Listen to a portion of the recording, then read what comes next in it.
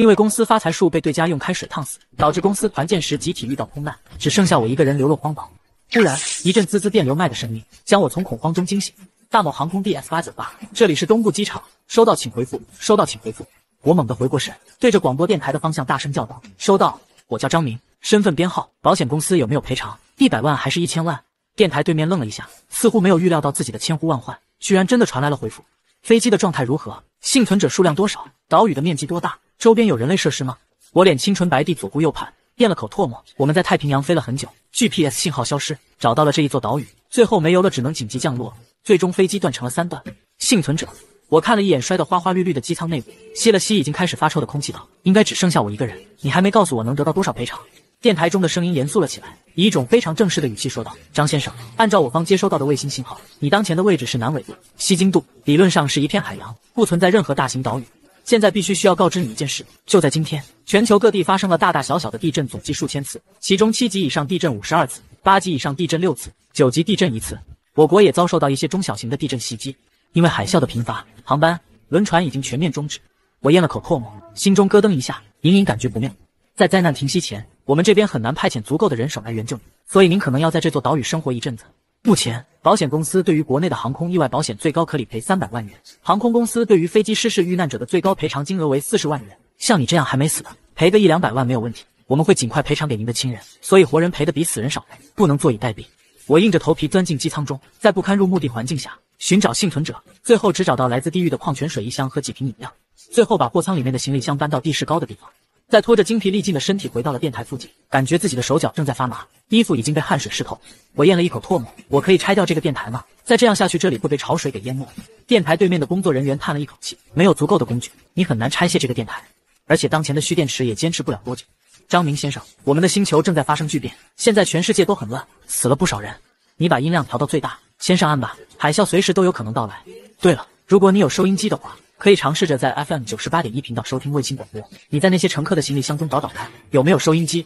我像一个瘪了气的气球，发出最后的声音，告诉我爸妈，告诉他们我还活着。我爸妈的电话号码是家庭住址，你们肯定能查到的。没问题，航空保险一定会赔给你爸妈。突然间，我感受到脑海中闪过一道亮光，个奇怪的面板出现在脑海当中。体魄二十一分之十五，感知二十分之十九，精神二十分之九，寿命八十八分之二十四，总属性一百四十九。我内心深处一阵悸动，难道这是我的金手指？我好像能够活下来。同一时间，地球高空之上的云层居然勾勒出一副模模糊糊的景象，清风薄雾下，仿佛有人有船在云层中穿行。暗红色的天空就像被分割成多块的投影屏幕，同时出现了多个奇怪的场景：北冰洋冰山探险队、大西洋远洋游轮、太平洋中荒岛求生者、豪华游轮天团，还有被困的渔船，零零散散的加起来，总共有十六处大大小小的景象。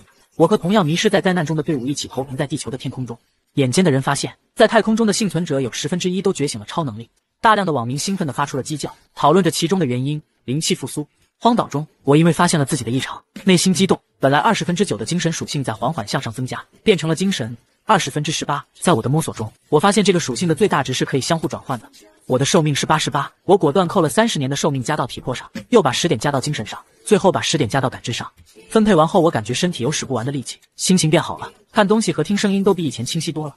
属性变成体魄五十一分之四十，感知三十分之二十九，精神三十分之二十六，寿命。三十八分之二十四，总属性一百四十九。然后强烈的饥饿涌上心头，太饿了，仿佛饿了三天三夜般。我头晕目眩，觉得自己能吃掉一头牛。熬到了夜晚，炫了几包薯片和几个面包，感觉肚子还在叫。我并没有德爷三天饿九顿的挨饿天赋，特别是将体魄提升到五十一点，又费劲搭建了临时庇护所之后，饥饿正在不断侵蚀我的理智。忽然间，远方传来一阵轰隆隆的声音，伴随着滋啦一声刺耳的金属撕裂。在月光之下，一个黑色的生命体正疯狂觅食着机舱中的人类尸体。它的体型庞大，可能有数十米的高度，就像哥斯拉一样，硬生生的掀开了飞机残骸的金属层，嘴里发出欢快的咀嚼。片刻钟的功夫，形成了一场盛宴狂欢。这时，电台的声音还在响着，被这只怪物一拳拍烂了。播音员的声音彻底消失。我躲在椰子堆里，又惊又怕，欲哭无泪，心中诅咒了那黑影祖宗十八代。第二天，天气晴朗的一天，来到荒岛的第一夜，总归是有惊无险的度过了。那些怪物吃了机舱中的尸体，便轰隆隆的走向了岛屿的正中心。因为电台被一拳打成大饼冲击，精神点果断负二。我埋头整理着自己手头的行李箱，心情就像坐过山车一样，又惊又喜，又哭又笑。最后得到了一些食物和一些工具，最重要的，我发现有一个收音机和一个帐篷。收拾完后，我把遇难者的衣服埋在一个大坑里，做了一个衣冠冢。感谢你们的礼物，我会带着你们的希望活下去。带着这份美好的愿望，我熬到了第三天。今天我决定好好探索一下这个荒岛。沿着沙滩一直向前，又爬过一块高高的岩壁。我居高临下，看到了一群螃蟹。食物！我双眼迸射出了亮光，体内的肾上腺素上升，精神值暴涨。紧接着，我发现情况有异，这些螃蟹的个头是不是太太太大了点？最小的宝宝螃蟹有水桶那么大，最大的甚至比得上一台洗衣机了。有几只螃蟹发现了站在高处的偷窥者，居然蜂拥而动，朝着我所在的方向齐齐涌了过来。面对密密麻麻的螃蟹大军，我撒腿就跑。我跑进了树林后。他们就没有再追过来了，应该是惧怕树林里面的那只超级大怪兽。第二次我学精了，我发现一只身材不大的螃蟹在沙滩上落了单，悄悄地带住时机，拿着小水管猛然抱起，向着对方凸起的黑眼珠子奋力敲去，给爷死！哔哩，金属水管敲到了某一亩，强烈的反震下，我感觉自己的虎口生疼。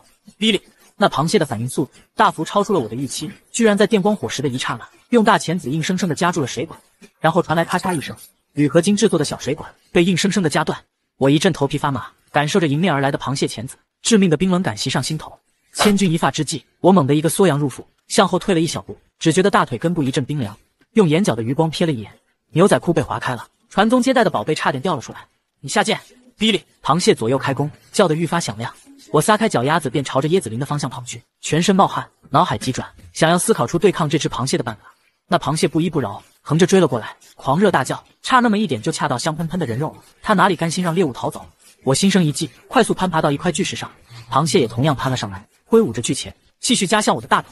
别下去！我手臂肌肉猛然发力，居高临下地用小水管向前一送，咚的一声，水管捅到螃蟹的肚皮上，将它硬生生的捅了下去。这一下连滚带摔，螃蟹从石头上翻滚下来，摔了个结结实实。毕竟我的力气也是不小的，这一捅简直用了十二成的力气。螃蟹可能受了一点小伤，不再攀爬巨石，那几条大长腿飞一样的舞动着，横着爬走了，嘴里还大叫着哔哩哔哩的声音，看得出它很不甘心。我深深吸了一口气，望着逃到海里的大螃蟹，平复着狂跳的心脏。我开始忧愁起来，为刚刚的鲁莽举动感到后怕。向下望去，看到刚刚那螃蟹摔下去的地方，居然有一条诱人的螃蟹腿。我的心跳再一次加快，有些不可置信的捡起这条螃蟹腿，硬邦邦的，带着扎手的绒毛，还带着一丝润滑的粘液。我飞速的将螃蟹腿装进背包当中，就像做贼一样左顾右盼，确认没有怪物注意到自己，一溜烟的逃跑。这哪里是螃蟹腿了，而是快乐、喜悦、幸福以及生命。是将救命恩谢的腿子清蒸、烧烤，还是水煮？等等，火呢？我还没生火。心情就像过山车的张明，有些猴急的翻看着阳光下暴晒的枯叶树枝。话说回来，他已经整整三天没吃一顿正经的了。每当想用库存食物的时候，都会产生一种坐吃山空的罪恶感。天知道救援队什么时候能够到来，但现在一条螃蟹腿完全改变了命运。是他狩猎得来的，符合可持续发展的要求，可以放心大胆尽情食用。于是，都生火还没成功的，口水先流了一大串。还是水煮螃蟹吧，为了安全起见，一定要煮熟。他搓了搓冒汗的双手，我需要一个更大的锅。手头拥有的容器只有一个电饭锅中的内胆，塞不下一条螃蟹腿。至于那些旅行箱，大都是塑料的，不能放在火堆蒸煮。张明又重新返回到飞机残骸的位置，搜寻更大的金属容器。飞机的餐车由不锈钢制造，里边装载了几个金属抽屉，是原本盛放航空餐的地方。在先前的事故当中，餐车严重扭曲变形，所以张明没看上眼，用石头敲一敲，刚好用来当大锅。寻找到容器后，最后一道工序就是生火了。张明手中拥有小刀、剪刀、收音机、药物，还有手摇式的手电筒，唯独没有打火机，因为这玩意在飞机上是违禁品，没办法携带，也无法托运，故而。只能采取钻木取火的方式。深吸了一口气，他从未有过钻木取火的经验，不禁有些紧张起来。有很多事情看上去简单，真正实践起来却是内行看门道，外行看热闹。没有实践过，永远不知道它有多难。钻木取火的步骤，昨天晚上的广播刚刚播报过，倒也不算复杂。首先要准备好一个容易被点燃的火绒巢，由木屑、餐巾纸等易燃物构成，然后寻找一根木棍以及一块木板。用小刀在木板上挖一个小洞，里边填充木屑，再用长木棍在洞中不断的旋转摩擦，产生火炭。最后将火炭放置到火绒巢，引发小火苗，便获得了真正的火种。想法很简单，实际操作起来却发现自己像个智障。像钻杆得选择稍微硬一点的木材，钻板选择稍软一点的木材，类似细节问题，只有自己尝试过才能够亲自发现。就算勉强产生了小木炭，也小得可怜，一阵风吹过。就不小心灭了。张明被这生火的事情搞得手上磨掉了一层皮，精神值暴降，就连头发都掉了一大把。精神值一一一一，花了一下午的功夫，才硬生生的升腾起了火焰。看着那明晃晃的火花，简直有一种热泪盈眶的感动。太不容易了。他将火苗放进早就准备好的石坑当中，点燃更多的木材，然后便是蒸煮螃蟹腿的时间。这一坐下，螃蟹肉的清香迎面来，连忙拿了个抽屉盖上，以免香味散得太开，产生不必要的风险。有什么事情比这一刻更令人期待的呢？张明静静地坐在火堆旁边，听着柴火噼里啪啦的声音，他的心灵无比宁静。在这一刻，没有烦恼，他无忧无虑，眺望夕阳，闻着波涛，产生了由衷的幸福感。莫名回想起了从前，在过去人生中最最幸福的时间，似乎是高中时期等待初恋女友的一段时光。张明是一位成绩马马虎虎还可以的好学生，但又不是那种循规蹈矩的学生。高中嘛，每个班级都有几对早恋的，不可避免。每天最期待的事情就是到操场上拉起小女友的手溜达一圈。一开始只是拉拉手，然后亲个脸，最后偷偷亲个嘴，拉着手逃脱教导主任的凶猛追击。这种幸福的关系。只是持续了一个学期，然后就变得不太愉悦了。世界上的很多事都是如此，人生若只如初见，十全十美只存在于幻想当中。不知道为何，突然回忆起过去的那一段时光，张然不由得喟然长叹。本来还想顺风说点骚话，赞美人生什么的，此刻又忽然不知道应该说些什么了。那些曾经的时光，就如同一连串的丢失珍珠，随着他远离人类文明，仿佛再也不回来。你以为那是普普通通的一天？你以为那是人生中的常态，但时过境迁，你蓦然回首，发现那是生命中最美好的一天，而且这一天永远消失，只在回忆当中一闪而过。这里的树木材质特殊，饱含油脂，火势格外的旺盛，理论上煮上半个小时也就差不多了。为了保险起见，足足煮了一个小时。趁着这段时间，张明又用多余的行李箱布置了十来个露水收集器，然后用两件衣服当做毛巾。将滚烫的金属抽屉小心翼翼地从火堆中端了起来，滚烫的开水上泛着一层白色的泡沫，咕噜噜地响动着。而螃蟹腿被煮成了橘黄色，散发出诱人的清香。食欲大开，满怀期待的赞美，吃螃蟹嚼嚼喽！海市蜃楼播放不了夜间的场景，大型电视连续剧暂时告一段落，但避难所中的广大人民群众全都美滋滋的，对今天的剧情相当满意。那粗大的螃蟹腿足够饱餐好几顿了。被困荒岛的小哥生活状态不错，神秘区里的螃蟹吃起来应该非常劲道吧？不知道和大闸蟹比起来味道如何？云海避难所，王富民接过今天的盒饭，心满意足的打开，热气腾腾。避难所中的大锅饭味道不怎么样，好歹能够吃饱。他将盒饭中的肉划了一半到女儿的小碗里边。不一会儿，小朋友吃的满嘴都是油，含糊不清的说道：“爸爸，我也想吃螃蟹，等爸爸赚到钱就给你买。”明天你妈回来了，爸爸得去参加义工，你和你妈待在这里，要乖一点哦。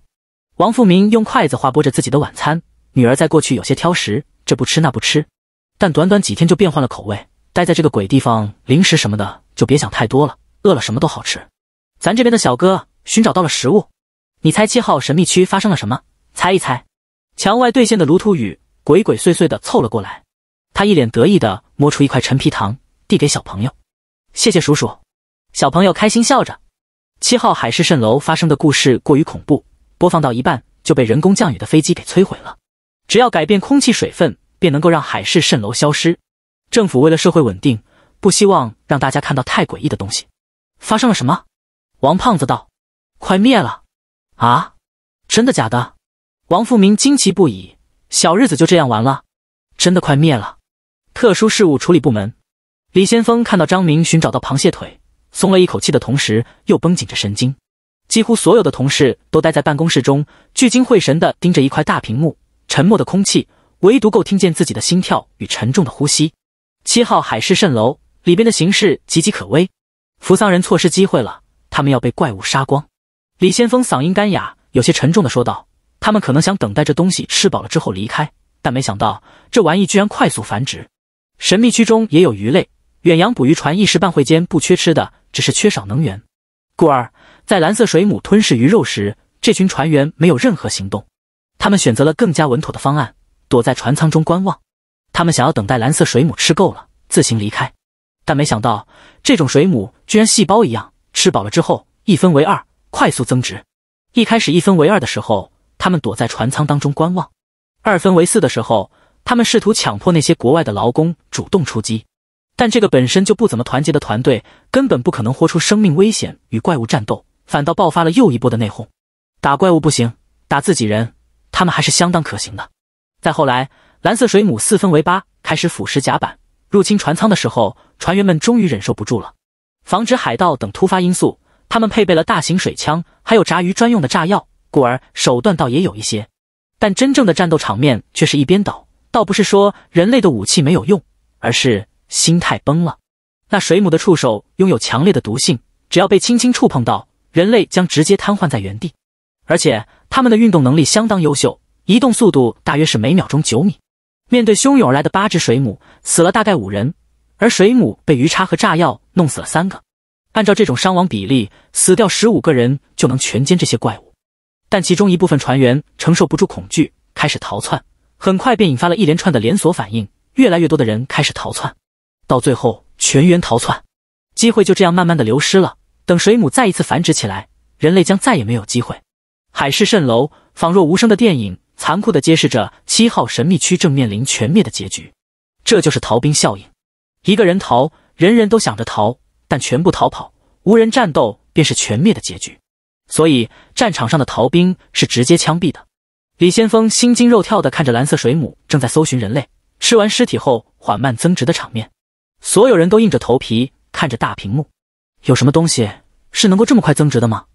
细菌吧，蘑菇或许也行，但这个东西显然是大型生物。如果它入侵人类世界，能抵挡得住吗？我们这边应该没问题，第三世界可能要糟。这一想更是令人头皮发麻。万一这玩意增值到了上亿、上十亿，那可真是……当水母再一次快速繁殖到二十个的时候，整个团队已然回天乏术。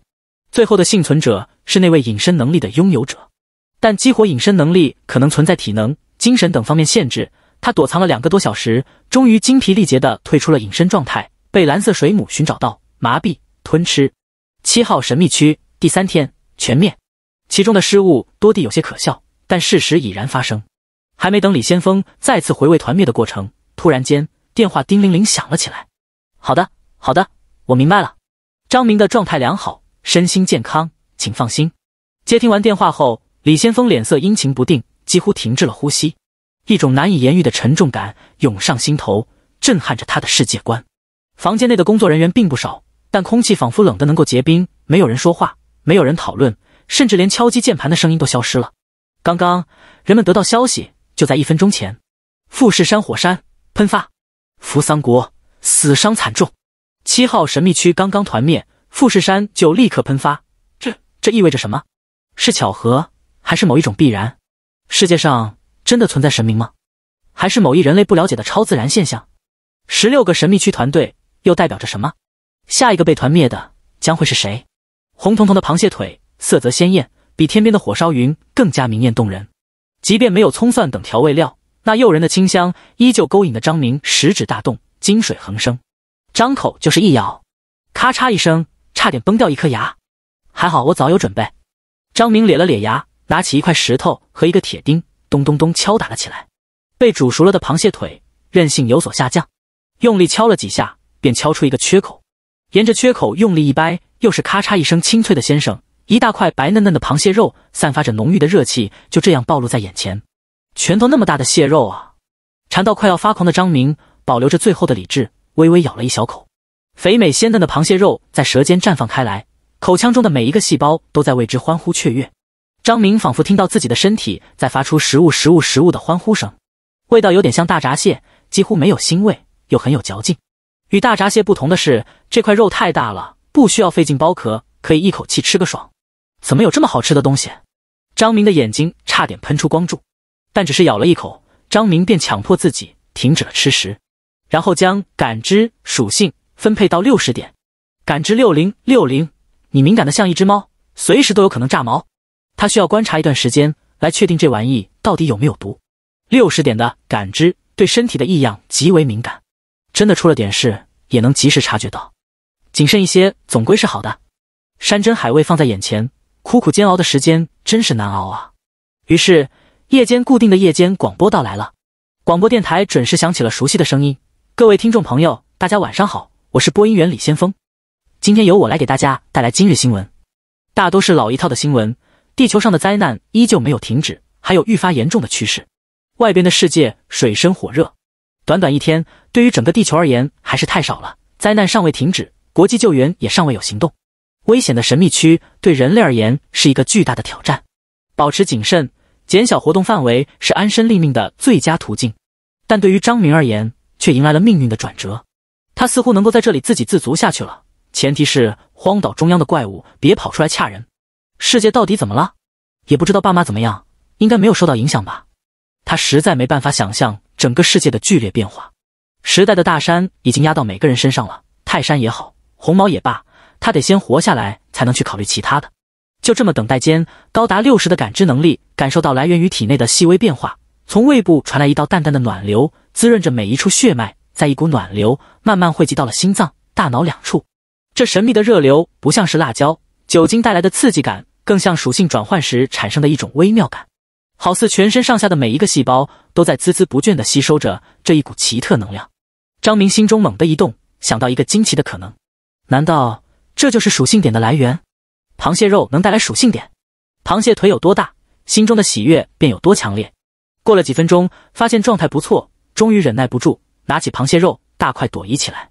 大腿肉肉质丝短纤细，味同干贝；而小腿肉丝长细嫩，美如银鱼，每个毛孔都酣畅淋漓，一口接着一口，完全停不下来。那来源于胃部的热流也逐渐增多，暖洋洋的流淌全身。为了庆祝今天的大丰收，他甚至开了一瓶肥宅快乐水，大口吃蟹肉。大口喝阔乐，顺带着听新闻，心中的满足都快要溢出来了。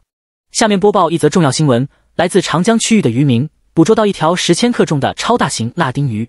通常情况下，该品种的鱼类最多只能成长到五百克，如今在不明因素的作用下，体重增长了二十倍。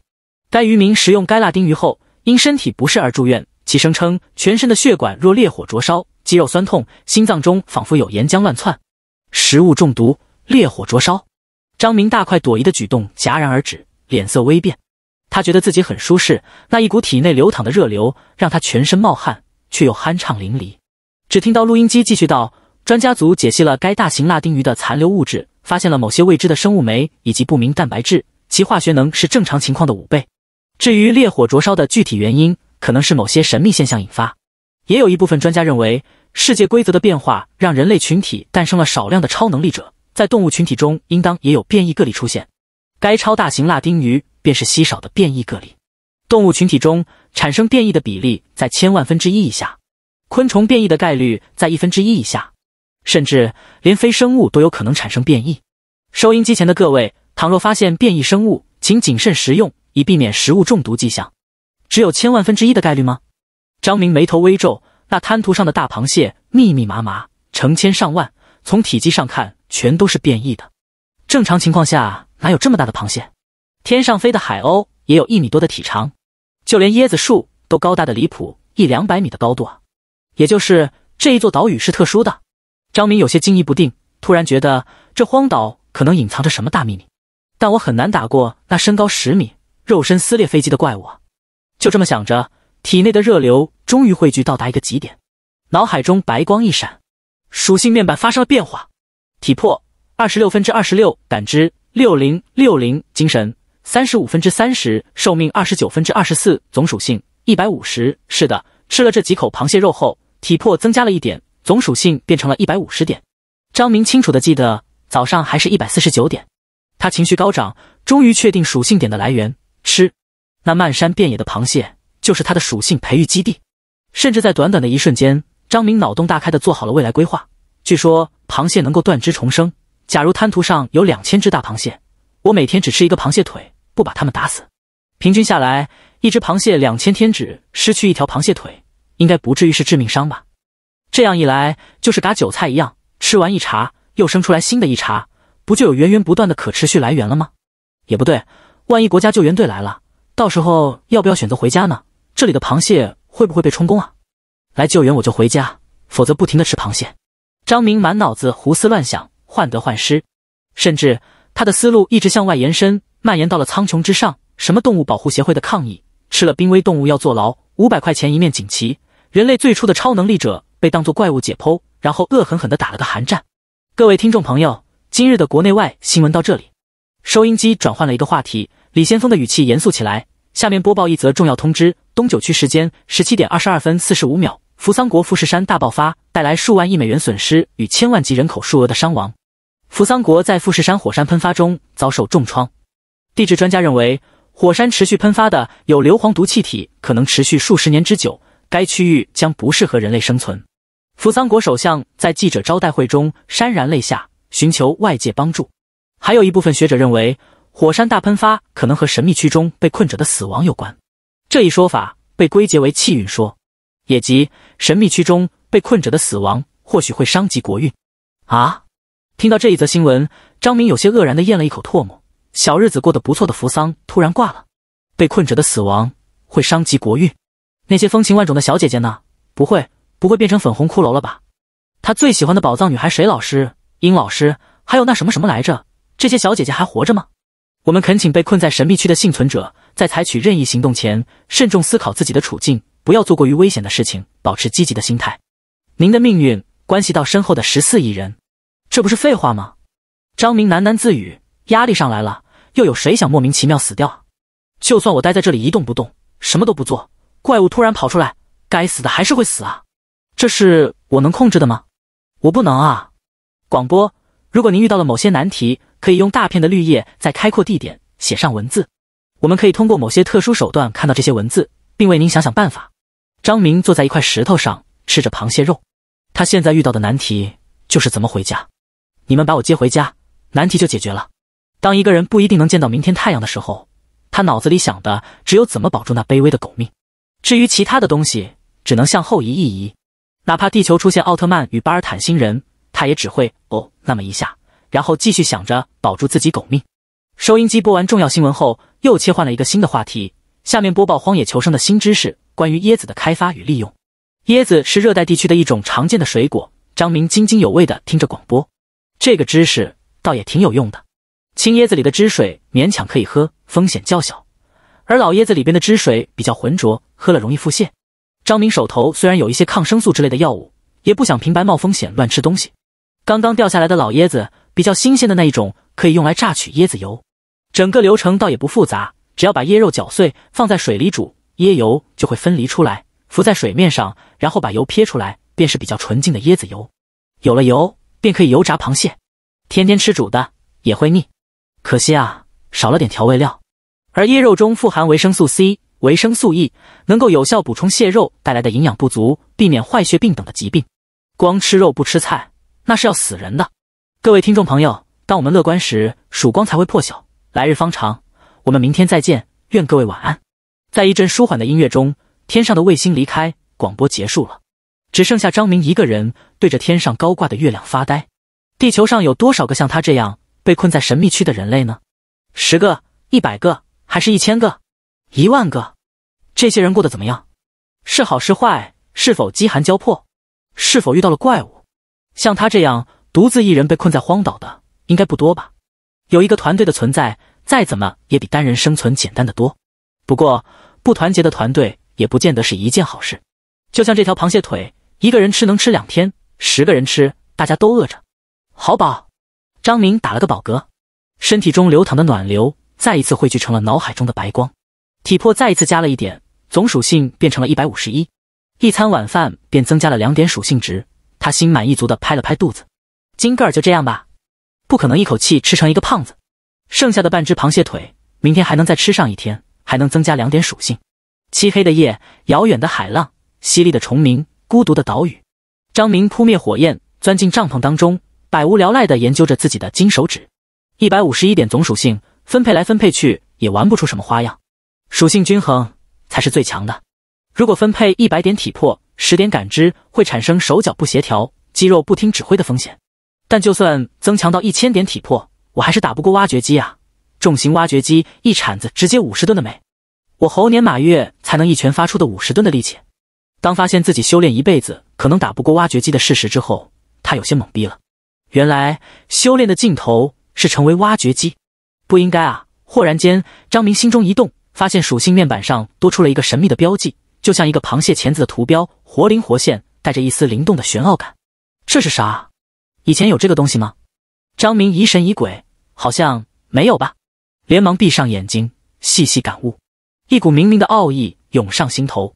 超能力，力量爆发，未激活需消耗十点属性激活，效果瞬间爆发百分之五十至百分之五千的力量。简简单单的说明，却让张明呆愣在了原地，满头大汗。这这啥啊？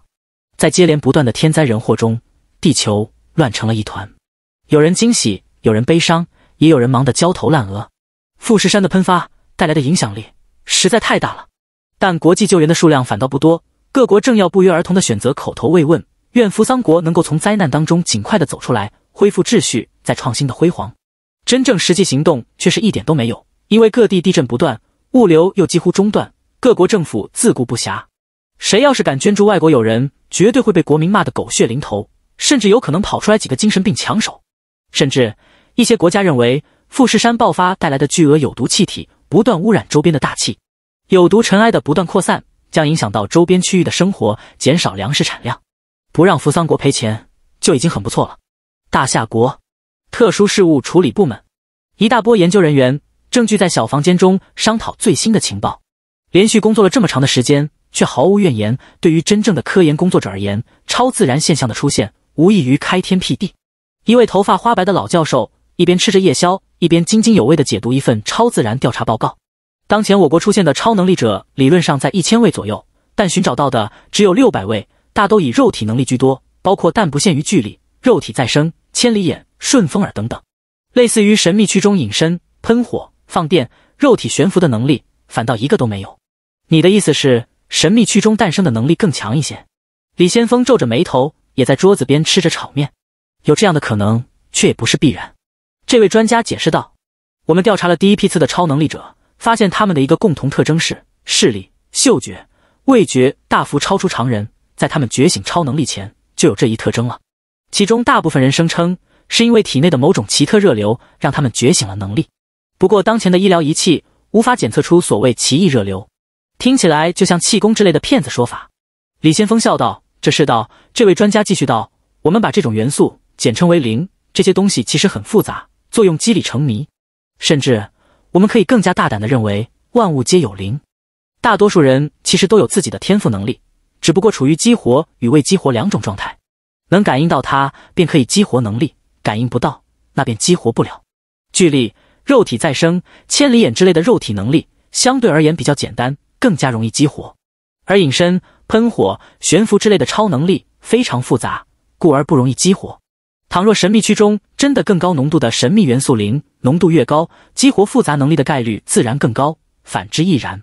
李先锋思索片刻，这些不知道真假的说法，只能由时间与实验去检验。他又问：被困在十六区的张明，他的能力只是肉体能力吗？老教授回答道：不好说，他比普通人确实强壮一些，但比起真正的巨力能力者，又好像弱了一些。在国外，一位拥有巨力能力的举重运动员，已经能举起四百千克的杠铃了。这一结果大概是普通人的八倍，远超世界纪录。反观张明的战斗过程，似乎没有这么强壮的体魄。超能力可以锻炼吗？李先锋又问：“有没有上限？”暂且不知，但上限应该是有的，总不可能一拳打穿地球吧？就目前而言，大家都不怎么样，基本不会影响到社会秩序。李先锋又问：“多能力者存在吗？”多能力者，顾名思义，一个人拥有多个超能力。不知，就算多能力者存在。当前也只能在神秘区激活吧。短期内，我不认为地球上能够出现多能力者。这位专家抚了抚眼镜，说道：“在未来，随着神秘区的规则不断扩散，地球上超能力者的数量还会大幅增加。甚至我可以预言，非生命体都有可能出现超自然特性。我将这些非生命体命名为奇物。”云海避难所。刚刚上完厕所的王富明心情愉快地找到了卢图雨，一脸鬼鬼祟祟地说道：“小卢，我捡到一个很奇怪的东西。”看上去怪怪的，也不是怪物，就是很奇怪的东西。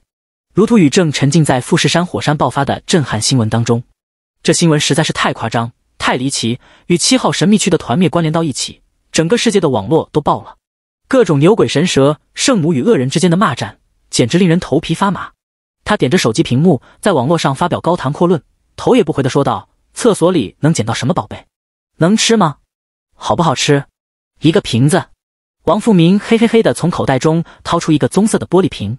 卢图宇接过玻璃瓶一看，一个装藿香正气水的玻璃瓶，里边还有几滴残留的液体。这瓶子不多的是。你不懂。王富明解释道。在捡到它的第一刻，在我心中产生了一个奇怪的声音。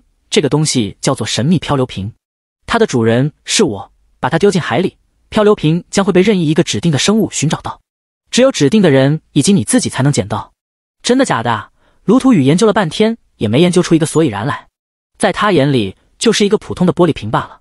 卢图雨摸了摸下巴，琢磨了一阵，没有研究出什么，把瓶子重新递了过去。富士山都直接爆发了，出现超自然特性的物品。也不是不能想象，要不要上交给国家？王富明问道。你要是想得一面锦旗，再加上五百块钱，你就上交好了。卢图雨努了努嘴，我的建议是，你留着当宝贝。王富明道。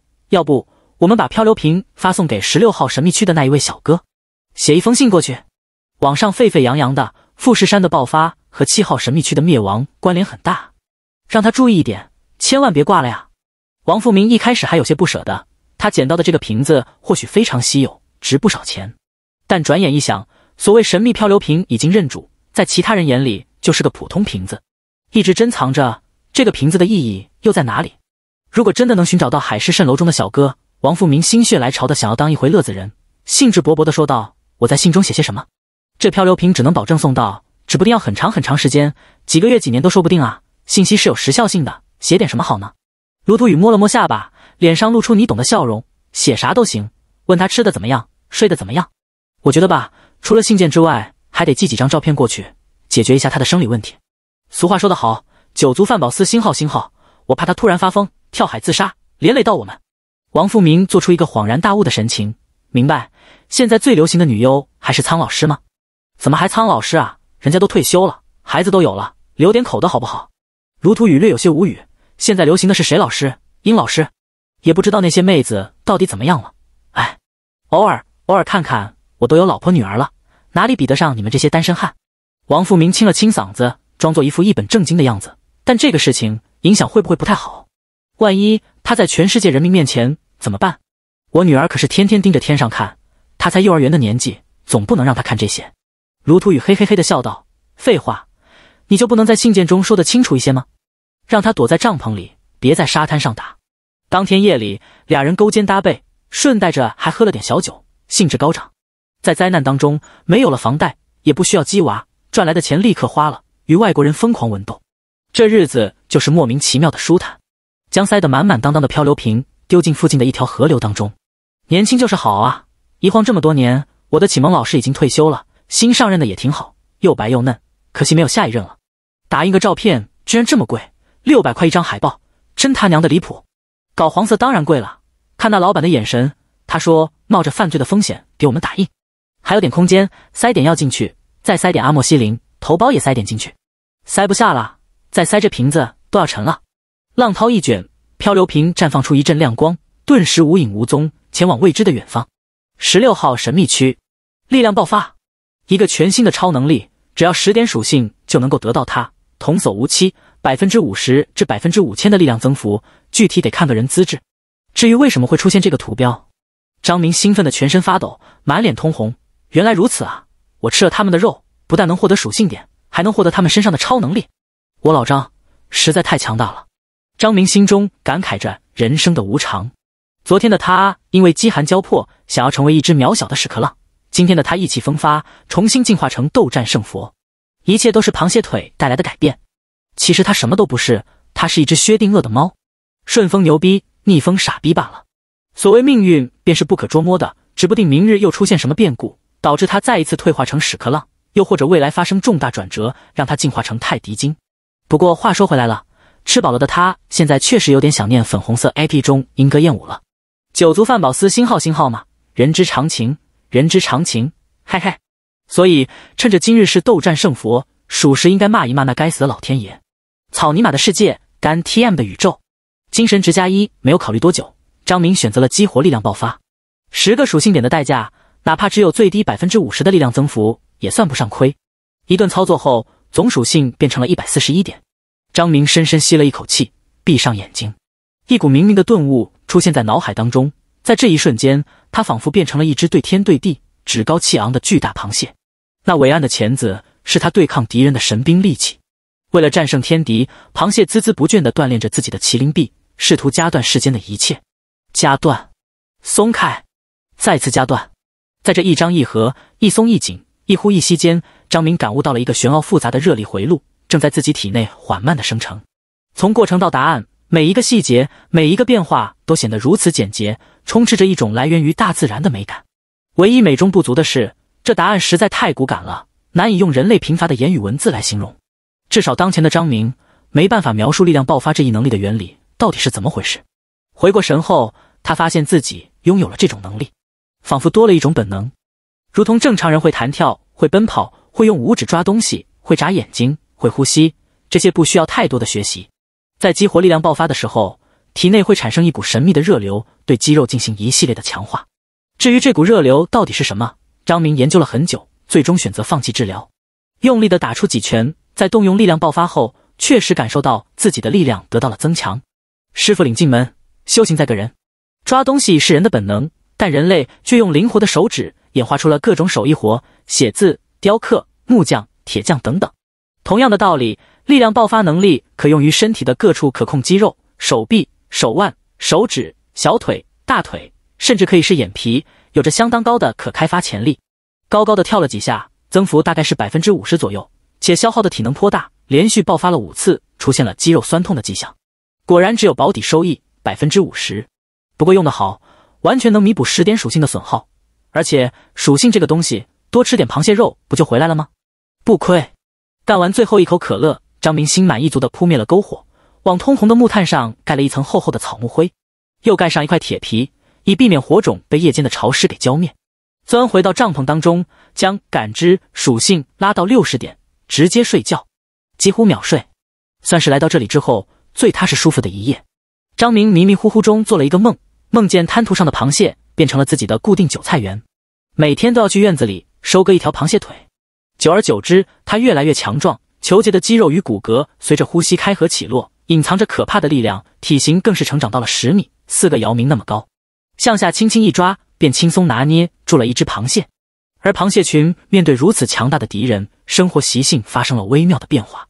他们出现严重的内讧，每当张明踏入他们的领地，就会有旁间主动跳出来卸掉其他螃蟹的一条腿，因为只要卸掉同伴的腿，他们的腿就能得到保存。当然，也有一些螃蟹勇士联合起来，想要发动一次次奇袭，却被旁间告密，暴露了身份，丢失了自己的腿子。于是演绎出了一副感人至深的世间悲剧。咕噜噜，开水沸腾的声音。庞坚与勇士的内斗，以及张明至邪至恶的笑声，在梦中显得无比真实。到最后，终于有螃蟹勇士挺身而出，恶狠狠地夹断了老张的宝贝。啊！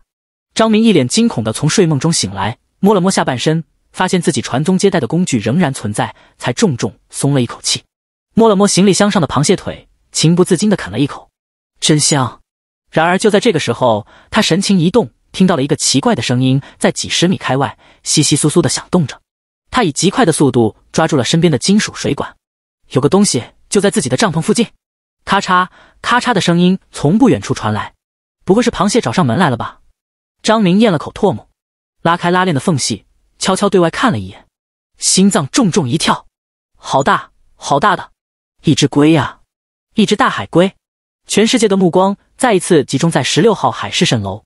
昨天夜里富士山火山的爆发，给扶桑国带来了巨额伤亡。也给想象力丰富的网友们带来了无穷联想。神秘区中的人类的存活，居然和本土的命运产生了关联。这便是国运啊！即便扶桑没有灭国，也大幅衰弱了，还得尽快转移人口。上帝是在挑选末日中最后留存的种族吗？这个猜想实在是太可怕了，因为外界根本无法影响到神秘区中的人类，哪怕这些人遇到危险，也只能眼睁睁地看着他们死亡。更令人恼怒的是，有些团队还在闹内讧，为了一点个人利益斤斤计较。吵得脸红脖子粗，于是，一群暴躁的网民开始疯狂人肉，准备把这些内讧者的家人找出来，直接杀了。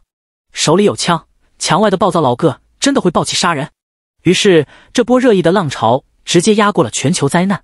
最近新闻，所有被困者的家属已经被政府紧急保护。参议院法律委员会颁布紧急法律，人肉行为将触犯刑法，一些关键词已被紧急封锁。还我言论自由。这是小号，我的账号已经被政府封杀，我宣布永远退出蓝鸟。疯狂的骂战很快上升到了街头游行的地步。不过这股浪潮没有影响到大夏国，毕竟十六区只有一个人，想要内讧也没办法。十六个海市蜃楼现在只剩下十五个了。原先的七号海市蜃楼人员全部死亡后再也没有出现，但依旧可以解释为一个巧合，因为富士山本来就已经要爆发了，早一天晚一天都有可能，说不定真的只是一个巧合。快看啊，十六号神秘区的那一位遇到大麻烦了。全球网友对这些奇异的生物下意识的紧绷神经。很好，它马上就要被那只海龟给吃掉。幸好我已经认出来了，就算东方爆发灾难也影响不了我。下一波灾难将发生在大夏国，是地震还是火山？要是真的发生了，我给大家发一波红包。部分群体开始了集体狂欢，幸灾乐祸，蛙声一片。牛的兄弟，V 我五十，证明一下实力。牛的兄弟，V 我五十，证明一下实力。对线大军们立刻到场，在网络上和阴阳人们热烈交战。彼得·格里尔教授怎么看？过了好一阵子，超心理学专家彼得·格里尔姗姗来迟，发表新的推文。抱歉，我们对于这些天的事故研究了很久，暂时没有太好的结论。站在科学的角度，富士山火山喷发单一的例子是没有可靠性的，可以认为是一种巧合。但如果某一神秘区中的团队再次团灭，同时其母国发生灾难，这便不是巧合了。国运说也就得到了论证。各位，大家要知道，这些海市蜃楼是上帝带给我们的启示。我们可以大胆的认为，当十六个海市蜃楼中的人类全部死亡之际，便是全球末日天灾到来的那一刻。任何一个团队的死亡都不是好事，世界末日并不值得期待。但不管彼得·格里尔怎么苦心劝导，末日狂欢的氛围依然在蔓延，各种暴论不断。不得不承认，人类群体就是这样的。人类群体并非理性，群体的精神状态冲动、易变。易怒群体的行动侠、专制与保守，如果用一个确切的名词来形容，那便是乌合之众。和国外的阴阳怪气不同，全国人民压力山大的盯着天空，有能力翻墙的正在激情兑现，却也时刻关注着十六号神秘区的动向。万一神秘区中的幸存者真的关系到冥冥中的气运呢？特殊事务处理部门李先锋盯着天空中的场景，满脸通红，就差点大吼出来了。就算你有超能力。就算你打败了螃蟹，也千万别去招惹那大海龟啊！千万别！十六号神秘区岛屿边缘，大海龟脚掌如同桨叶，通体棕色，脖子点缀着斑点花纹，乌黑的眼睛硕大而又明亮。从长相上看，这只大海龟有一种难以言喻的憨厚朴实气质。这世界可真是疯狂！水缸大的螃蟹，卡车那么大的海龟，张明躲在帐篷当中，悄悄打量着对方。海龟对着地上的螃蟹壳便一顿乱咬。咔嚓咔嚓的咀嚼声就是从他嘴里传出的，那一张龟脸居然露出一副极致享受的狂热表情，即便螃蟹壳当中一点肉都没有，却吃得停不下来，连带着地上的草皮都被啃掉了。看着他那一副快乐的模样，就连张明自己都不自觉地分泌唾沫。但这又算什么？这海龟在吃餐厨垃圾。我知道螃蟹很好吃，但那只是壳，没有肉。醒醒，海龟，你赶紧走吧，吃完了你快点走吧。张明握紧了金属管，手心微微出汗。卡车那么大的海龟，他根本不敢招惹，只能在不停的祈祷对方赶紧离开。海龟这种生物，应该不至于吃人。下一瞬间，巨龟感受到了张明隐晦的目光，硕大的脑袋转了过来，两只黑溜溜的眼睛看向帐篷的方向。他刚刚吃的太爽了，有些忽略了周边环境，空气陷入了凝滞，诡异的沉默酝酿的愈发浓郁，好似暴风雨前的恐怖宁静。张明紧张的不行。躲在帐篷当中，不断调整属性，体魄不断上涨。瞥了一眼剩下的螃蟹腿，万一那海龟冲过来，我就把剩下的螃蟹腿丢出去，吸引他的注意力，然后自己快速跑路。暴风前夕的每一秒都如此漫长，张明额头上的汗水越来越多，脑补着一个个作战方案。下一瞬间，不可思议的事情发生了，巨龟后退了几步，越来越疑惑。突然间，两只眼睛瞪得浑圆，做出一个极为慌张、惊恐的表情。至于为什么张明认为这个表情是惊恐，因为那海龟实在过于人性化，他严重怀疑这厮进化出了微妙的智慧。巨大的海龟将自己的脑袋慢慢缩了回去，他在害怕，他他咋回事？就在张明心中震撼的下一秒，海龟动了，他缩着头，两条后腿挪动着，一点一点转动龟壳，就像转动一个不太灵活的陀螺。待脑袋转向沙滩方向后，撒开脚丫子，开始夺命狂奔。四条划桨一样的大腿左右开弓，朝着海洋狂奔去。咚咚咚咚，那场景显得如此奇特，导致张明的眼球都快凸出来了，差点咬到了自己的舌头。他逃了，他居然逃了！他不用看路的吗？他不怕撞到大树吗？好不优雅呀！海龟一路横冲直撞，在灌木丛中留下一条重重的压痕，就连张明刻意布置在的椰子防护大阵都被撞飞了好几个。谁说龟跑不过兔子的？过了两秒钟，张明才反应过来，从帐篷中跳出，在龟屁股后大声叫唤：“喂，你能不能分我一点龟肉啊？你身上有什么样的能力？给我一点吧，哪怕一口肉也好啊！我张明想要和你做好朋友，求你了，别逃这么快啊！”十分钟后，张明终究没有追击逃跑的属性点。对方逃跑是一回事，自己追上去能不能打过是另外一回事。千万别低估了这些变异生物的临死反扑能力。但这件事也给张明提了个醒：带着气味的食物必须妥当储存，哪怕食物的残渣也得及时收拾干净，丢得越远越好。最好是丢到海洋当中。这一次是一只胆小贪吃龟，下一次指不定是什么妖魔鬼怪。返回去吃了几口螃蟹肉，真香。美好的一天再一次开始了。分配了一下属性点。体魄四十七分之四十七，感知三十三分之三十三，精神三十二分之二十七，寿命二十九分之二十四，总属性一百四十一，能力力量爆发，已激活。身处的环境并不算太友好，但他对未来的生活充满了期待，说不上是期待，只是单纯保住狗命罢了。张明认真思考着，今天到底应该做什么？是继续去打螃蟹，还是掏鸟蛋，还是寻找另外的变异生命，还是探索岛屿中央地带的终极奥秘？理论上，只要这些变异生命拥有超能力，便能够通过进食的方式转移到自己身上。只要身怀一百个、一千个超能力，还不是飞天走地、肉身接核弹、一拳爆心？我的后期能力可以的，只要我后期起来了，什么怪物都能打得过。然后毅然选择了继续打螃蟹，认真练。因为人类的本质是复读机，一级的时候打小螃蟹，十级的时候打大螃蟹，一百级打超螃蟹，一千级打仙人。螃蟹，一万级打神无敌。螃蟹，作为人类便逃不过复读机定律，他必须要打螃蟹。嗨嗨，说正经的，人贵有自知之明。张明现在的战斗技巧烂到没办法看。在过去，他的职业是一名程序员，连一只鸡都没有杀过。从小到大，打的最凶的一架是幼儿园时期踢了别人的蛋蛋，那可怜的小朋友假惺惺的哀嚎了半个小时，然后老师惩罚他在墙角罚站了半天。最终还要点头哈腰的道歉。从那时候起，他便学会了一个道理：不能打人。要是挨打了，就躺在地上大哭特哭，就算不严重，也要装作很严重。现如今，哪怕经过属性面板的加持，他或许比贝爷还要强壮，但让他老张用双手掐死一只鳄鱼，万万无法做到。所以欺负一下手下败将，能够缴获一些螃蟹腿，便心满意足了。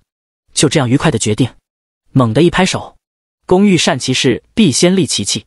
花费半个小时完善了自己的战斗工具，把一条蓝色的连衣裙切成了长条，编成绳子，用绳子将螃蟹腿尖尖的一部分与金属管牢牢捆绑在了一起，这便形成了一把坚固的长矛。女人只会影响我拔刀的速度，所以先把这些衣服全部销毁。其实他觉得女人的衣服没啥用，一旦穿女装在沙滩上奔跑，说明人已经疯了。精神加一，兴奋地挥舞了几下，新鲜出炉的长矛用起来颇为顺手，尖锐程度也相当不错。如果用来攻击人体，一扎就是一个血窟窿。然后，张明坐在一块石头上，开始思索更加安全的作战方式。像昨天那样鲁莽行事，安全性不高，效率又低，属实不太行。颅内模拟战斗了一番，总感觉扎眼睛、泼开水等各种方法过于离谱。万一失败了，螃蟹失去的是一条腿，我失去的可是一条命啊！灰白的记忆片段从脑海中飞速翻过，张明努力回想着贝爷、德爷、澳洲小哥的生存题材。看视频的时候，只是觉得这群人很有趣，挨饿很厉害，又有谁能够想象得到自己会在某一天用上这些知识呢？渐渐的，一个重要的关键词出现在脑海当中：陷阱。面对面的肉搏，容错率实在太低，在无人照顾的荒野，受伤意味着死亡。但是我可以制作陷阱啊！我能通过调整属性的方式疯狂增长力气，只要推几个大椰子到巨石上，等螃蟹追杀上来，再把大椰子恶狠狠推下去。利用椰子数百千克的重量将其压垮，这个计划容错率很高，也不需要近距离战斗。不愧是我才能想到的天才方案。思考完整个方案后，张明深深吸了几口气，带着长矛，雄赳赳气昂昂的出发了。一个小时后，椰子陷阱制作完毕。为了保险起见，他特地将三个大椰子搬上巨石，每一个椰子都有三四百斤的重量。张明休息了半个小时，恢复了一些体力，小心翼翼地摸到了那一片螃蟹韭菜园。大群大群的螃蟹在滩涂上快活地吐着气泡，挖着泥巴。老远就听到一片哔哩哔哩哔哩的声音。你们的主人在此！张明很想当着螃蟹群的面，豪气万丈的大声叫唤出来，可是他不敢，他只能趴在草丛当中猥琐发育。地球世界，十六号海市蜃楼中的大海龟居然逃跑了，有惊无险的一幕让国内的很多关注者都松了一口气。在接下来，那位被困孤岛的小哥选择了最为熟悉的路线——打螃蟹。螃蟹虽然体型如同妖怪，但一回生，二回熟。只要准备好陷阱，猎杀的难度应当不大。希望他能够狩猎成功吧，别再让我提心吊胆的了。刚刚心脏都快跳出来了。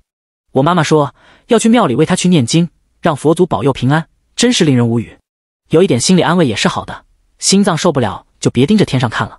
和国内的一片轻松相比，国外的言论反倒是失望与失落居多。人们只想看到血流成河，特别是墙外舆论一直不怎么友好的情况下，抱着这种心态的人就更多了。关注其他的海市蜃楼吧。十六号的那一位一时半会应该死不掉了。没想到那海龟那么怂，白长这么大个头，可惜啊！只要大夏国爆发天灾就发红包的那一位人没了，似乎是受到大量举报，账号被直接禁言。不过小黑子们又发明了新的角度，超能力低级。你们有没有发现他的力气很大？虽然我不知道那些椰子到底有多重，总不至于是空心泡沫吧？可能有数百千克。我认为。他可能有力量方面的某种超能力，肉体能力是比较低级的能力。地球上也出现了占据人口总量百万分之一左右的超能力者，也即十亿人当中一千人，全球加起来也不少了。这数千人当中，基本上全都是肉体能力，具体表现为怪力、疾跑、感知超长、肢体再生、超级免疫等等。对比起神秘区中出现的漂浮、隐身、操控火焰等能力，肉体能力看上去确实低级了一些。对线大军虽迟但到。那个看上去很高级的会隐身的扶桑人已经死在七号神秘区了。能力高级又有什么用？超能力只不过是次要的，聪明的头脑、冷静的决策与挨饿的天赋更加重要。我看十六号就是个胆小鬼，根本就不敢离开熟悉环境。他就是个懦夫，这也能喷？你以为是大型真人秀呢？我可去你妈！你行你上啊！超能力的高级与否变成了兑现的重要话题。一部分人认为这证明着上帝的偏爱。还有一小部分人觉得能力好用就行，高不高级有意义吗？所谓的高级也只是网民自嗨罢了，根本就没什么评判标准。就在这千呼万唤中，受到千万人关注的彼得·格里尔教授发表了新的推文：各位朋友，肉体层面的能力分布相对广泛，但以数量来分辨超能力的优劣是不科学的。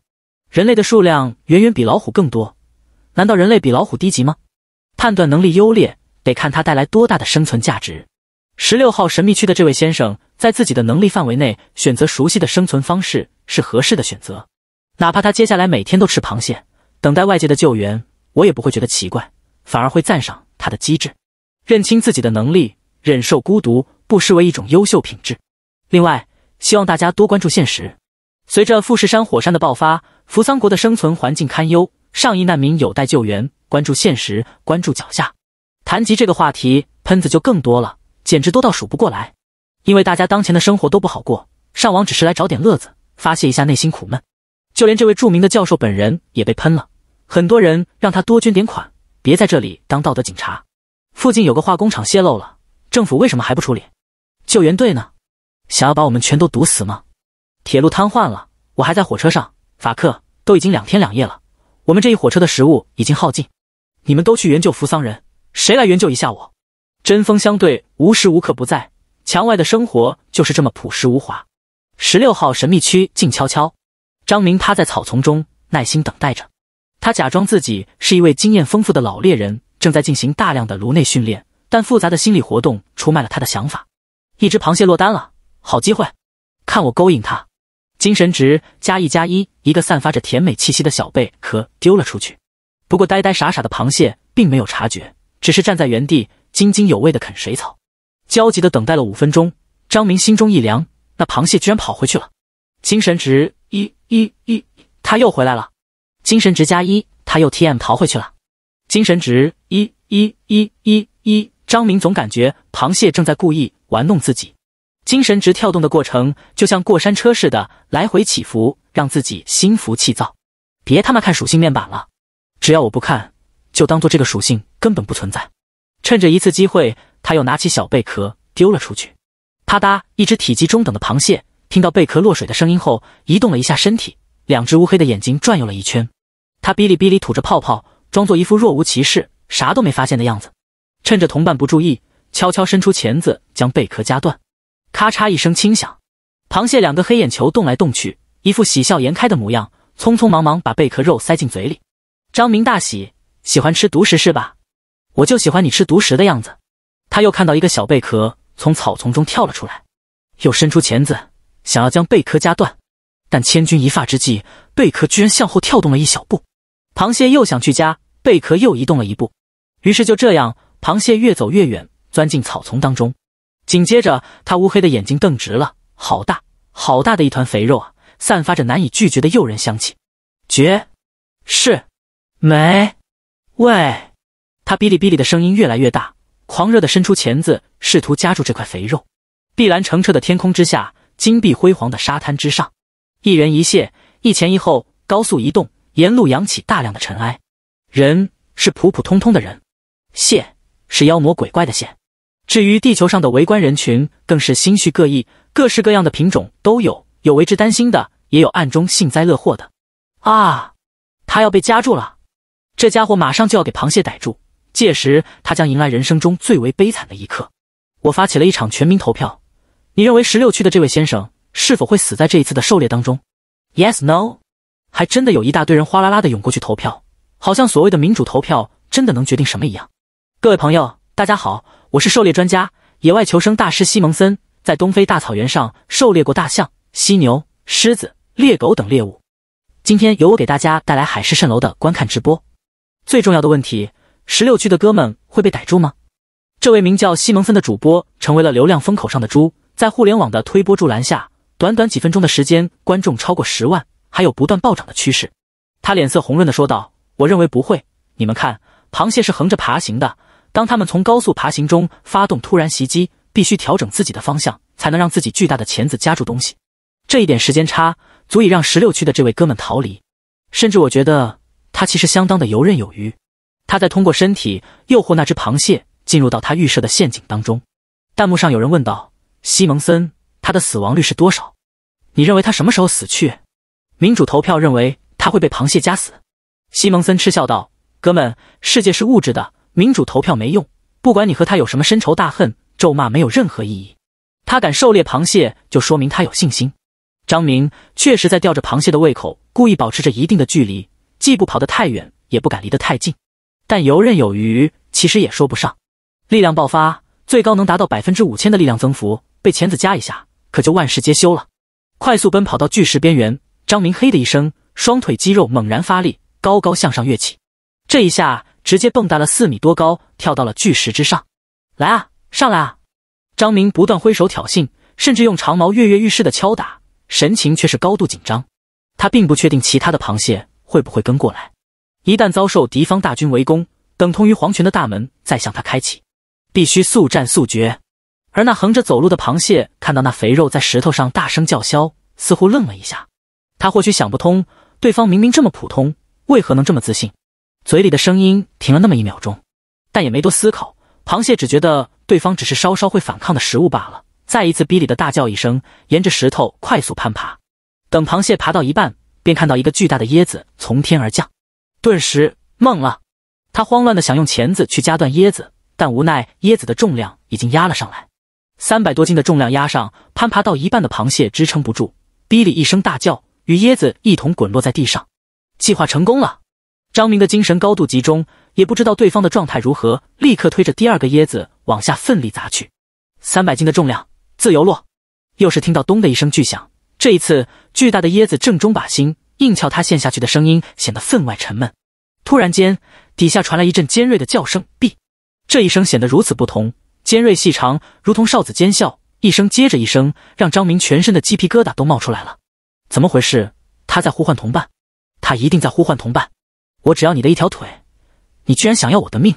张明额头冒汗，心脏狂跳，听到螃蟹叫得越来越响亮，目露凶光，直接从石头上高高跃下，举起巨大的椰子就往他翻开的肚子上乱砸。力量爆发，手臂上的血管一条条凸起，爆发出强大的力量。大椰子被高高举起，重重砸下，啪！力量爆发，啪！每当螃蟹传出尖锐的叫声，迎面来的是一个巨大的椰子。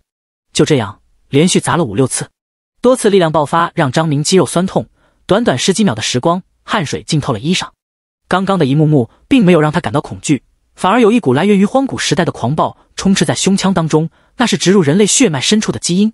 张明不由得回想起到刀耕火种的远古时代，人类的先祖便是凭借强大的战力，在原始世界杀出一片天，而不像现代人躺在床上喝可乐当肥宅，俨然忘却了恐怖直立猿的称号。精神三十二分之三十二，你刚刚狂暴了。汹涌的肾上腺素让你忘却了害怕与痛苦。张明，那螃蟹八脚朝天的躺在地上，肚子凹陷进去好几块，尖叫声荡然无存。哥，屁了！张明心中又惊又喜，却不敢大意，用随身携带的长矛戳了几下。我原本只想要你的一条腿，谁让你呼唤同伴？欢呼一声，他终于战胜了新手村的第一个生物，数百斤的超大螃蟹。那蟹黄蟹膏一定非常好吃吧？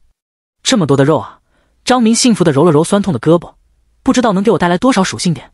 没有冰箱，也没有冷库，如何保存螃蟹肉是个大问题啊！虽然这个地方的螃蟹多的是，但是浪费可耻，浪费可耻！赶紧开溜！抱着死掉了的大螃蟹，张明一溜烟的逃跑，脸上的神情简直笑开花，发达了！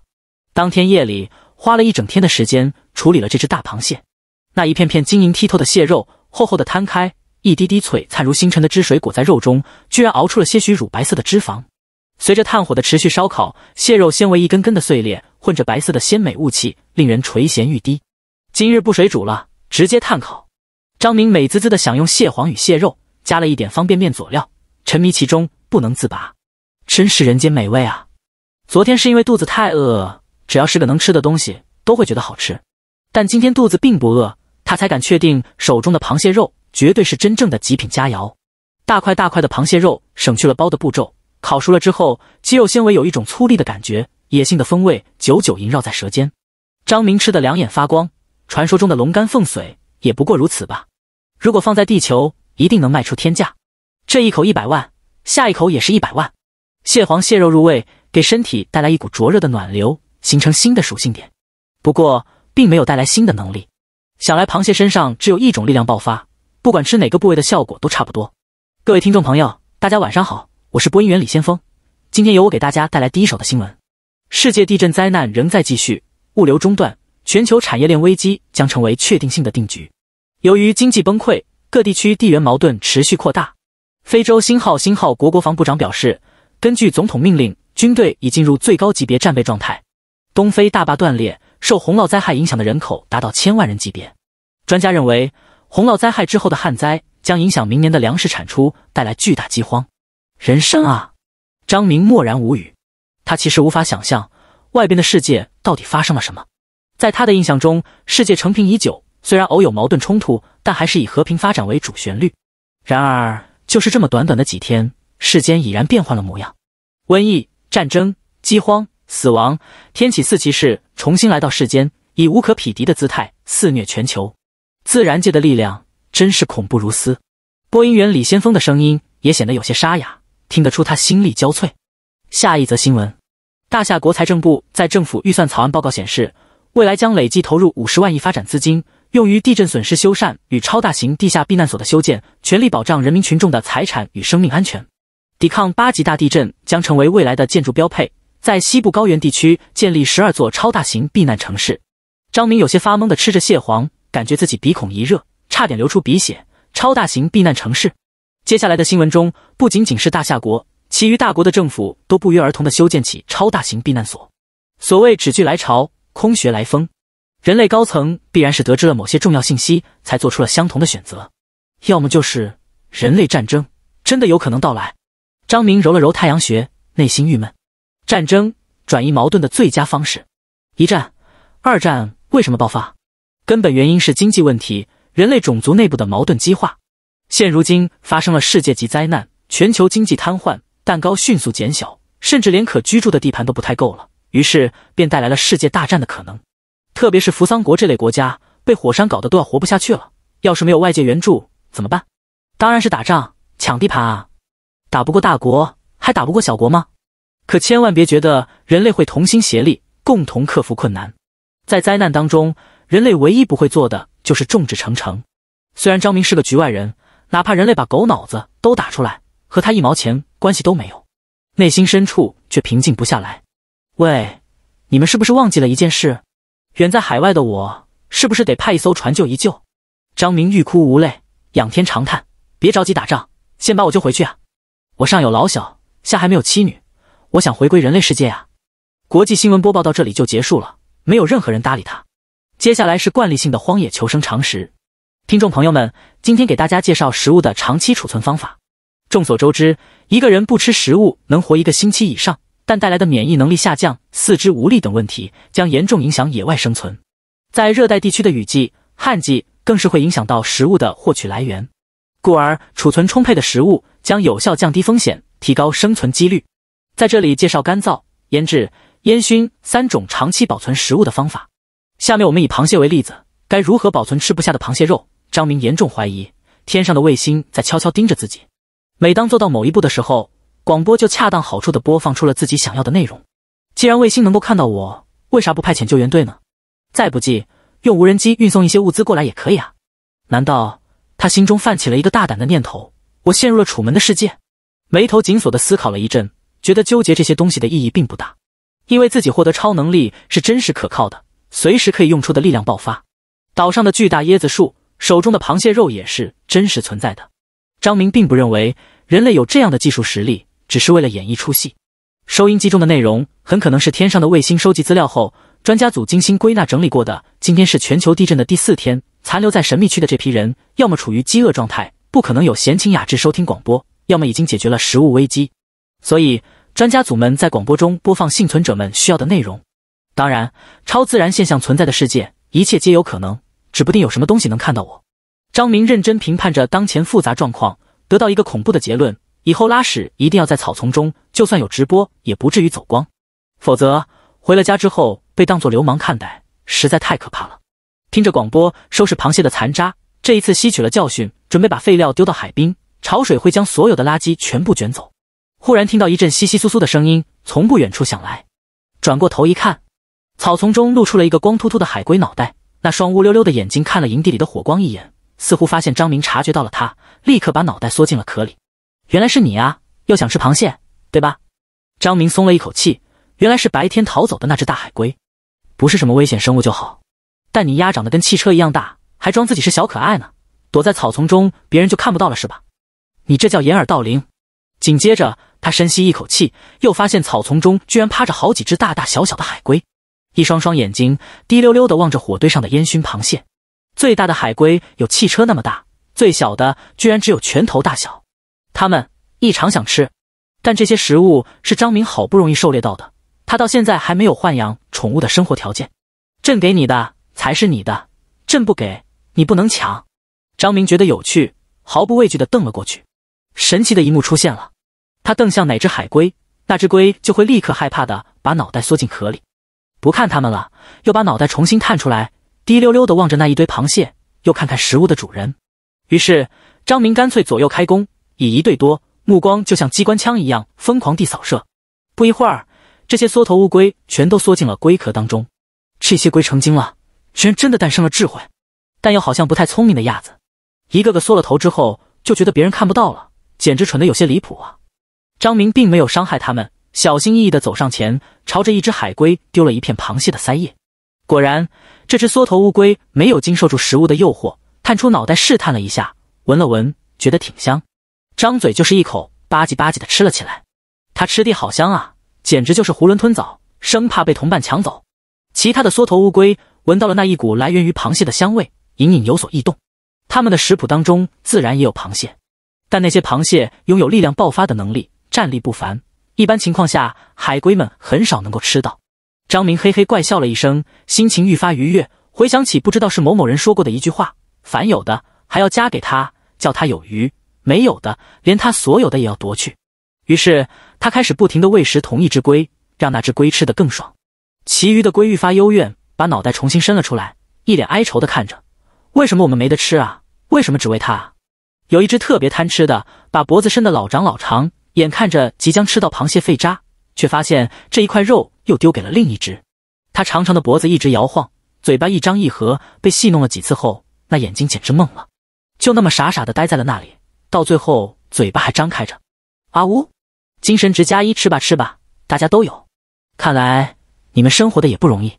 张明玩弄了一阵子成精的海龟后，端着一大箱子的螃蟹壳废料前往海边。而那些龟则一摇一摆跟了过来，有些胆怯，可又一副经不住诱惑的样子。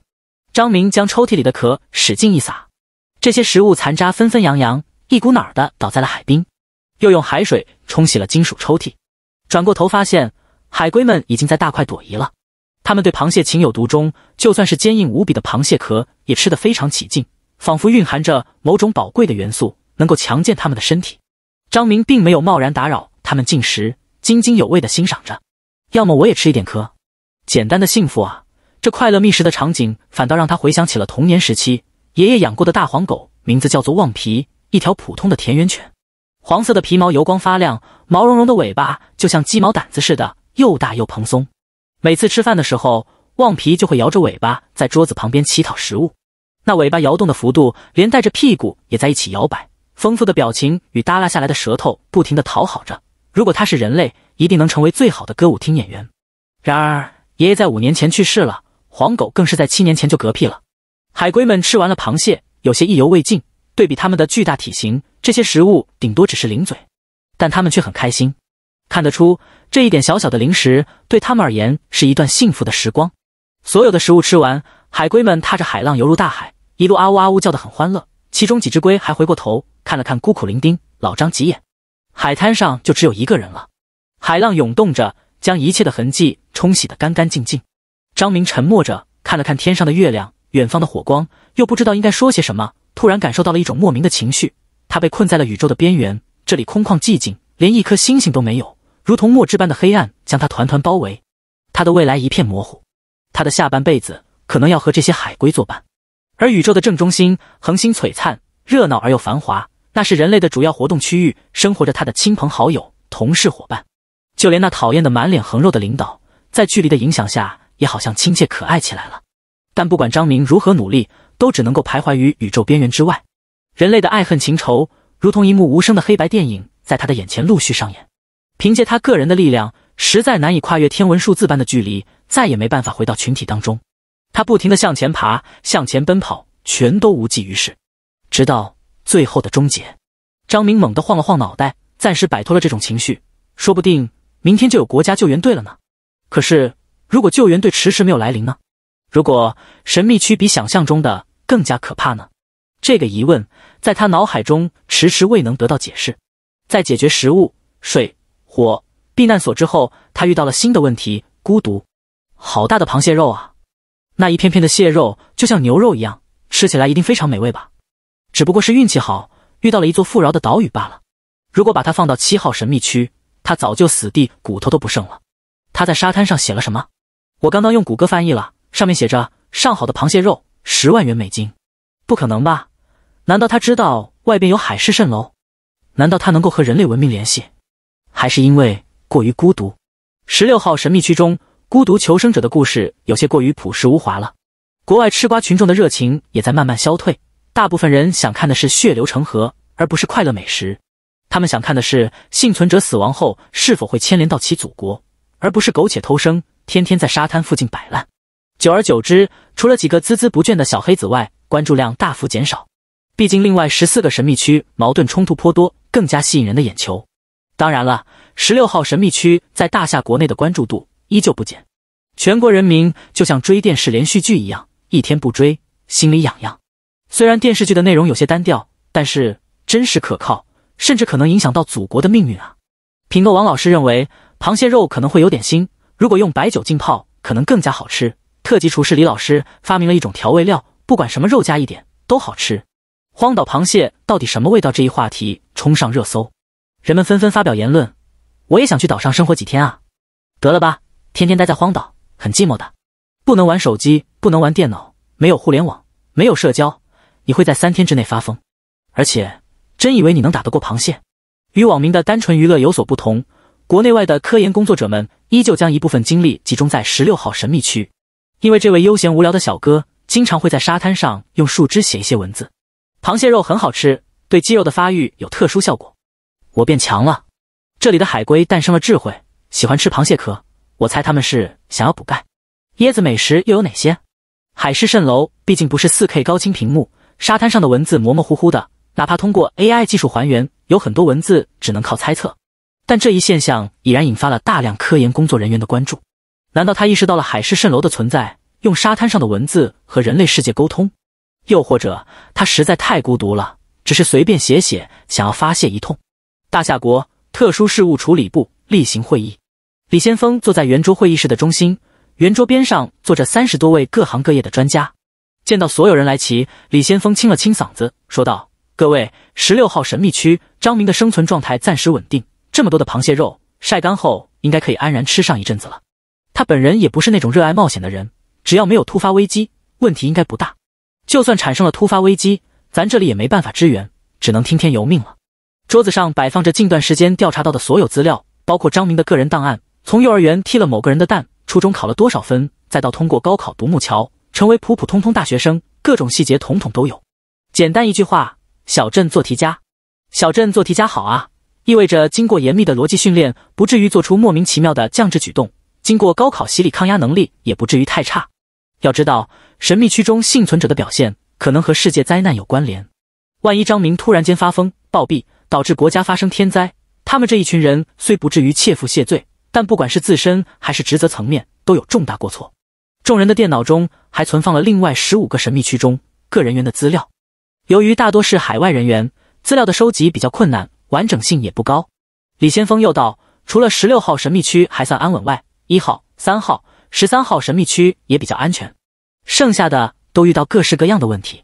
一号是一艘远洋豪华游轮，有三千名乘客。”携带的食物能坚持一两个月，省一点使用，坚持三个月都不成问题。超能力者更是有三百名之多，人数多了反倒形成平衡，只要没有怪物入侵事件，不至于出现团灭。三号是一艘大型游轮，由雇佣兵随船，雇佣兵自备枪支，食物配给也在一个月左右，虽有一些内讧，在强大的武力加持下也还算安稳。十三号是北冰洋探险队，乘坐一艘破冰船前往北极探险。由于探险队的素质较高，暂时也没有出现太大的风险。李先锋淡淡开口：“情况比较危急的是六号神秘区以及十五号神秘区，我们重点观察这两个神秘区中的幸存者是否会团灭。他们的国籍在资料中有重点介绍，时刻关注这几个国家是否会爆发灾难。十五号神秘区是一艘中等规模的渔船，原本在北海渔场捕鱼，随着灾难的爆发，突然间深陷大西洋神秘区。不幸的是。”这艘渔船可能撞击到了一个未知的硬物，底部进了水。在渔船快要沉没前，渔民们又发现了一座岛屿，急匆匆地赶过去。更不幸的是，岛屿上生存着大量的变异植物，可能还存在着致幻类的花粉。不过一个星期的功夫，一行二十余人中已有三人精神发狂，主动冲进丛林，剩下的船员精神状态也不太对劲。至于六号神秘区，就更加令人绝望了。原先是一个大型海油钻井平台，总共有一百多位石油工人在上边工作。但现在这个平台正在缓慢的下沉当中，预计半个月内将彻底沉入海水当中。根据海市蜃楼中的画面，钻井平台并没有遭受到损伤，而是海水莫名其妙的升高，仿佛整个世界要把这些被困者给彻底吞没一样。无法理解的超自然现象，比物理层面的灾难更令人感到绝望。大体的信息就是这么些了。李先锋介绍完资料后，用手指轻轻敲击桌面，大家随便补充一下吧，畅所欲言，不必顾忌。超自然时代，过去的经验都不准确，反倒是想象力最重要。很快，一位戴着眼镜的专家，名叫王玉恒，抛砖引玉道：“当前可以确认，张明所在的十六号神秘区能够接收到卫星广播，而其余的十五个神秘区无法接收到广播。这个事实其实蛮奇怪的。”“嗯，确实奇怪，可能是地理位置特殊吧。”李先锋点了点头。不过咱也没办法追究，现在的未解之谜太多了。王玉恒问道。张明在沙滩上向我们询问椰子美食的制作方式，应该是试探卫星能否观察到它的动向，需要发送相关的信息吗？沉吟片刻，李先锋皱着眉头道：“可以将椰子食物的制作方式混搭在各种美食资料里边，一起发送过去。但不能太过明显的让他知道外界的海市蜃楼可以看到他的一部分动向。为什么？因为这种事情带来的心理压力实在太大了。一个正常人要是知道自己的一举一动受到万众瞩目，甚至自己的生死存亡和国家命运联系到一起，那心理压力实在大的可怕。考虑到张明从小到大都是不张扬的性格，没有太大的必要让他知道全部的真相。就算知道了，又能怎么样呢？只会让张明刻意避开海滩，人类观察到的信息反倒会减少。遇到危险，该死的还是要死。当然了，也不是说完全隐瞒，至少要让张明知道，人类大本营这边能够勉强知道他的情况，并提供更多的有效信息，能形成这样一个默契就足够了。在今后他有什么新的发现，可以写在沙滩上，而我们通过广播发送他需要的信息，这样一来能实现直接的沟通。就这么讨论了一阵子。确定了接下来发送的广播内容后，李先锋微微点头，松了一口气。还有下一件重要事宜，关于神秘区的探索救援工作，准备好了吗？很难，当前的地震依旧频繁，海上风浪较大，船只无法正常航行，唯有潜艇能勉强航行。一位年纪约莫五十岁的军事专家摇了摇头，解释道：“但神秘区过于危险，潜艇跑过去恐怕是有去无回的旅行。至于无人潜艇，据我所知，米国人已经发送了无人潜艇。”但一进神秘区，这些机器直接失联了。只有十六号神秘区是特殊的，能够传递卫星广播。但十六号神秘区在哪呢？李先锋沉吟片刻，轻敲桌子：“办法总比困难多。既然电子设备会失联，就用长绳子把它拴住，等它失联了，就把它捞回来，再分析里边的数据。这种办法笨了点，但总比什么都不干要来的更好一些。一天天坐在办公室里，能分析出什么来？不能再这样干等着了，总得有人实地调查。”那几位专家愁眉苦脸，摇头晃脑，顿觉压力山大。领导发布了任务，但自己家的水平自己清楚，经费又不多，死了人还要承担责任，咋办吗？近些天没有爆发强地震，海洋中的波涛确实减小了一些，但人们对神秘区的认知仅限于海市蜃楼。面对层出不穷的超自然现象，怎么准备都不可能完全保证安全。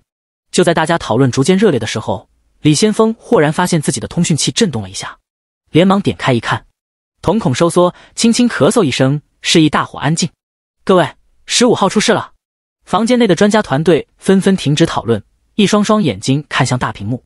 房间内的气氛慢慢变得诡异起来。刚刚还以为是十六号，差点心脏病发作。十五与十六可是只有一字之差啊！同样是岛屿场景，只见十五号海市蜃楼中的场景出现了重大变化。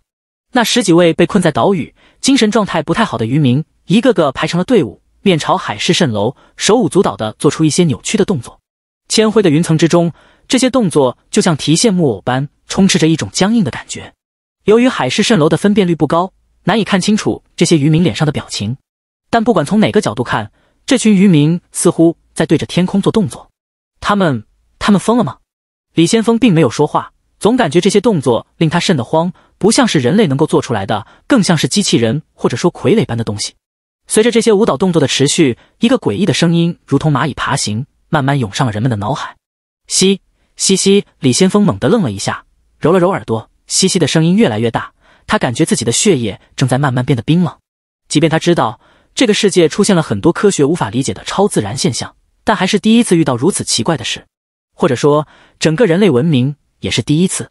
那笑声居然是从海市蜃楼中传过来的。李先锋汗如雨下，脑海急转。想要重新夺回身体的控制权，但无奈那嘻嘻的怪笑声越来越大，占据了房间内所有人的脑海。渐渐的，渐渐的，他的身体开始不听使唤，想要做出和渔民一样的舞蹈动作。房间内的所有人也同样做出相同的动作。然而就在这时，海市蜃楼突然间变得模糊，最后变成了难以看清的，如同马赛克一样的图案。随着画面无法被分辨，脑海中嬉戏的怪笑声消失了。李先锋从恍然中恢复神智。心脏的剧烈跳动，仿佛要从胸腔中破胸而出，大滴大滴的汗水湿透了衣裳。你们，你们刚刚听到笑声了吗？他发现自己的嗓音沙哑无比，听到了，根本就控制不住身体，自己动起来了，几乎停止了思考，除了恍然与恐惧。不过，随着海市蜃楼的模糊，我们似乎被保护了。这些专家一个个喘着粗气，心惊肉跳的看着彼此，诡异的场景完全超出了人类的理解范畴。李先锋擦了擦额头上的汗水，深深的忧虑着，刚刚的那一幕场面可能被全世界上亿人口看见了，引发的恐慌可能不计其数。人类文明其实建立在预期之上，人类作为一个群体存续至今，都依赖现世、来世、后代终将变好的信仰中，这是人类形成组织度的基础，也是为什么有信仰的军队能跨越千山万水、腐朽堕落的队伍不堪一击的主要原因。如果失去了乐观的预期，如果知道在有限的将来必然毁灭，连后代和来世都不能幸免，那人类立刻就会毁灭。幸好海市蜃楼及时模糊下去了。真的有一个冥冥中的神灵吗？海市蜃楼到底是什么？真的是为了给人类带来启示？李先锋咽了一口唾沫，鼓起勇气，再一次看向十五号海市蜃楼，如同马赛克一样的图案。那十多个渔民手舞足蹈，不停地扭动着，没有敌人，也没有什么外来灾难，就这样突然间发了疯。可能是因为过度的紧张，又或者是面对未知的茫然恐惧。房间内鸦雀无声，这些科研工作者们只是一个个全身冒着冷汗，秉着职业态度，努力分析着刚刚的一幕幕。你们有在画面中发现不明生命体吗？还是说有什么寄生虫？暂时没有。十五区就是受到这笑声攻击的吧？他们大概率完蛋了。只是海市蜃楼的风险又应该如何规避？神秘区中这样的危机可能不少。这些渔民扭动了半个小时，终于耗尽了所有的力气，一个个倒在地上，就像是一条条大号的蛆虫，胡乱的翻滚着。他们慢慢的、慢慢的蠕动进入了丛林。无声的海市蜃楼，宛若静音的恐怖片。在这个信息大爆炸的时代，这画面的恐怖程度其实还算能接受。世界上有着更多的人造恐怖，但一想起这是现实中真实发生过的，再加上刚刚那诡异的笑声，躲在地球上的人类很难接受。更何况，十五号神秘区所有幸存者死亡后可能产生的严重性后果。李先锋抹了抹额头的汗水，低声道：“这些是大昂国的人吧？就算死了，确实是是欧洲那边的。至于有没有影响，那就不得而知了。”李先锋开始一个又一个的打电话，戒备可能发生的灾难。全球各地，只要是海市蜃楼出现的区域，全都被笑声给波及了。他不知道人类即将面临什么样的厄运，只是感觉自己的心脏被未知的命运给恶狠狠地揪住了。这种沉重让他有些喘不过气来。从对泥土的把弄开始，人类认识到自身创造万物的非凡能力。出生如光明照耀，死亡如黑夜降临。从理解万物到理解自身，人类付出了太多太多。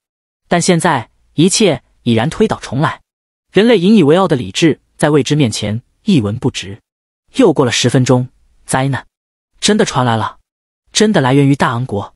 天上的卫星检测到了地震数据。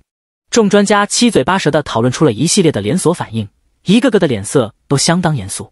欧洲大部新号颠地区北海油田遭受九点七级强烈地震袭击，地质岩层遭受严重破坏，海量石油泄漏到了海洋当中。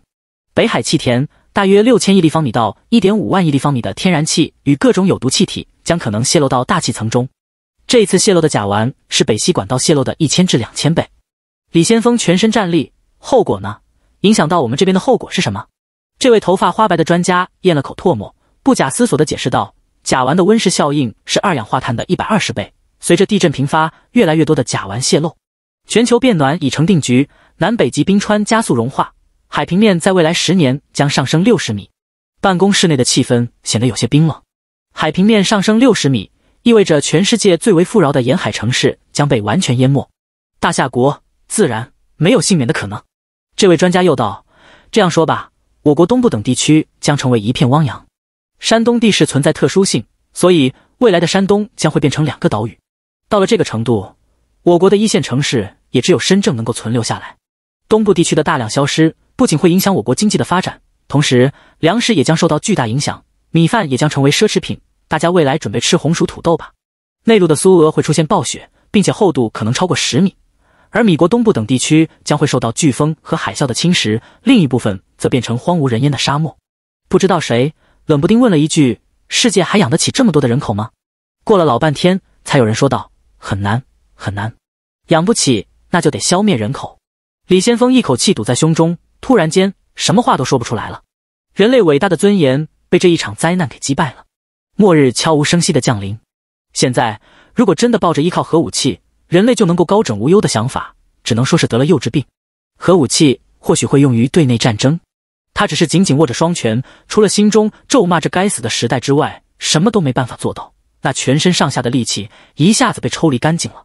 转过头看了一眼十六号海市蜃楼，张明还在沙滩上快乐的晾晒螃蟹肉，干劲十足。不知不觉，心中又出现了一丝勇气。这么悲惨的环境，都活下来了。我们只是困难一些，不至于丧失希望。举世震惊！十五号神秘区中所有幸存者的死亡与北海地震的爆发前后只相差了十分钟。一次巧合可以说是巧合，两次巧合将是必然。更何况海市蜃楼中出现的诡异笑声，至少有十亿人口遭受袭击。那毛骨悚然的笑声已然超过了人类科学所能认知的范畴，一旦被笑声控制住，几乎无法挣脱。若不是海市蜃楼主动变得模糊，这一次的死伤可能达到十位数。大规模的群体恐惧产生了，路面上的行人大幅减少，很多工厂停止了生产，甚至连交战地带都临时停止了相互交火。受到强地震的袭击，欧洲地带的网络彻底瘫痪了，只有天上的卫星网络还能使用。教授，末日到来了吗？地震摧毁了这边的一切，现在还有震感，很害怕。谁来救救我？那笑声是怪物发出的吗？人类何去何从？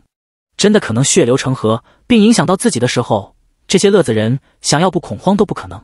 大概过了半个小时，著名的超心理学家彼得·格利尔很快发表了一条新的推文：“上帝拯救了我们，没有上帝的指引，我们俨然被恶魔杀死。但我们总是习惯于螺旋上升的历史，而从未考虑过螺旋下降的历史。”太古代二十一亿年，远古代的震旦纪十八亿三千万年，然后是古生代，寒武纪七千万年，奥陶纪六千万年，志留纪四千万年，泥盆纪五千万年，石炭纪六百五十万年，二叠纪五千五百万年，然后中生代开始了，三叠纪三千五百万年，侏罗纪五千八百万年，白垩纪七千万年，然后是新生代，第三纪六千四百五十万年，第四纪二百五十万年，然后人类出现。我们所存在的时间，相当于是一天二十四小时的最后一分钟。我们对这个世界知之甚少。我们就是这样的生物，为了贪图便利，解决问题时从不考虑与问题相对的一面，永远都只是按常理出牌，不喜欢考虑其他的特殊情况。除非出现了令人悲痛的事件，否则永远固步自封，不愿改变。一旦摆脱被动，就立刻重返抱残守缺的怪圈。末日到来了吗？不，还没有。启示尚未结束。我们会在灾难当中联合起来吗？不。战争的脚步临近了，他正在叩响我的家门。这一段话让很多网友沉默了，想要当喷子却喷不出来。宜居土地不断减少，未来到底会发生什么？没有人知道。对于大夏国内部而言，国家机器以最快的速度全力启动，掩盖了十五号海市蜃楼的大部分图片资料，以减少那笑声再一次出现的可能。一位位专家被紧急调动，探讨北海地震带来的一系列连锁反应。当天夜里的六点钟，胖司机王富明所在的避难所。通过高音喇叭播放着几条重要通知。为了维护世界的和平，促进国际星号星号，以解决国际属于经济社会文化及人类福利性质之国际问题，大夏国防部宣布，在未来五年内，星号星号三千万有志于入星号十八至四十岁的适龄青年均可通过全国星号星号网进行网上报名。体检工作将在一周之内正式展开。为了爱与和平，疯狂星号星号是吧？三千万。王富明叼着干瘪的香烟，被这个数字吓了一跳。还能有什么？那些大人物被白天的笑声吓坏了呗？说不定真的要打仗了。他老王自然也被白天的那一幕吓坏了。无法用科学解释的现象，谁不心惊肉跳？好在啥都没发生。新闻中的女主持人娓娓道来，在这个天灾人祸不断的年代，有必要增强军事方面的武装力量。第二条新闻：颁布燧人计划，招聘工人数量一点三亿。预计在未来的十年内，在西部地区修建一百二十八个内陆工业城区、三百个超大型庇护所、一千六百个中型避难所，新增七万大坝、一万一千六百个储水湖泊。我们要在西部地区建设新的江南水乡。未来的主要矛盾决定了我们必须要实事求是，以研究超自然现象为核心，保护人民的生命财产安全。我们需要延续种族，在艰难的未来中存续下来。故而，该计划代号“燧人”。王富明脸色煞白，避难所中的很多人。听到新闻后，也三三两两的交谈了起来。燧人计划需求的工人数量就有一点三亿，再加上家属、各种服务人员，也就是全国需要三至五个亿的人口，为这个大计划服务，不可谓不隆重。卢图宇盯着手机屏幕，笑着念叨着：“只是很可惜，接下来国家只需要搬砖工，咱这种程序员只能改行去搬砖了。万一遇到怪物什么的，都不用太强的，他敢攻击我，我就敢死，倒也没那么惨。”王富明从兜里掏出那根皱巴巴的香烟，舍不得点燃，干吸了几口。看那十六号神秘区的小哥，不天天都在打螃蟹过苦日子吗？一看到他那副惨样，连个说话的人都没有，把椰子当做老婆，我心中又好像好受一些了。说的倒也没错，有个更惨的垫底，咋就好像幸福起来了呢？总感觉哪里不对劲。卢图雨玩着手机，低声骂了一句：“你那漂流瓶寄到了没？还能回来吗？小哥要是挂了，指不定咱全都得死。寄到个毛线！”王富民有些怀疑，人生地看向天花板，都发送多少天了？不会真的要好几年吧？真想在信件中多加一些内容啊！日子一天天地过去，听广播说全世界水深火热，不但出现超强地震，还受到了超自然现象的袭击。张明莫名其妙的产生了微妙的感觉。他自认为自己不是道德败坏之辈，也没有特别的幸灾乐祸，但这种微妙感的来源是什么呢？张明并不清楚，只能归结为看病的不嫌病大，看着火的不怕火苗子高。当然，他也知道这种奇怪的心理现象可能是长期缺乏社交导致的心理变态。自从生活安定下来后，孤独变成了最难熬的一件事。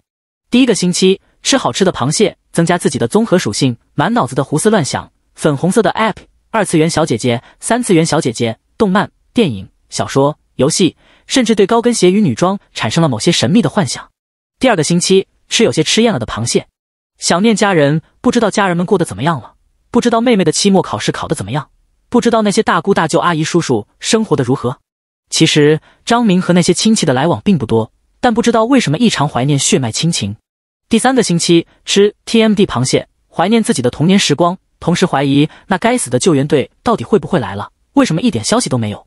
探险队根本不存在，对吧？第四个星期吃令人作呕的螃蟹，咒骂虚无缥缈的老天爷，开始生无可恋，时间的概念变得无关紧要，因为每一天的记忆完全相同，昨天和今天记忆一致。张明躺在沙滩上，写下几行文字：螃蟹哔哩哔哩的叫，海龟啊呜啊呜的叫，我哗啦哗啦的尿，像极了一个个文学家。写完这首诗后，张明望着璀璨太阳，深刻赞美自己的文采。当全世界只有一个人的时候，不管我的文笔多么稀烂，都是大文学家。孤独是一个循序渐进的过程，会将一些看上去缤纷灿烂，实则无关紧要的东西排挤出去。像什么 RNG 今年夺冠了没有？最扑永恒新书铺了没有？詹姆斯牛逼还是乔丹牛逼？C 罗在沙特踢的怎么样？梅西要转会了吗？LOL 和 Dota 哪个先死？海盗王完结了吗？这些问题根本就无关紧要。最后。只剩下真正的核心，我最喜欢的那群小姐姐。啊呀呀，不对，我原本的人生应该是什么样的？当一名社会的螺丝钉，兢兢业业打工到三十多岁，终于攒够了首付，过上富翁生活。三十五岁的时候被公司干掉，成为社会人才的一员。运气好的话，能找到老婆，像正常人那样繁衍后代；运气不好，便孤独一生。这也是时代的真实写照。但随着超自然时代的降临，所有人的命运都改变了。我可能在第一波灾难中被地震海啸给弄死，就算没死，也大概率处于失业状态，没有叱咤风云的能力，也不是风口上的猪，在芸芸众生当中不起眼的存在，就连搬砖都遭人嫌弃的那种，咱可没中年大叔的那种力气。一想到这一点，张明心中稍稍舒服了一些。身处这座荒岛，还有相当多的机遇与挑战，他能够不断变强，获得更多的能力，甚至能够成为真正的超人，这是时代给他的机遇，不容错过。但是在成为超人之前，我好想吃老妈做的八宝粥啊！张明一想到那香甜可口的八宝粥，就泪流满面。自己只能待在这里吃那该死的螃蟹脚脚，内心深处给自己定了一个小目标：单人横渡太平洋。你们不来接我，我就自己游回去。只要我足够强，一定能做到的。就这样，苟且偷生的一个月悄然而逝。微微弯曲手臂，攥紧拳头，肱二头肌鼓起富有力量感的弧度。充沛力量让张明心满意足，力量爆发，嘿的一声暴喝，他现在能轻松举起一个三百斤重的椰子，像抛篮球一样投射出去，微微向上一跳，这一跳直接跳了五米高度，这是吃了一个月螃蟹肉的修行成果。可是当他闻到那一股螃蟹气味的时候，简直快要瘫痪。再怎么鲜美的山珍海味，一日三餐当做主食吃，也会变得痛苦万分。我就是饿死，也不想再吃螃蟹肉了。张明恶狠狠地撕咬了一口。感受着螃蟹肉带来的神秘热流，咬牙切齿。当然，除了螃蟹肉之外，还有椰子肉、椰子糖、椰奶等各种椰果制造的食物。在体魄大于五十的时候，少量吃一些椰子肉问题不大。这玩意也会带来微微的神秘热流，但效果只有螃蟹肉的五分之一。当然，吃多了还是会窜稀的。可千万别低估变异椰子的强大威力。如果不想让菊花经受千刀万剐的摧残之苦，一天食用的椰子肉不应超过五十克。而背后的大树更是被他挖了一个树洞，里边贮藏着的螃蟹肉大概一百来斤，包括风干的、晒干的、烟熏的、腌制的，统统都有。至于风干椰子肉、椰油、椰子糖，也有一百来斤，装了好几个箱子。除了食物充沛之外，他的生存环境大幅改观。一个月的时间，张明从沙滩上飞机残骸拆下更多的金属板，做了一个能够遮风挡雨的铁皮屋。外围区域还安装上了篱笆，将螃蟹的尖尖角竖着向上制作成。亲爱的听众朋友们，大家晚上好，我是播音员李先锋，由我给大家带来每日新闻。国际地质研究局发布最新公告，本次大规模的板块运动由地核中的未知互动引发，短时间不会消失，我们必须适应随时可能产生中小型地震的生活。经过长达一个月的紧急动员，大城市中百分之六十以上的人口已被疏散到附近的乡村中。降低城市人口密度，保证民众的生活需求，是政府当前的重点工作。燧人计划的选址新鲜出炉，分别位于每天下午六点三十分的广播，是张明与人类唯一的沟通方式。灵气复苏的浪潮下，人类文明的变化之大，超出想象。张明在地上画了一个地球的图像，他的地理常识一般般。折腾了半天，才勉强描述出七大洲四大洋的轮廓。过去的我永远不会明白新闻联播的美妙，今天的我一天到晚都在关注世界局势，恨不得新闻联播能播一整天。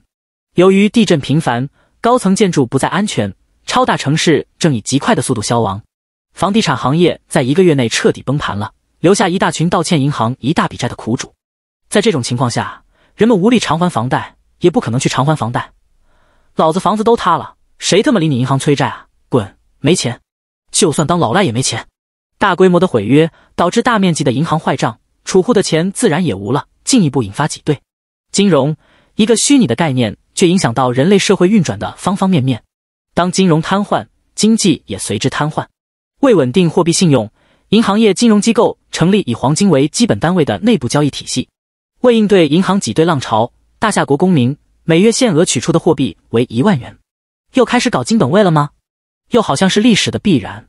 伴随着时不时爆发的地震、海啸，全国的生产力大幅下降，通货膨胀持续飙升。不管是食物、衣物、汽车，还是尖端的电子产品，像什么 iPhone 九百九十九、华为八百八十八手机、四千零九十显卡，各种芯片价格大幅飙升，甚至有部分商品，譬如说黄金，一个月内暴涨了三十倍；白银一个月上涨了二十倍。各种电子产品也上涨了二至五倍有余，很多普民百姓都认为这些高科技产品已经是人类能够生产出的最高科技结晶，未来二十年乃至一百年再也不可能有更加先进的电子产品了。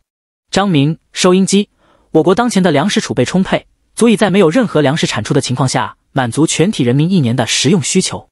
专家认为，地震并不影响粮食生产，甚至因为气候因素的影响，某些地区的粮食将会获得前所未有的大丰收。国家成立特殊治理部门，严厉打击粮食、衣物等生活用品奇货可居、高价买卖等违法犯罪行为。张明坐在椅子上听着广播，他很难想象当前世界的混乱程度：穷人们正在挨饿，富人们还在抢购手机、汽车，城市无了，乡村吃香，全世界的国家瘫痪了一半，大国苦苦增长。大夏国已经是蓝星中组织能力极好的了，能够保障民众不被饿死已经是极限，其中还不排除广播中的内容略带美化。毕竟，播音员李先锋也是体制内的人，他不可能说体制的坏话。大自然的力量真是恐怖如斯，不知道爸妈那边受到的影响多大。待在老家一座小县城当中，吃饱饭应该没问题吧？对了，老妈的金项链、金戒指应该值好多钱。又突然想到了什么，取出一个公文包，里边装着整整二十七万美元。一个三线城市首付的钱轻飘飘，却又沉甸甸。我的钱还没用出去，就已经变成一堆废纸了。手中一大堆花花绿绿的美钞，表示有本事你把我们烧了呀！有本事你烧啊！想了半天，还是没舍得烧。虽然变毛了，还是有价值的。只要太平洋对岸的米国没有彻底垮塌，美元依旧有使用价值。二十七万美元，指不定可以买下好几餐 KFC。这样一想，还是挺香的。老张感觉自己口腔中的唾沫都分泌出来了。李先锋用自己固有的嗓音继续说道：“今日国内新闻播报完毕，下面是国际新闻。”扶桑国宣布执行全国移民计划，预计在未来十年内将全国人口分散到南美、北美、亚洲、澳洲、非洲等各个地区。在国际联合组织的斡旋下，第一批百万移民已乘坐远洋轮船正式前往澳大利亚。澳大利亚首相巴里森对这百万移民表示热烈而又诚挚的欢迎。澳大利亚这么好，不会是引渡过去当奴隶吧？全都是小姐姐。张明心中胡思乱想着。东非大坝在强地震中决堤，洪涝区灾民达到五千万。国际联合组织发出募捐呼吁，以避免接下来爆发的人道主义灾难。北美地区最大的化工厂洱海俄集团发生严重泄漏，大约三百四十吨氯乙烯泄漏到空气当中。国际新闻比国内新闻更惨，幸福感是对比出来的。只要国外更惨，国内就好像不那么惨了。就连张明本人都有些莫名的恍然之感，仿佛现在的生活能够接受一样。但人类会灭亡吗？显然不会。现代国家的灾难承受能力远高于封建时代的农业国家。全球八十亿人，现在也就消失了五个亿。在广播当中，五个亿听起来也只是一个数字罢了，就像是游戏中死了五个亿的平民，没有亲眼见证，一点概念都没有。甚至每天听到这些东西，你会慢慢的麻木。一开始听到各种灾难，脑海中还会浮现出倒在沙滩上的男孩、被石油污染的海鸟、在爆炸中奔跑的小女孩。但现在，一切念头转化为铅灰色的虚无，随着海风消散而去，就如同史书当中的形容灾难：大饥，人相食，只有轻飘飘的一句话。张明不由得回想起一句《春燕归》：“巢于林木，没有描写人类如何如何，唯有残酷罢了。”富士山火山大爆发，将周边化为焦土。扶桑国的人口死亡其实只有一个小一点的八位数，毕竟是一个工业大国，只要愿意付出高昂的代价，还是有地区愿意接受高质量国民。更多的死亡人口。出现在穷国、小国，他们连被新闻报道的机会都没有。那些小国平民到底怎么样了？没有人知道，没有人在乎，世界主流舆论也没有足够的精力将焦点集中在他们身上。所谓我不在乎大国崛起，只在乎小民尊严，放在这个时代，真是一句屁话。地球放了一个屁，人就没了。没有一个强大的国家，又有谁来搭理你的死活？被抢劫，被嘎了一个肾，被自杀，被活活饿死，你呼吁救援，但是谁理你啊？白痴！李先锋巴拉巴拉的念叨了一连串世界惨状，紧接着话锋一转，下面播报一条重大科研成果：有关超自然学科的研究获得重大突破。清北大学生物研究所的专家团队对变异生命进行大量的研究，发表了重要论文《阿尔法生物初步解析》。该论文在《自然科学》杂志中登上封面页。科学家发现，变异生物的血肉当中蕴含着多种特殊的生物酶，专家团队将其称作为阿尔法酶。以该物质为核心，能构成一种特殊的活性酶，大幅改善细胞的生命强度，从而产生一系列特殊的超能力。但人类与变异生物体内为何会诞生阿尔法酶这一关键性问题，依旧是一个未解之谜。当前没有任何仪器能够检测到所谓的灵气，落后版本了呀！人类，张明心中有点小得意。咱都吃了一个月的大螃蟹了，你们还在那里研究什么阿尔法元素能不能吃的问题？吃就完事了呀！不过科学研究嘛。一个月匆匆忙忙出成果，也算是了不起的一件事了。可以想象出那些科学家熬夜爆肝，为了抢先发表科研成果，通宵写作的场景。李先锋继续道：研究团队发现，除蕴含阿尔法酶的变异生物外，还有更多性质未知的生物酶，贝塔酶、伽马酶、德尔塔酶等等。贸然使用不明类别的变异生物，轻则呕吐腹泻、头痛欲裂，重则基因崩溃、细胞变异，产生严重畸变。张明愣了一下，这倒是挺重要的一则信息。东西不能乱吃。李先锋，那么各位听众朋友，如何分辨变异生物是否可以食用呢？专家组认为，第一是观察其外表，如果该生物只是单纯的体积增大，大概率是阿尔法类别的生物；如果它们原先能吃，变异后大概率也能吃，对人体带来的损害较小。但出现了更离奇的变异，请谨慎食用。例如，长出了一个脑袋的眼睛，身体干瘪如同僵尸，出现腐烂气息，多了好几只触手，多出好几只脚，全身散发毒气等等。遇到这些物种，请谨慎食用。张明被说的心里毛毛的，他隐隐怀疑岛屿中心的那个巨大黑影是高等变异怪物。幸运的是，那巨大黑影似乎不怎么活动，一直待在岛屿的正中心。第二种分辨方式，观察其特殊能力，越是超越物理常识的能力，意味着该生物的复杂性越高，能够安全食用的概率更小。例如，反重力悬浮、操控天气、眼睛喷射激光、短距离空间跃迁、施加人体诅咒等等。居然还有这些能力，张明大为震撼。又听到收音机播报了下一句：“当然了，神秘元素摄入带来的特殊效应也是因人而定。”该论文指出，体质越好的人类，能顺利消化的概率越大。第一次吞食变异生物的血肉，有十分之一左右的概率觉醒超能力。在这之后的第二次、第三次吞食，除了填饱肚子之外，并无明显的好处。有必要指出的是，这些血肉中蕴含的能量明显高于常规的食物。大量食用会带来消化不良、腹泻风险。张明皱着眉头，没有明显的好处吗？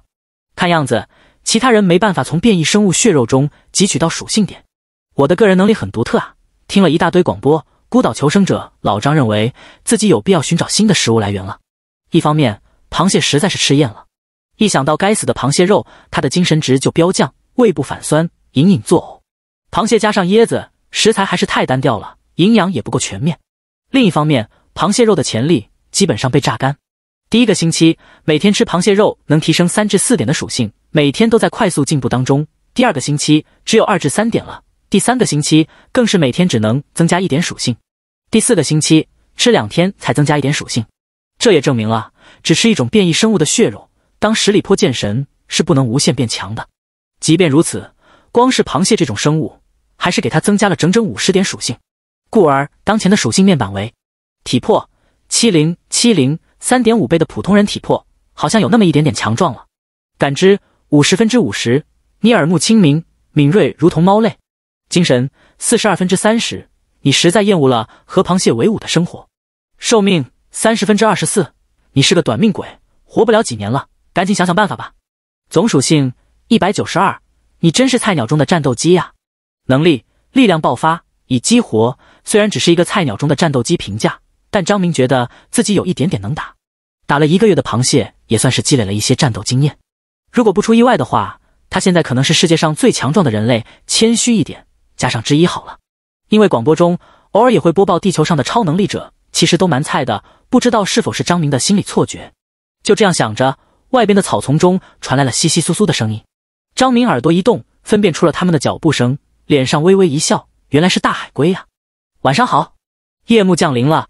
黑压压的云层遮天蔽日，下起了蒙蒙细雨。三三两两的海龟聚在铁皮房屋附近，啊呜啊呜的叫唤着。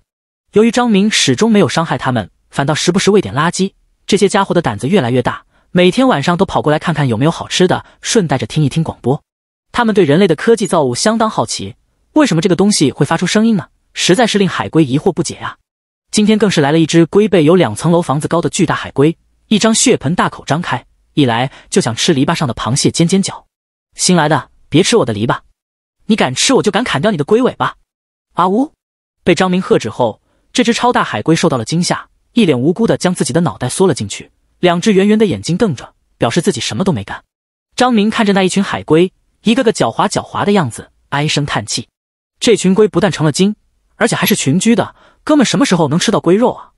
也不用太多，一条尾巴就成。收音机继续播报着今日新闻。各位听众朋友，远在天边的你们，是否感到孤独？是否对世界的变化感到惊讶？是否会产生人类会毁灭的焦躁情绪？各国秩序正在崩溃，至少有八十个国家彻底瘫痪了，处于无政府状态。难以理解的超自然现象频发，在海洋当中更是遇到了难以言喻的外来风险。根据路透社最新消息，一艘远洋货轮成功穿越大西洋神秘区返回地球。但上面的所有船员已全部失踪。军方人员调查了游轮上的监控设备，发现是一只漆黑的六爪生物，以极快的速度杀光了轮船上的船员。它能够轻易扭断人的脖子，厚实的鳞甲可抵抗枪击，百米移动时间只要两秒。百米两秒吗？张明皱了皱眉头，觉得这怪物可能比自己强一些。对比起变异生命的强大战力，人类就像树苗一样脆弱。在北非金字塔地区出现未知的恐怖黑雾。人类一接近黑雾，便会身体脱水，变成行走的丧尸。黑雾范围正在不断扩大，当局请求国际联合组织的紧急救援。俄国的潜艇在北冰洋神秘区边缘发现了一种超级生命体，它们体长万米，体型如同水母，吨位远超地球上最大的生命体。只是因为浅海区的水太浅，这些超级生命暂时没有干涉到人类的生存领域。在大夏国昆仑山地区发现神秘佛光，目睹佛光的人将陷入昏迷，苏醒之后。描述出世界末日的景象，地球的生存环境正在变得恶劣。我们在时代的洪流中被裹挟着、推动着，身不由己，来不及停歇和喘息。人类在时代的夹缝中求生存，个体的悲欢离合在时代大幕布下，既大又小。我们总以为自己是时代的舵手，但到头来却发现，整个人类文明也只不过是泥沙俱下中的一颗雷卵。朋友们，远在天边的你们，能够想象到超自然时代的到来吗？李先锋在广播中发出了由衷的疑问，张明张了张嘴，却什么话都没有说出，只是感受到来源于时代的风沙吹在自己的脸上，带来刮痧般的疼痛。回过头发现海龟们也在听广播，在那里啊呜啊呜的张嘴，质疑这玩意为啥能够发出声音，到底在说些什么，好像还有一点感情的样子。海龟有那么点智慧，但暂时还听不懂人类的语言，只是听个热闹，顺便讨要一点螃蟹壳吃吃。反正他们就是贪吃罢了。张明其实蛮好奇，螃蟹壳到底有什么神奇的作用，这么值得海龟讨要，还特地研磨了一些粉末，吃了半个月，最后发现屁用没有，身体热流只有微不足道的一点点。张明猜测，这些海龟很可能是因为缺乏某种矿物元素，才热衷于吃螃蟹壳。它们的体型太大了，龟壳的成长需要大量的矿物质，而螃蟹壳中恰好含有大量它们所需的矿物元素。其中那只新来的超大型海龟。似乎和一只超小型乌龟交谈着什么，啊呀的吼得震天响，那庞大的气流简直快要把火堆给吹灭了。然后超小龟一溜烟的爬了出来，它通体白色，就像白玉石般，龟背上点缀着复杂而又精致的花纹，两只乌黑的眼睛仿若黑珍珠。从体型上看，这就是一只出生一两年的龟宝宝，只比拳头大一点，但却是这一群海龟中最最聪明的一只。啊啦啦啦呜！小白龟气势汹汹的张嘴。想要表达些什么，听起来有点蒙凶，咱可听不懂龟语，说清楚点。张明没好气的说了一句，瘫痪在椅子上。啊呜啊呜！小白龟的身体摇摆个不停，就像扭秧歌似的，把自己的脑袋用力的往前伸，又把爪子抬起来，做出一个挠痒痒的动作，这模样有点像条狗。张明伸出一根手指，嘿嘿嘿，怪笑着，想要夹住它探出来的头。小白龟连忙把脑袋缩回去，叫得愈发凶狠。啊呜！你还来劲了是吧？难道你是龟中王者，想要统治这一座岛屿？有没有问过我老张的同意？不过大致上倒是听懂了一些。张明从椅子上站起来，看向那只新来的大型海龟，借着忽明忽暗的火光，发现它的脖子以及龟壳上长了一些藤壶，全都只有田螺那么大。其他的龟一直在用嘴蹭这些坚硬的藤壶，只不过它们的嘴巴太笨拙，咬不到这么小的东西。你想让我去掉这些藤壶？新的食物和属性点来了，张明又惊又喜。回想起爆炒田螺的美好口感，不停的吞咽唾沫。啊呜！小白龟激动的跳了起来。张明摸了摸超大海龟冰凉光滑的皮肤，发觉对方还算配合，一动不动。你别动，我就能帮你搞定。啊呜啊呜！超大龟还有一点不情愿，扭扭捏捏的。藤壶这个名字听起来像是一种植物，实际上是一种贝壳类的寄生生物。它们通过网状触角分泌的粘液附着在海龟身上，影响海龟游泳。有时候还会钻入皮肤，给海龟带来痛苦。在网络视频上，经常能看到人类在大海上救助海龟的场面。现在居然让自己遇到了，这种体验还挺新奇有趣的。张明掏出一把用螃蟹尖角制作的骨刀，实际上是不舍得用金属刀，在火上烤了烤，进行消毒。那只超大型海龟乌溜溜的眼睛盯着骨刀看，又想要缩头逃跑，但那只小白龟吼了一下，超大龟只能强行忍着恐惧把脖子伸出来。张明骂道：“长这么大个！”胆子这么小，看看你那健壮的体型，体重可能有数十上百吨吧，一下就能压死我，你怕个屁！咔嚓一声轻响，这个田螺大小的藤壶被连根拔起，带着一丝嫣红的鲜血。超大龟感到脖子上一阵刺痛，嘴巴张得老大，但身体却很老实，一动不动地匍匐着在那里。它的嘴巴一直张着，乌溜溜的眼睛看到了张明手中的藤壶，龟群顿时大为吃惊，他们的天敌居然被如此简单的战胜了，一个个无比震撼的张嘴。看向那只最小的龟中王者，啊呜啊呜！小白龟得意的叫嚣，在地上销魂的滚动了一下，尾巴差点翘到天上去了。他似乎在表达：我就说这个奇怪的家伙有办法取出藤壶，你们还不相信？要不是我，他还得经受藤壶折磨。你们全都得感激我！啊呜啊呜！龟群纷纷认同他天才而又伟大的智慧，坐实了小白龟龟中王者的身份。你们看他干什么？不应该感谢我吗？干活的。难道不是我吗？张明啐了一句，将手上的藤壶一丢，准备搞下一个，又发现有海龟探头探脑的想要偷走他的战利品，连忙飞起一脚，将那小偷的脑袋踢歪。我的，我的！他指手画脚的对着那海龟大叫道：“朕不给你，你不能抢。”海龟听不懂，但被踢了一脚，立刻缩头。然而又出现了另外的小偷龟，探头探脑的。于是咱干脆不干了，守着自己的战利品。用佛山无影脚一个个踢过去，然而这些小偷皮糙肉厚，防御能力惊人。张明又不可能动用全力，一时半会间居然变成了拉锯战。最后，那只被藤壶寄生的超大海龟急了，它还被藤壶折磨着呢。啊！超大龟大吼一声，才停止了乱战。规矩很重要，明白？无规矩不成方圆。张明谆谆善诱的教导着，拿了个旅行箱，把剔除的藤壶一个个丢到了箱子当中。这些海龟真的是一个智慧物种，它们可能形成了自己的语言，也知道同伴的性命比自己的口腹之欲更加重要。一个个老老实实的待在了原地，眼巴巴的望着箱子里的藤壶积攒的越来越多，最后堆成了一座小山。忙活了半个小时，天色彻底黑了，广播也停止了播放。超大龟脖子上的藤壶被踢得干干净净，无病一身轻，巨大的体型快活的扭动着，感激的叫唤起来。那巨大的体型差点把火堆给压塌了。而张明也收获了十来斤藤壶，心满意足的舀了点海水，把它们养在行李箱中。不知道这玩意味道怎么样？会不会带来属性点以及新的能力？用炭火烤了一个，小心翼翼的塞进嘴里。讲句实话，缺少了各种调味料，光这样烧烤不怎么好吃。海水的腥味很重，还吃到了一些泥巴、藻类等杂质，有些恶心。但带来的身体热流非常明显，比螃蟹肉明显多了。至于新的能力，暂时没有，可能是摄入数量不够的关系。张明心中一喜，明天的伙食有着落了。不过得浸泡个一天，让他们把肚子里的东西拉出来。你们知道岛上的怪物吗？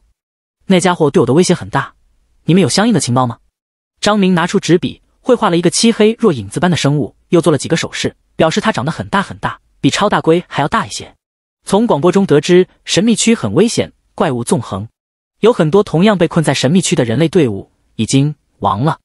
这些人类团队亡了之后，地球上往往会爆发灾难，搞得张明压力很大，躲在这里吃了一个月螃蟹肉，憋得快要发疯。但这座荒岛。却平静的有些离谱。他已经在这里待了一个月了，除了岛屿中央的神秘未知，也没什么特别的。为什么？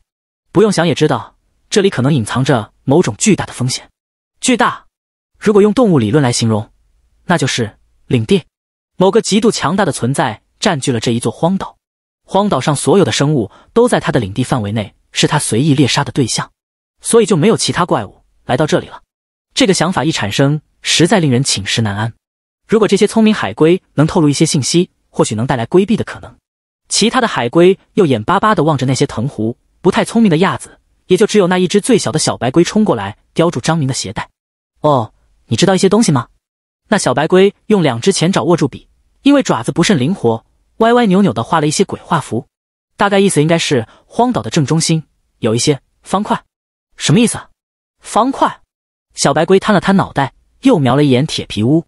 和我这个铁皮屋一样的方块，张明惊了，感觉有些莫名。岛屿中央有房子，什么意思？他不知道自己是否理解错了意思。这个消息有点重大。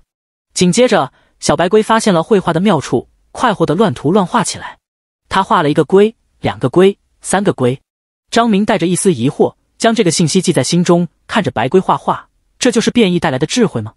他们已经有了粗糙的语言，只要一点小小的契机。他们就能学会绘画与文字，在不远的将来进化成一个真正的智慧文明也不是没有可能。当然，这群龟还是稍稍笨了点。作为生活在海里的物种，很难掌控火焰的使用，也没办法冶炼金属，这可能是天生的局限性。但除了龟之外，世界上还有没有更聪明的物种？譬如变异的猴子、变异的猩猩。如果这些聪明的物种和人类文明相遇，又会发生什么？如果神秘区中存在比人类更强的种族呢？张明默然无语。骑到一只龟身上，充分享受奴役原始文明的神奇快感。趁着你们还没发育起来，先欺负了再说。那被骑的龟也是兴奋异常，围绕着火堆乱蹦乱跳。啊呜，啊呜！这生活如同野人，如同隐居者，远离了城市，远离了乡村，什么都远离了，又好像什么都没有了。就这样闹腾了一阵子后，张明把珍贵的圆珠笔抢了回来。你要画画，找根树枝就能画，别用我的笔。散了散了，睡觉时间。看着海龟们向着沙滩的方向走去，张明挥了挥手，返回自己的铁皮屋。他的作息非常健康，在没有电的日子里，日出而作，日落而息，如同古代人。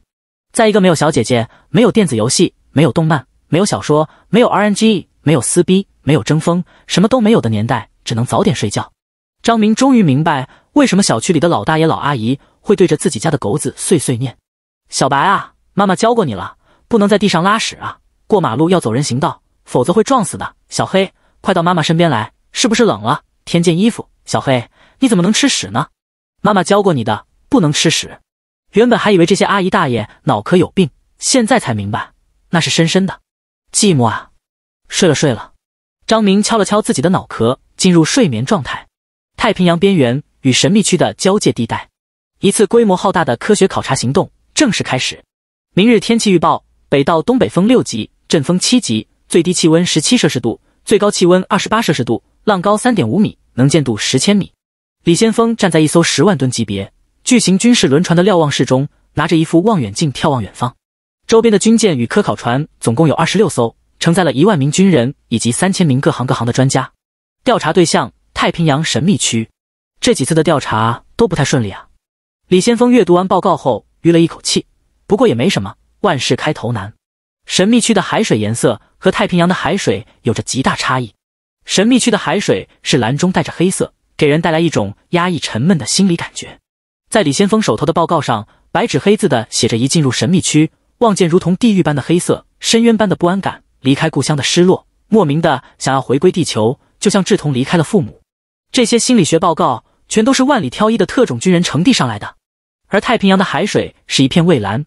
偶尔还有鱼类跳出水面，充斥着熟悉的生命气息。在三十公里开外的交界处，黑蓝与蔚蓝两种颜色如象棋中界和泾渭分明。那游龙般的分界线绵延万里，点缀长空，一直引入晦涩的迷雾当中。神秘区近在咫尺。调查部队一进入那蓝黑色的海水领域，将会以极快的速度迷失方向。他们的这些心理感觉不是无的放矢。特殊事务部门王玉恒解释道。好几个批次的无人机与无人潜艇已经失踪了，我们这边的特种部队也冒着风险进入了几个批次，但都通过绳索联系的方式浅尝辄止，不敢过于深入。这些队员或多或少出现了一些应激反应，就像报告呈递的那样。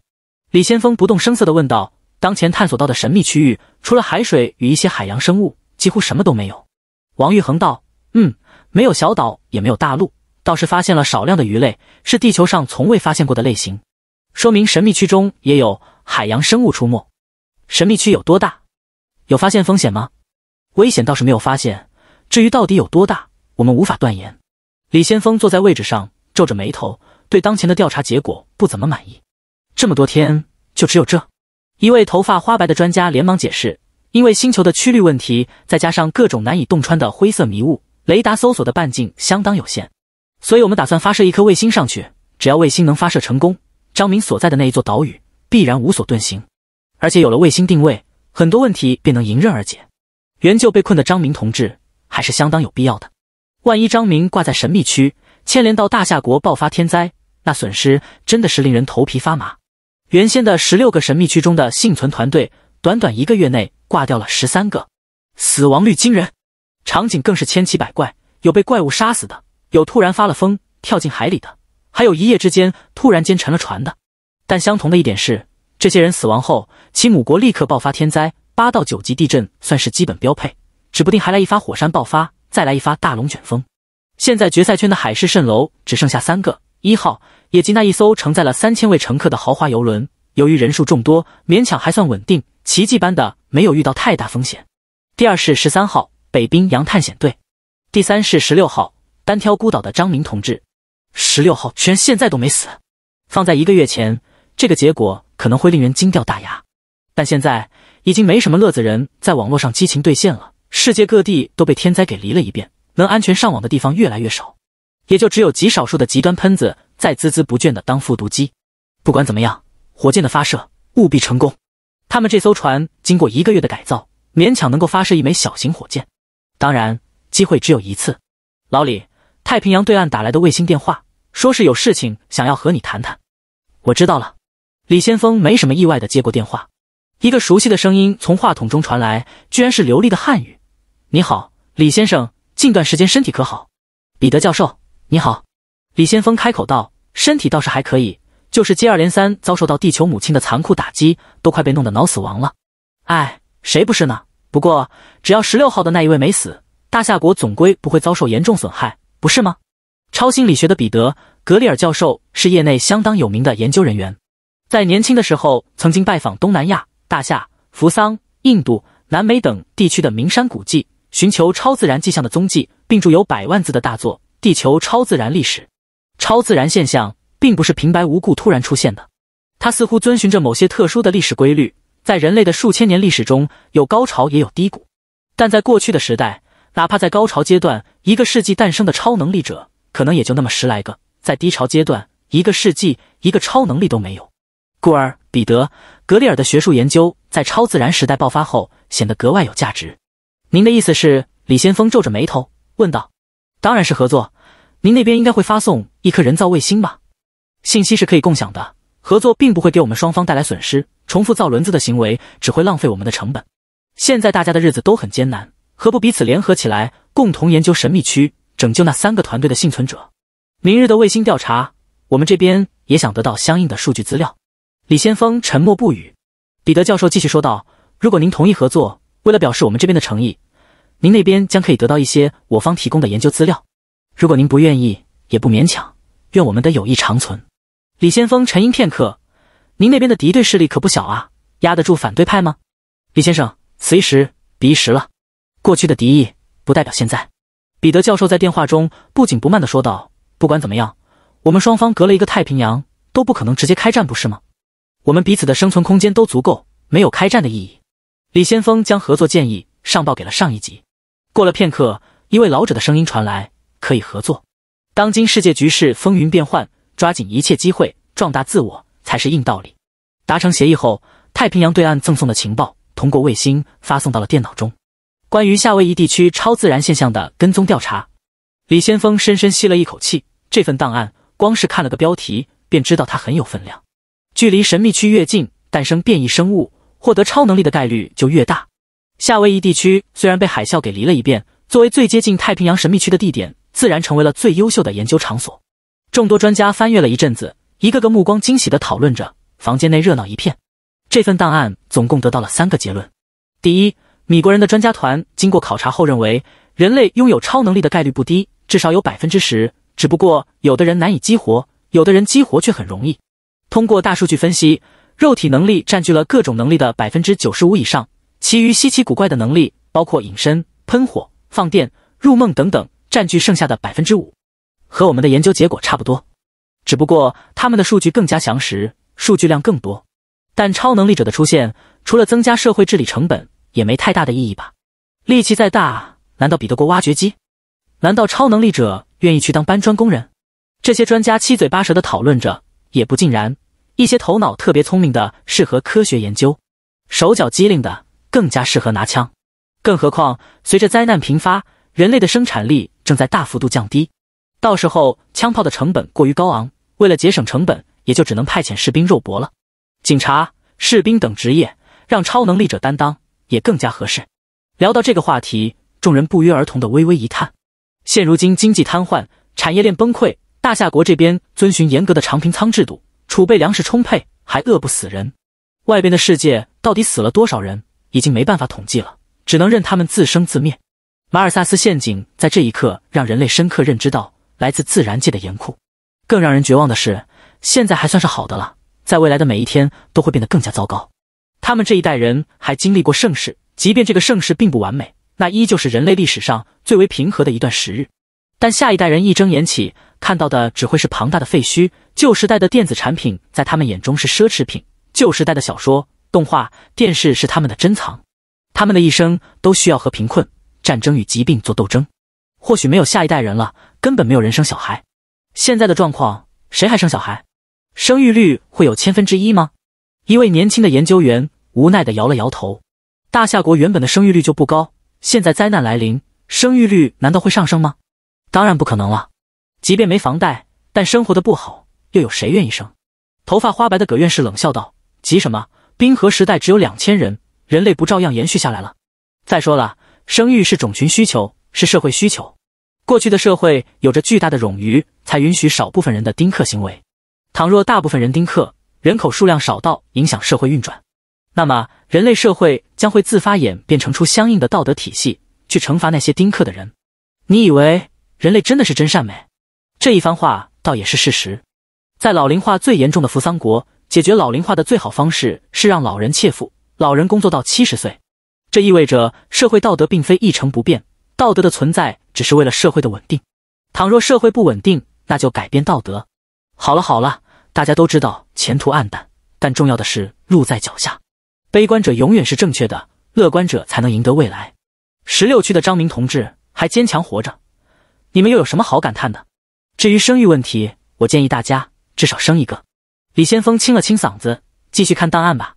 这份报告的第二个结论：食用变异生物的血肉有概率激活普通人的超能力。当然了，这个事情大夏国的专家团队也已经知道了，甚至做了一些小小的实验。为什么呢？因为十六号神秘区的张明小哥曾经在沙滩上写下一行文字：“吃螃蟹肉会变强。”其中的潜台词便是这个意思。哪怕变异生物的数量相对稀少，集全国之力做一些实验还是够的。激活超能力的概率不算太高，职业运动员稍高十分之一左右，普通人稍低在二十分之一的概率。对比起变异生物的珍稀性，这种实验蛮亏本的。张明给出的信息还是要加以重视啊。李先锋揉了揉太阳穴，又笑着向周边的专家承诺，会拿着米国人发来的报告，向着上级多要一点经费，多做几次实验，至少不能比米国人的实验次数少。大家说对吧？房间内的成员都哄笑起来。在这份报告中，还有第三个结论：超能力者可以通过某种特别的修行的方式来变强。但这个结论是米国的专家团队从古代文献中推测出来的。假设古代确实存在一些超能力者。难道他们仅仅只能通过食用变异生物的血肉变强吗？这种事情发生的概率很小，因为古代可能没什么变异生物，至少古代不存在神秘区。故而，彼得教授坚信有一种只可领会、无法言传、也难以被书写的古老方式，能够让自身的能力得到不断增强。然而，迄今为止，无人这种修行方式到底是什么？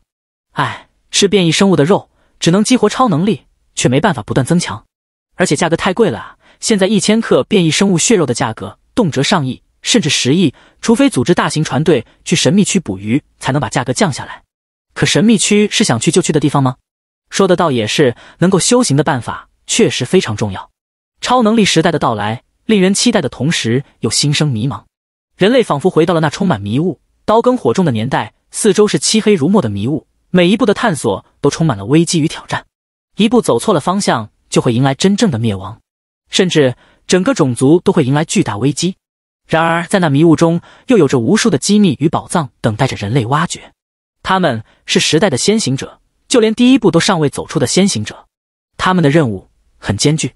众人讨论了一阵子，很多专家都认为这份档案相当有诚意，补缺了大夏国当前研究的不足，填充了大量的数据。李先锋下令道：“既然如此，卫星收集到的数据发送给他们一份也无妨。大家最后做一下准备工作。”确保明日的发射工作万无一失。是。一觉醒来，神清气爽。大海龟们已经离开了。他们白天喜欢在海洋当中觅食，唯有傍晚时分才会跑过来听广播，乞讨一些零食。这座岛上的陆地动物非常稀少，除了张明本人之外，也就只有一些凶悍无比的海鸟了。张明拿着螃蟹干胡乱啃了两口，顺便吃了一点椰子肉，算是解决了早餐问题。检查了昨天晚上收集到的藤壶，果然吐出了相当多的泥巴。这点藤壶也就只能吃一两天，螃蟹肉很难给我增加属性了，得寻找新的变异生物，最好能找到调味料。没有调味料的日子太煎熬了。望着金灿灿的太阳，蔚蓝的大海，张明迫切想要吃一顿好的。长期的孤独、寂寞与不安萦绕在他的脑海，他迫切渴望回归文明世界，特别是那该死的救援队，不知道存不存在，有没有出发的时候，剩下的只有无奈等待。他必须得通过文明社会的生活方式来提升自己那蠢蠢欲动的理智。而吃一顿好的，自然是文明社会的一部分。琢磨了一阵子，张明决定稍稍探索一下荒岛。当然，只是沿着沙滩找一圈，要是能够寻找到新的食材，也算是解决了燃眉之急。至于恐怖的岛屿中心，现在还是井水不犯河水，别去送人头了。想到这里，张明便操起螃蟹长矛，背上一个大背包，来到沙滩。坠落飞机的骨架，经过风吹日晒，出现了些许铁锈的痕迹。这才短短的一个月而已，时光的侵蚀改变了很多。其中很大一部分金属都被张明拆回去制作铁皮小屋了，能拆的都被拆的差不多，包括内部机电之类的东西也被拆下后搬回去了。在沙滩上仔细搜寻，捡到一只小螃蟹，放了它吧；捡到几个小贝壳，蚊子肉也是肉，收下；捡到一块鳞片，可能是某种鱼鳞，居然有巴掌那么大，在阳光下泛着黝黑的光泽，收下，准备煮一煮吃，万一能收获属性点呢？捡到两颗水草，细细品鉴了一番。无毒，收下。发现几个果冻一样的东西在缓慢蠕动，可能水母，高概率有毒，撤退。捡到一块坚硬的石头，捡到。捡垃圾的生活真是朴实无华啊！沿着沙滩一直向西两公里，便是大螃蟹生存的滩涂。作为当地最大的霸主，螃蟹的生活蛮惬意的，老远就能听到一阵哔哩哔哩的尖锐叫声。张明并不想招惹他们，因为想起螃蟹肉便精神值一一一。他只是随便捞了一些水草，准备带回去煮熟了吃。再向前走十公里，有一片岩石坡，由于背着太阳光，植物稀稀拉拉，不算茂密。高坡之下有着相当多的溶洞与珊瑚，栖息着种类充沛的水生物种。这座岛屿的地形瑰丽奇特，又不太像是火山爆发生成的。因为火山爆发大都生成玄武岩，而岛屿上的石头却以花岗岩与板岩居多，故而这座岛的形成方式是一个未解之谜。他也没有探索海湾的能力，这里的海水太深了，他不擅长游泳，任何一个变异生命的出现就有可能要了他的命。再继续向前六至七公里，距离营地二十公里左右是一片红树林，也是他从未深入探险的未知领域。浓厚的白雾在太阳光的照射下渐渐散去，蔚蓝的天空偶尔有巨型鸟类飞过。今天的视野还不错，适合探险。红树林中的植物更具原始风貌，大部分树木高大异常，七弯八拐的枝条到处蔓延，也有一些矮小的灌木丛在夹缝中生存。整个世界仿佛只剩下青翠的绿色与枯黄的黄色。这里的地势较低，经常会被海水淹没，故而植物会从根部长出长条的气生根，露出于海滩地面，满足对空气的需求。张明拿着长矛，紧绷着神经，沿着植物根须缓慢地移动着。蚊子和绿头苍蝇耳边嗡嗡嗡的叫着，哪怕人类灭绝了，这些讨厌的生物依旧能够在世界生存下去。昆虫变异的概率果然很低，但也不排除有几只是变异的，一口就能要了我的命。我只是来这里收集一些调味料，如果能找到西米树，那就更好了。西米树，一种热带地区特殊的棕榈树，它的树心能够提取大量的可食用淀粉，俗称西米粉，在珍珠奶茶中广泛应用。有了淀粉，面饼。包子等食物便可以烹饪了。来一棵西米树吧，求求了！张明想吃故乡的梅干菜大饼，想得唾沫横飞，将泥巴涂在身上以避免蚊虫叮咬，默默采集着各种稀奇古怪的植物，同时提防四周的动向。陆生动物依然没有，海蛇看到了几条，海里的鱼儿更是发现了不少。当中人生地不熟的地方，他并不敢随意的狩猎。忽然间，心脏重重的一跳，他发现了一只火红色的蛤蟆。蹲坐在树根上，呱！鲜艳的火红皮肤与凸出来的两只巨大眼球，都昭示着它并非是容易招惹的生物。别来惹我这四个字，就差点写在脸上了。特别是这蛤蟆的体积一如既往的巨大，比它本人还要更高大一些。呱！火红的舌头延伸出去几十米，轻易的刺穿了一条海里的鱼儿。当一只蛤蟆比人类还要巨大，吐出的舌头可能有二十来米的时候，地球霸主恐怖直立猿表示压力山大。两腿战战，只想逃跑。还好我比较谨慎，没有发出太大的声音。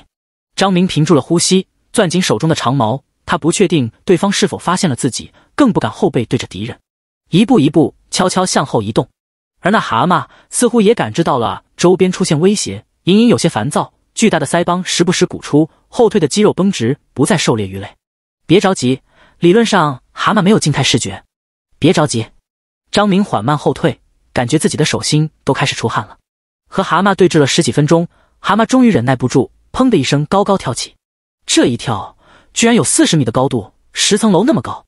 不过蛤蟆并没有跳向张明的方向，他似乎想要急匆匆的逃走。就在这电光火石的一刹那，一道金色闪电从另一个方向窜出，划开空气，恶狠狠地劈到红色蛤蟆身上。滋啦，空气中弥漫起了一股热辣的焦臭味。游离的等离子让张明的头发一根根竖了起来，他瞳孔放大，有些不可思议的看向远方。红蛤蟆被闪电劈中后，其表皮已然是焦炭的形状，半空中跌落。一条巨大的鳗鱼跳出水面，层层鳞片在阳光下折射出金色的光泽，庞大的野性身躯在空中狂舞。伴随着一道优美的抛物线，金色鳗鱼叼住了半空中坠落的红蛤蟆，最终哗啦一声重新潜入水底。红树林重新平静下来。谁也不曾想到，这里出现过变异生命之间的战斗。用时一秒钟，张明亲眼目睹了这一场战斗，待在原地一动不动。过了好几分钟才缓过神，苦笑一声：“原来红蛤蟆是在和金色鳗鱼对峙，我只是在自作多情啊！”张明深刻感受到了什么叫菜鸡中的战斗机。这一片红树林才是高级副本，这些变异生命之间的战斗简直就是神仙打架，一蹦就是几十米。什么闪电、长蛇之类的超能力战斗，令人眼花缭乱。分出胜负也只是瞬息之间。但是，但是他好想吃那一只蛤蟆以及那一条鳗鱼啊！高压电的能力真的太强悍了！我要是拥有了这样的能力，生存几率将会大幅度提升。张明从红树林悄悄退了出来，满头大汗，却又跃跃欲试，亢奋不已。一个全新的世界在他的眼前打开了。他现在不想要西米树了，心心念念琢磨着如何杀死金色鳗鱼，获得其能力。人类之所以跃居于地球食物链的顶层，是因为拥有高其他生物一等智慧，学会了使用工具。依靠蛮力并不可取。张明很快就想到了几个有趣的点子，不过生命只有一次，他必须谨慎一些，不可冒进。回去再想想办法。临走前还刮了点树皮树根，采集了不少未知的植物，说不定其中有调味料呢。十六号海市蜃楼的小哥进入丛林了，全国人民鸡飞狗跳。苟了一个月的十六区小哥再一次做出了令人摸不着头脑的举动，就连原本要发射卫星的李先锋等人也暂缓了节奏，一个个盯着十六号海市蜃楼。他他怎么进红树林了？难道是遭受到了某种怪物的诱惑？不可能吧！十六个海市蜃楼中的团队已经挂了十三个，在这种情况下，由不得李先锋他们不担心，甚至连头发都竖起来了。怎么回事？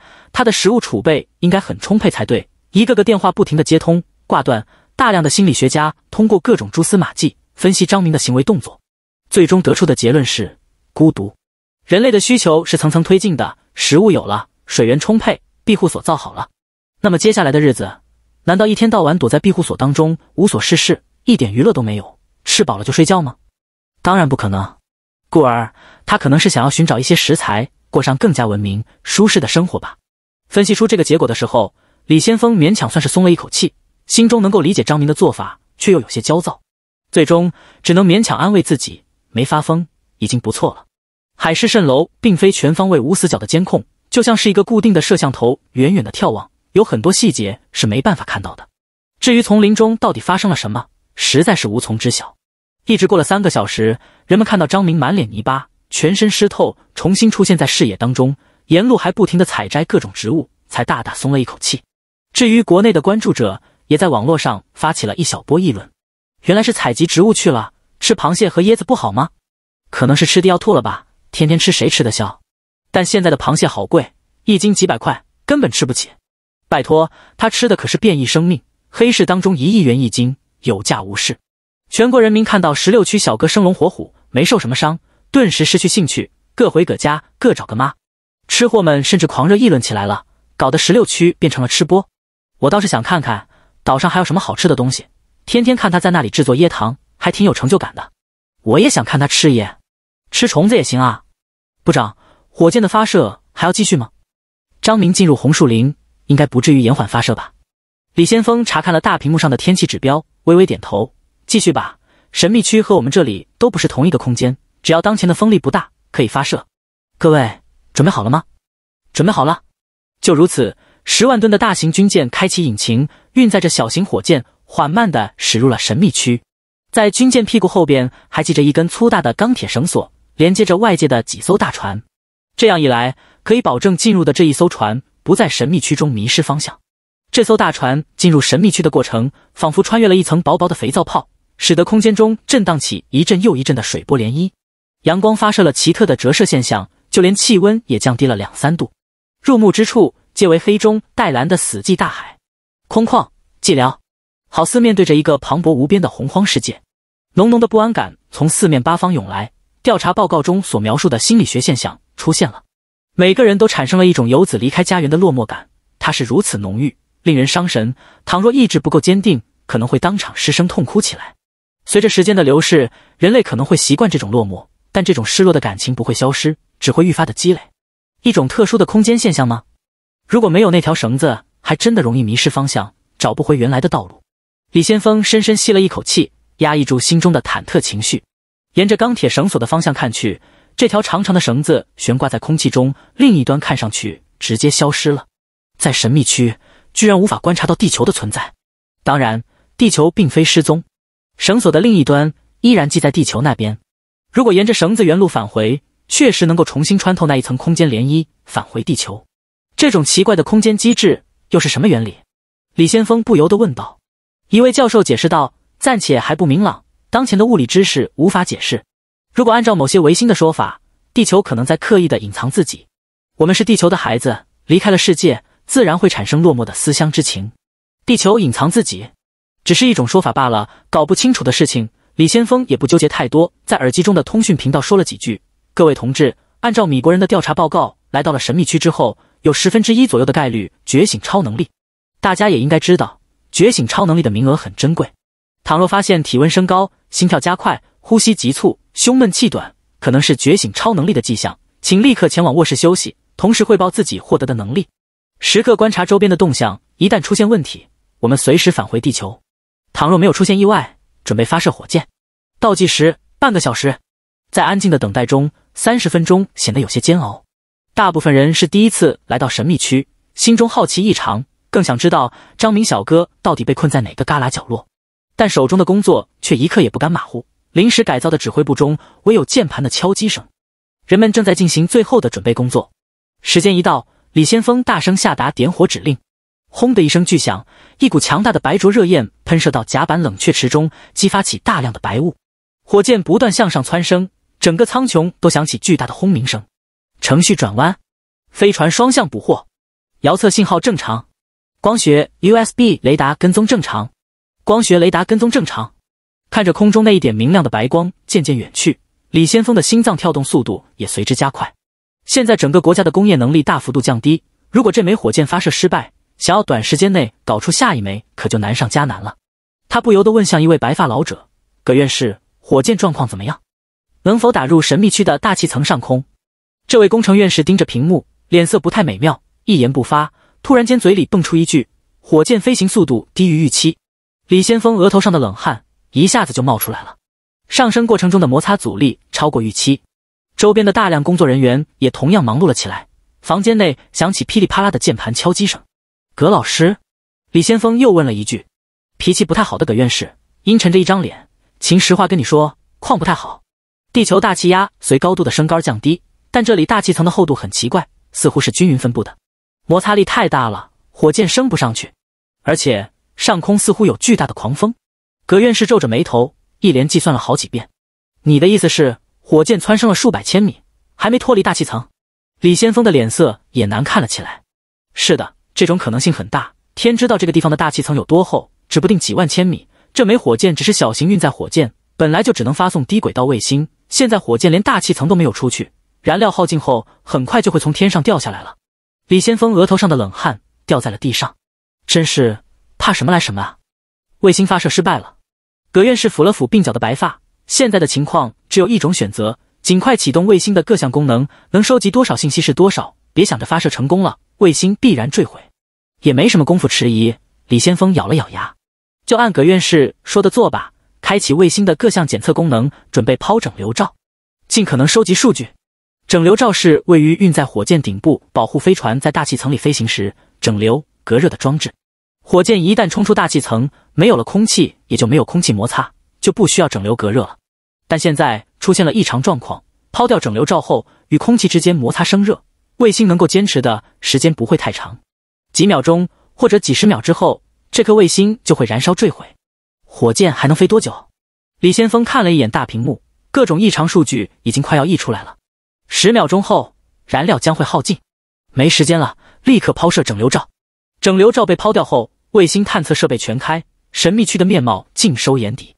一颗小小的流星出现在神秘区上空，即便它的生命相当短暂，却也是人类有史以来的第一次。在这一刻，每个人都屏住了呼吸，仿佛化身为了一颗卫星，在高空之上极力眺望。居高临下的惊鸿一瞥，勾勒出神秘区的巍峨浩瀚与诡异的一个角落。蓝中带黑的巨大海洋之上，远方厚重帷幔般的云层，仿佛被无形之手拨开了这个世界。金黄色的太阳俯视众生，却依旧无法照亮晦涩如深渊的黑暗大海。那是怎样的一个世界啊！一片寂静的墓地，一切都沉浸远古洪荒的宁静里，就连来连绵不绝的波涛也在这悄然凝冻。墓地中埋葬的并非生物，而是世界，是历史，是文明。太古代二十一亿年埋藏于大海的最底层，震旦纪十八亿三千万年，古生代三亿年，中生代一点六亿年埋藏于深海的中层。最后是新生代七千万年，当人类终于姗姗来迟，在人类还在把弄泥土的时候，时代已然像烟火般风云变幻，无数的故事开启了，无数的故事结束了。但现在短暂的新生代也要结束了，也将埋藏于此。李先锋的心脏猛地跳动了几下，忽然感受到一股强烈的悲痛，但到底是什么，又完全说不上来。这股悲伤弥漫着整个控制室，以至于一些年轻人忍不住开始流下泪水。他苦苦坚持，咬紧了牙关，不让自己情绪失去控制。卫星图像依旧在继续。这个世界几乎没有弧度，或者说，这个世界的弧度太小了，小到肉眼难以分辨。即便火箭上升高度没有达到预期，也有一百多千米了。如果在地球上空俯视，能清晰的看到地球大气层与宇宙的分界线。在这里几乎没有弧度，地图仿佛是平的。太阳年复一年，日复一日，东升西落，仿佛有无穷的光晕从太阳中流淌出来，挥洒向这一个濒临死亡的世界。在光流交织的背景下，让人回想起一个古老的名词——地心说。曾几何时，人类认为地球是宇宙的最中心，世间万物围绕着地球旋转。随着时代的发展，人类意识到这种说法的错误，地球只不过是一颗平平无奇的星球，宇宙中微不足道的一部分。但不知为何，身处神秘区的这一群人再一次产生了类似的想法：这里或许是万物的中心，是历史的终结。在更加遥远的区域，缭绕着几乎无穷的灰黑色云雾。居高临下的这一眼，除了他们所在的这艘轮船外，只看到了这一片蓝中带黑的海洋向外无穷延伸，没有岛屿，也没有生命。大海是死的，没有波涛，没有洋流，无法用言语描述的情绪在心头萦绕。或许这里存在着更多、更多的平行世界。地球的最终归宿也将是这个世界。如果身后没有一个人类大本营，孤零零的一艘大船在漫无边际的禁忌之海中航行，也显得太寂寞了。还没等众人分析太多内容，卫星图像突兀的消失，卫星烧毁了，正以抛物线的形式从上空快速坠落。李先锋回过神，立刻下达命令：“各位醒一醒！我知道大家可能产生了一些莫名的感悟，但现在不是讨论的时候，全体注意，即刻返航，回归地球，回归我们的世界。十六号神秘区。”从红树林满载而归的张明脑子里胡思乱想，他的背包中装满了各式各样的新奇植物，可能有三四十斤的重量。金色鳗鱼、红蛤蟆和广播当中提过的黑色六足怪物相比，不知道哪个强一些。熟悉的环境令他充满了安全感。作为一名纯正的强度党，张明无所事事的幻想着怪物们打架的场面。处理党的热爱是短暂的，容易移情别恋，而且偏好开后宫。他们只看重颜值，强度党的热爱才是永恒的。只要你是世界最强者。那么强度党将一直关注着你，热爱着你，讨论着你，专心致志，永不变心。不管你美与丑，想来想去，他还是觉得，不管是蛤蟆还是六足怪物，都比不过红树林中的金色鳗鱼。除了岛屿正中心的巨大生物，以及体长万米的超级生命体，金色鳗鱼算是 T 一级别。他身上的超能力也是 T 一级别。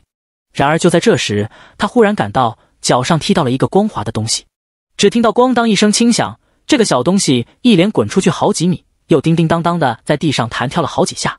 定睛一看，张明有些发懵的将它捡了起来，越打量越是感到惊奇，甚至一双眼睛猛得更加厉害了。是一个陶瓷片，用粘土烧制而成。张明敢确定这是一块陶瓷片，可能是一个碗或者是茶壶的一部分。它绝对绝对不可能是大自然天然形成的。如果大自然真的能形成这玩意，他愿意把头给拧下来。当一名无头骑士，翻来覆去的研究着这玩意的年代过于久远，上面的花纹已经被环境侵蚀了，看得不太清晰。难道岛屿上存在着人类、土著人，或者说人类曾经来过这个岛屿？我不是孤单一人。这个惊奇的发现让张明的肾上腺素上涌，心脏狂跳，全身上下产生了一种毛骨悚然的感觉。他脑洞大开，越想越觉得起劲。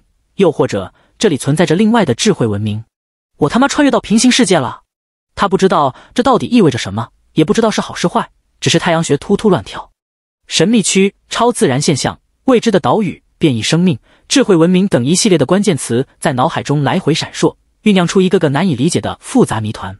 沉下心，在陶片附近耐心搜寻了一阵子，又寻找到一块大青石。这块大青石的形状太平整了，显然是人工打磨过的。在过去，或许是一条青石路。只不过随着时光流逝，路面被周边的草木给掩盖了，所以经过了好几次，依旧没有被张明发现。在强烈的好奇下，张明鼓起勇气，沿着大青石的方向慢慢搜索着。我就只随便捡一点垃圾，然后把土著文明的垃圾放在沙滩上，勾引国家派遣救援队，岂不美哉？张明很有把握，他在沙滩上写的文字能够被祖国一定程度知晓。虽然不知道所谓的知晓能达到什么程度，但在过去的实验中，他提出的大部分要求，广播都会有回应。我一个人的救援价值实在是太低了，多了个土著文明，则完全不同。他走得很小心，一个小时才走了四公里，右手紧紧握着长矛，心脏的跳动愈发快速。越是深入那一条青石小路，植物愈发稀少，灌木丛大片大片的枯萎下来，到最后干脆一点植物都没有了，变成了光秃秃的黄土地。似有野兽的嚎叫从远方隐隐传来，等声音逐渐变大，才听清楚那是风的声音。攀上一座高坡，张明全身站立的看到了震撼的一幕：漫山遍野的菌落，赤橙黄绿洒遍这一片土地，那雨伞一样的菌盖就像动物呼吸一张一合，缓慢的蠕动着。最大的菌盖居然有房子那么大，好似一条条爬虫。随处可见的断壁残垣，诉说着曾经爆发过的惨烈战争。而在这一地区的中央地带。屹立着一座高塔状建筑物，高耸入云，约莫六百米的高度，墙壁满是裂隙，其中的一半已然破败倒塌，密密麻麻长满了孢子菌落。这一栋建筑表面更浸染着一道巨大的血痕，呈现出诡异的暗红色。即便血痕已然风干，却依然透露出一股隐晦的精神波动。逃，快逃！哪怕身处山谷的边缘，张明依旧产生了一股致命的危机感。这可能是他一个月里遇到的最大危机。那一道血痕居然透露出快逃的意思，他想要逃跑，却发现已经晚了。那鲜艳的菌群如同黄泉边缘的彼岸花，散发着魔鬼般的诱惑力，诱使他不断的深入。张明的心跳开始不断加快，耳边产生了莫名的呓语，仿若一只只的蚂蚁钻入他的脑袋，操控着他的身体，让他迈开脚步，一步步向前走去。他感觉自己正在发生畸变，身体中的每一个细胞都产生了属于自己的意志，紧张。忐忑、恐慌，我的肉一定很好吃，不如吃了我自己。疯狂的想法深入脑髓，张明咧着锋利的牙齿，朝着手臂恶狠狠咬了一口。剧烈的疼痛让他猛地哆嗦了一下，心中一阵清醒。那癫狂的幻觉短暂消失了。快逃，快逃啊！他满头大汗的挣脱这种诱惑，再也不敢看那漫山遍野的菌落，原路跑了回来。今日的奇幻之旅已然超出了张明的承受能力。如果红树林中的红蛤蟆、金色电鳗还算是可以理解的变异生物范畴，那漫山遍野的菌落、人工建筑的痕迹，以及那一抹嫣红的会说话的鲜血，已然是魔幻领域。这世界太疯狂了，不过我居然好喜欢。张明自暴自弃的奔跑着，脑子里乱想，精疲力尽的回到了椰子林。熟悉的环境并没有给他带来任何安全感，因为自己的营地距离那片疯狂的山谷也就十来公里的样子。危机一旦波及过来，他连逃跑的机会都没有，可是他又无路可逃。这座岛就只有这么点大，总不能到海里安家吧？反倒是在营地周围摇头晃脑，等待着听广播的海龟群，给他带来一种聊以慰藉的安全感。毕竟这些家伙是正常的生命，能够理解，能够想象，也能够沟通。啊呜啊呜啊呜！为首的小白龟很不高兴的咆哮着，似乎在表达：“你这次这么晚才回来，莫不是在外边偷偷吃了鸡，连收音机都不听了？”你必然去做那下贱的事情了。张明平缓了狂跳的心脏，双眼通红，模仿海龟讲话：“啊呜啊呜啊呜，龟龟，我遇到大麻烦了，差点挂掉。”群龟一脸懵逼，打开收音机，播音员李先锋同志那熟悉的声音传到耳边：“全球地震将带来一系列的连锁反应，油气填圈壁条件遭受地震破坏，储油层物理性质出现变化，石油的开采难度将会大幅增加。我国专家认为。”当前以石油为核心的化工路线将走向尽头，取而代之的将是煤化工路线。我国煤炭储备丰富，其中资源量一万三千二百二十三亿吨，基础储量两千四百四十亿吨。煤炭并不会随着地质运动而消失，煤化工路线的开启将大幅延缓工业衰退，提高人口就业。来自人类文明的消息，不管好的坏的，都让张明稍稍恢复理智。他感觉自己的身体一片冰冷，不自觉地看了一眼自己的精神值，精神四十二分之十二，你疯了！疯了，连忙转移属性点到精神值上面。过了一阵子，精神值变成了五十分之二十，缓慢的上升当中。你现在不那么疯了，张明长长松了一口气。拥有一群海龟朋友果然是好事，再怎么样也算是陪伴。岛屿中心的存在已然超出了我能够理解的范畴。神秘区和地球完全不一样，看上去平和，实际上杀机四溢。这里曾经存在着智慧文明。但他们高概率已经灭绝，难怪这个岛屿这么安全。原来是强大的怪物都不敢靠近啊！皎洁皓月挂在高空当头，椰子树肆意的生长，棕榈叶彼此之间繁杂交错，点点月华在缝隙中播洒而下，带来沁骨的海风。他忽然想到了一个奇妙的可能：那一片遗迹必然蕴藏着丰富的宝藏，足以让人类在超自然时代崛起的宝藏。就算危机残留，随着时间的流逝，应该也会变淡。现在时间过去了，不知道多少年，可能会有一些可乘之机。危机之中必有收获。一个在超自然时代生存过的文明，再怎么样也有一些底蕴吧。但想来想去，一个人的力量都太渺小，容错率也太低，应当由国家级别的探险队去探索，而不是他这个小瘪三活出性命乱搞。探险队又没来，真是搞得人意兴阑珊啊！我既然这里安然生活了一个月，再生活几个月也未尝不可。只要不再靠近那一片山谷。危机应当可控，我得尽快猎杀那金色电鳗，增强自己。噼里啪啦的火堆附近，精神值不停的转移，一直上涨五零八零 D 的时候，张明已然没有太大的恐慌。他停止了属性转移的举动，轻轻叹了一口气。如果没有金手指，我可能已经疯了吧？精神最为玄奥复杂的属性，也是波动值最大的。较高的精神能够带来勇气、积极与乐观的心态，唯一不能驱散的，便是那该死的孤独。他老张。毕竟不是机器人，哪怕精神值再高，夜深人静的时候，偶尔也会独自一人想静静。收音机：北方气田在地震中发生严重泄漏，大量甲烷进入大气层。甲烷的温室效应是二氧化碳的一百二十倍。专家估计，全球温室效应将大幅增强，南北极冰川加速融化。倘若冰川完全融化，海平面将上升六十六米，届时全球大部分的海滨城市将会被淹没。周边的海龟兴致勃勃地听着广播。其实他们完全听不懂人类的语言，也就是觉得那叽里呱啦发出声音的东西很有趣，听个热闹。变强的办法只有一个，吃！我现在就开吃！海龟们忽然看到张明从背包中丢出了一大堆的植物，一个个伸长脖子，哗啦啦的围了过来。哪些植物是能吃的？你们能告诉我吗？张明问道。结果大部分的植物，海龟都不愿意吃。作为海洋中生活的动物，陆地植物并非它们的食谱范畴。那一双双乌溜溜的眼睛瞪过来，仿佛在表达：“你这厮以前还喂点螃蟹壳，今日居然只喂树皮草根，也忒小气！你的良心去哪里了？大大的坏了！”龟尝百草的计划貌似失败了。张明没有任何的不好意思，反倒臭着一张脸，大骂道：“我养你们又有何用？要是我自己吃了这些草，中毒了咋办？你们照顾我吗？今日我心情不佳，一中毒必然心理崩溃，一崩溃就宰杀一只海龟尝尝鲜。”当然，只是开个玩笑。他知道这群海龟其实只会看表情，听不懂人话。但至少精神值加一，如果要让他自己来尝百草，得要把体魄、感知以及精神三个属性全都拉到一百点以上，那才足够保险。当前根本就没有这么多的属性点。张明又做出了几个拉肚子、口吐白沫的动作，还在笔记本上画了几幅吃了草之后死掉的图像，看得这些笨龟一愣一愣的。到最后，那只最聪明的小白龟似乎反应过来，这家伙在表达些什么了。只有拳头那么大的白玉小龟，兴高采烈地爬上前，将其中几根鲜艳的叶片挪到一边，然后做出一个四脚朝天、口吐白沫的动作。张明心中一动，兴奋了起来：“你是说，只有这几根草是有毒的，其他的都没有毒？”小白龟欢快地做着呕吐的动作，一副奄奄一息的样子。啊呜啊呜！你能够分辨食物是否有毒？啊呜啊呜！只要没有毒，我自己倒也可以尝一尝味道。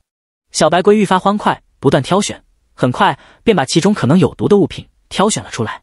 在剩下一大堆无毒植物中，张明用小刀削了一小片树根，塞进嘴里，干嚼几下，闭上眼睛，用舌尖充沛的神经元感受着味觉变化，只觉得这树根又苦又涩，不像是能吃的东西，连忙呸的一口吐了出来。没有毒性，但也没啥特殊作用。其实，大部分的植物都是如此，没毒，不过也不能吃。又削了一小片树叶，含进嘴里，味道怎么说呢？臭臭的，就像一坨臭虫。鼻子嗡的一下，涌入一股臭气，又呸的一口吐了出来。精神值，老张挠了挠头皮，心中 MMP，把那张臭叶子丢进火堆当中烧了。就这样一件件尝试过去，还真的发现了几样好东西。一种是树皮，就像茴香一样，散发着淡淡的药香。还能给身体带来神秘热流。张明最看重的是它的调味功能，可去除海鲜腥味，用来炒菜再好不过。另一种是青色的果子，辣的，奇辣无比。用小刀切开它的一瞬间，那刺鼻的辣味直冲天灵盖，把眼泪都呛出来了。用舌尖舔了舔刀尖的清澈液体，顿时张明发现自己的舌头消失了。最为劲道的辣椒一开始是吃不出辣味的，因为神经系统在极端状态下会直接懵逼。你吃了啥玩意？我晕了，你自个玩去吧。然后罢工那么几秒钟，紧接着辣味沿着舌头慢慢向喉咙延伸，一浪接着一浪，排山倒海，连绵不绝。此刻的张明便处于这种极端的热辣状态，他伸出舌头，不停的哈气，眼泪鼻涕齐齐涌了出来，真的是超级辣椒啊！整个人都骂了。不会是当地的土著人种植的辣椒吧？但这种青色辣椒的出现，却他心中狂喜，甚至忍不住喜上眉梢。精神值加一加一加一，他终于终于有了做菜的佐料，眼泪一下子就涌出来了。不知道是辣的，还是心中狂喜，一波三折，值得纪念的一天。不枉我冒了一趟险。更何况，只是一点的辣椒汁液，便让他体内产生了一股巨大的热流。这玩意绝对是比螃蟹肉更加滋补的天才地宝。意味着大量的属性点。一个多月的荒野求生，实在受够了那该死的清汤寡水，嘴里快淡出鸟来。有了树皮、辣椒，再加上海盐，天下美食尽在我手。高精神状态，莫名其妙的乐观。老张深刻感慨道：“自己可能不太正常了。如果是普通人，隔壁就有一个魔鬼山谷，可能会惴惴不安，又有可能好奇异常，激动万分。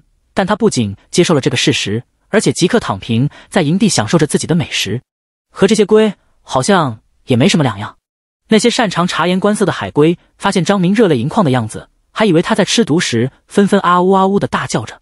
他们表示：“我们想要吃那个青色的果子，你这厮可不能一个人独吞啊，分给我们海龟一点啊！喂，我们海龟可是很贪吃的，人为财，死龟为食亡的道理，你不会不懂吧？特别是那只小白龟，直接咬住了他的裤脚，毫不客气的叫嚣了起来，蒙凶蒙凶的。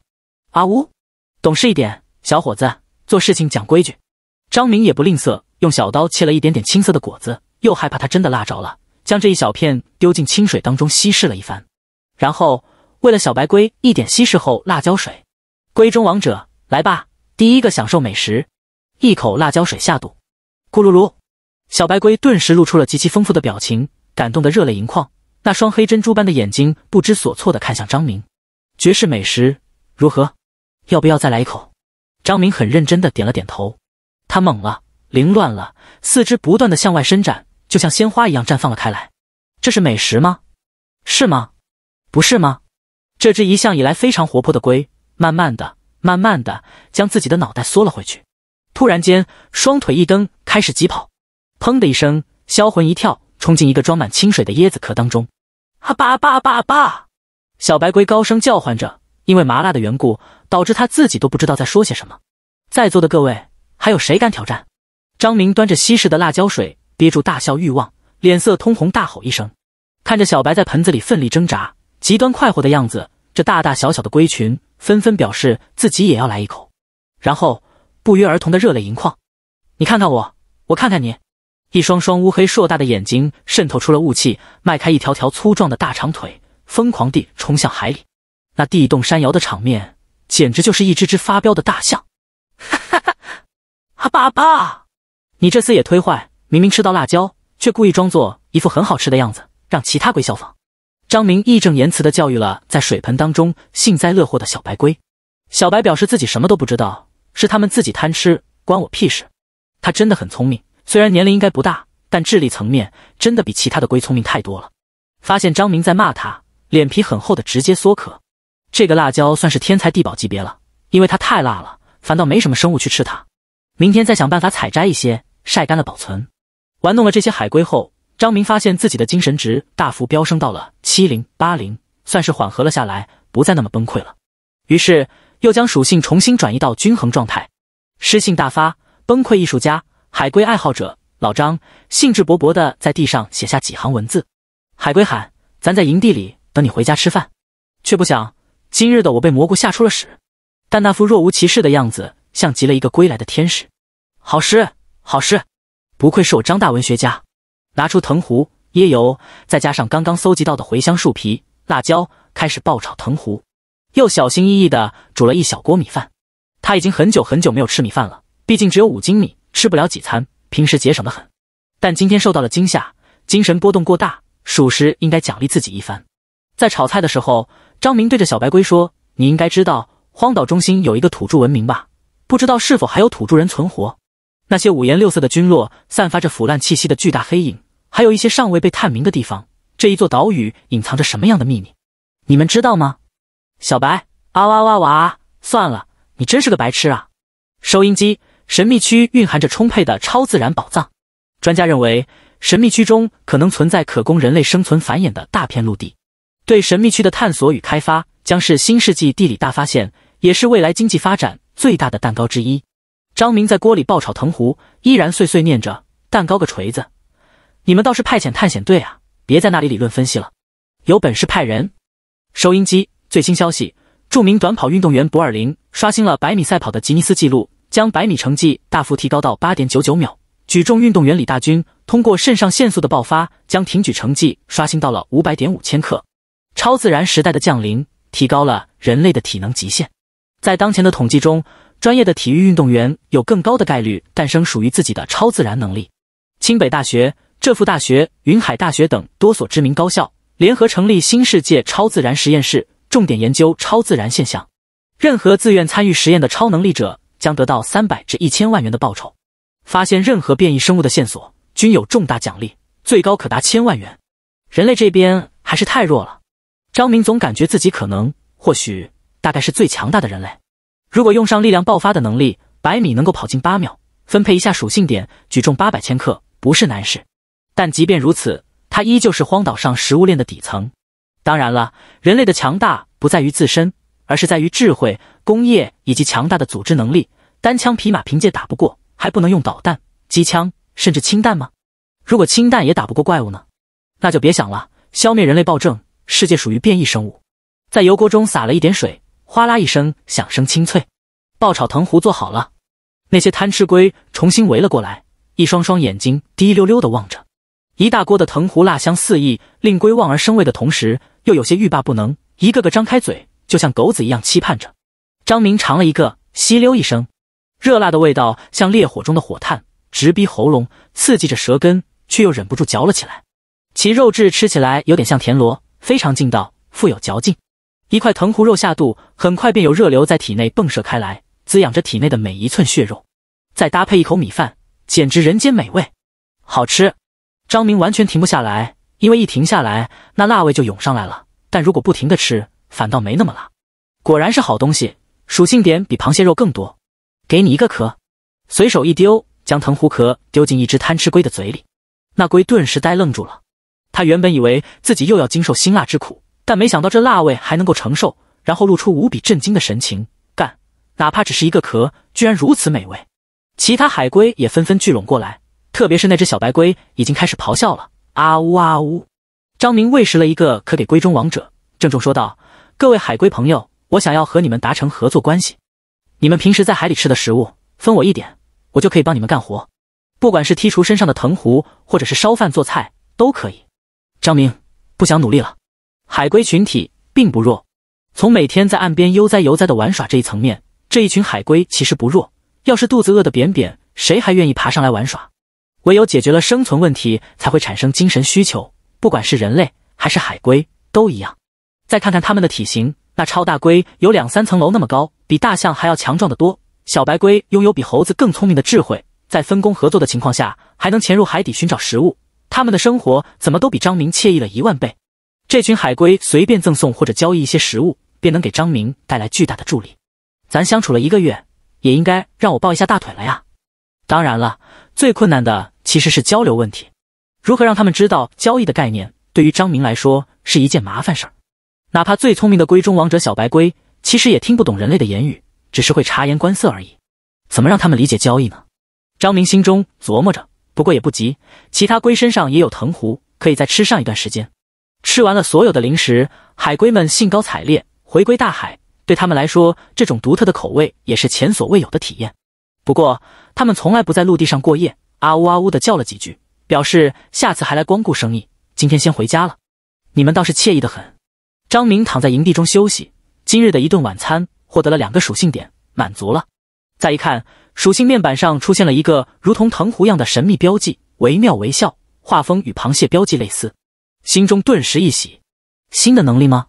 食用变异生物其实不一定获得新的能力。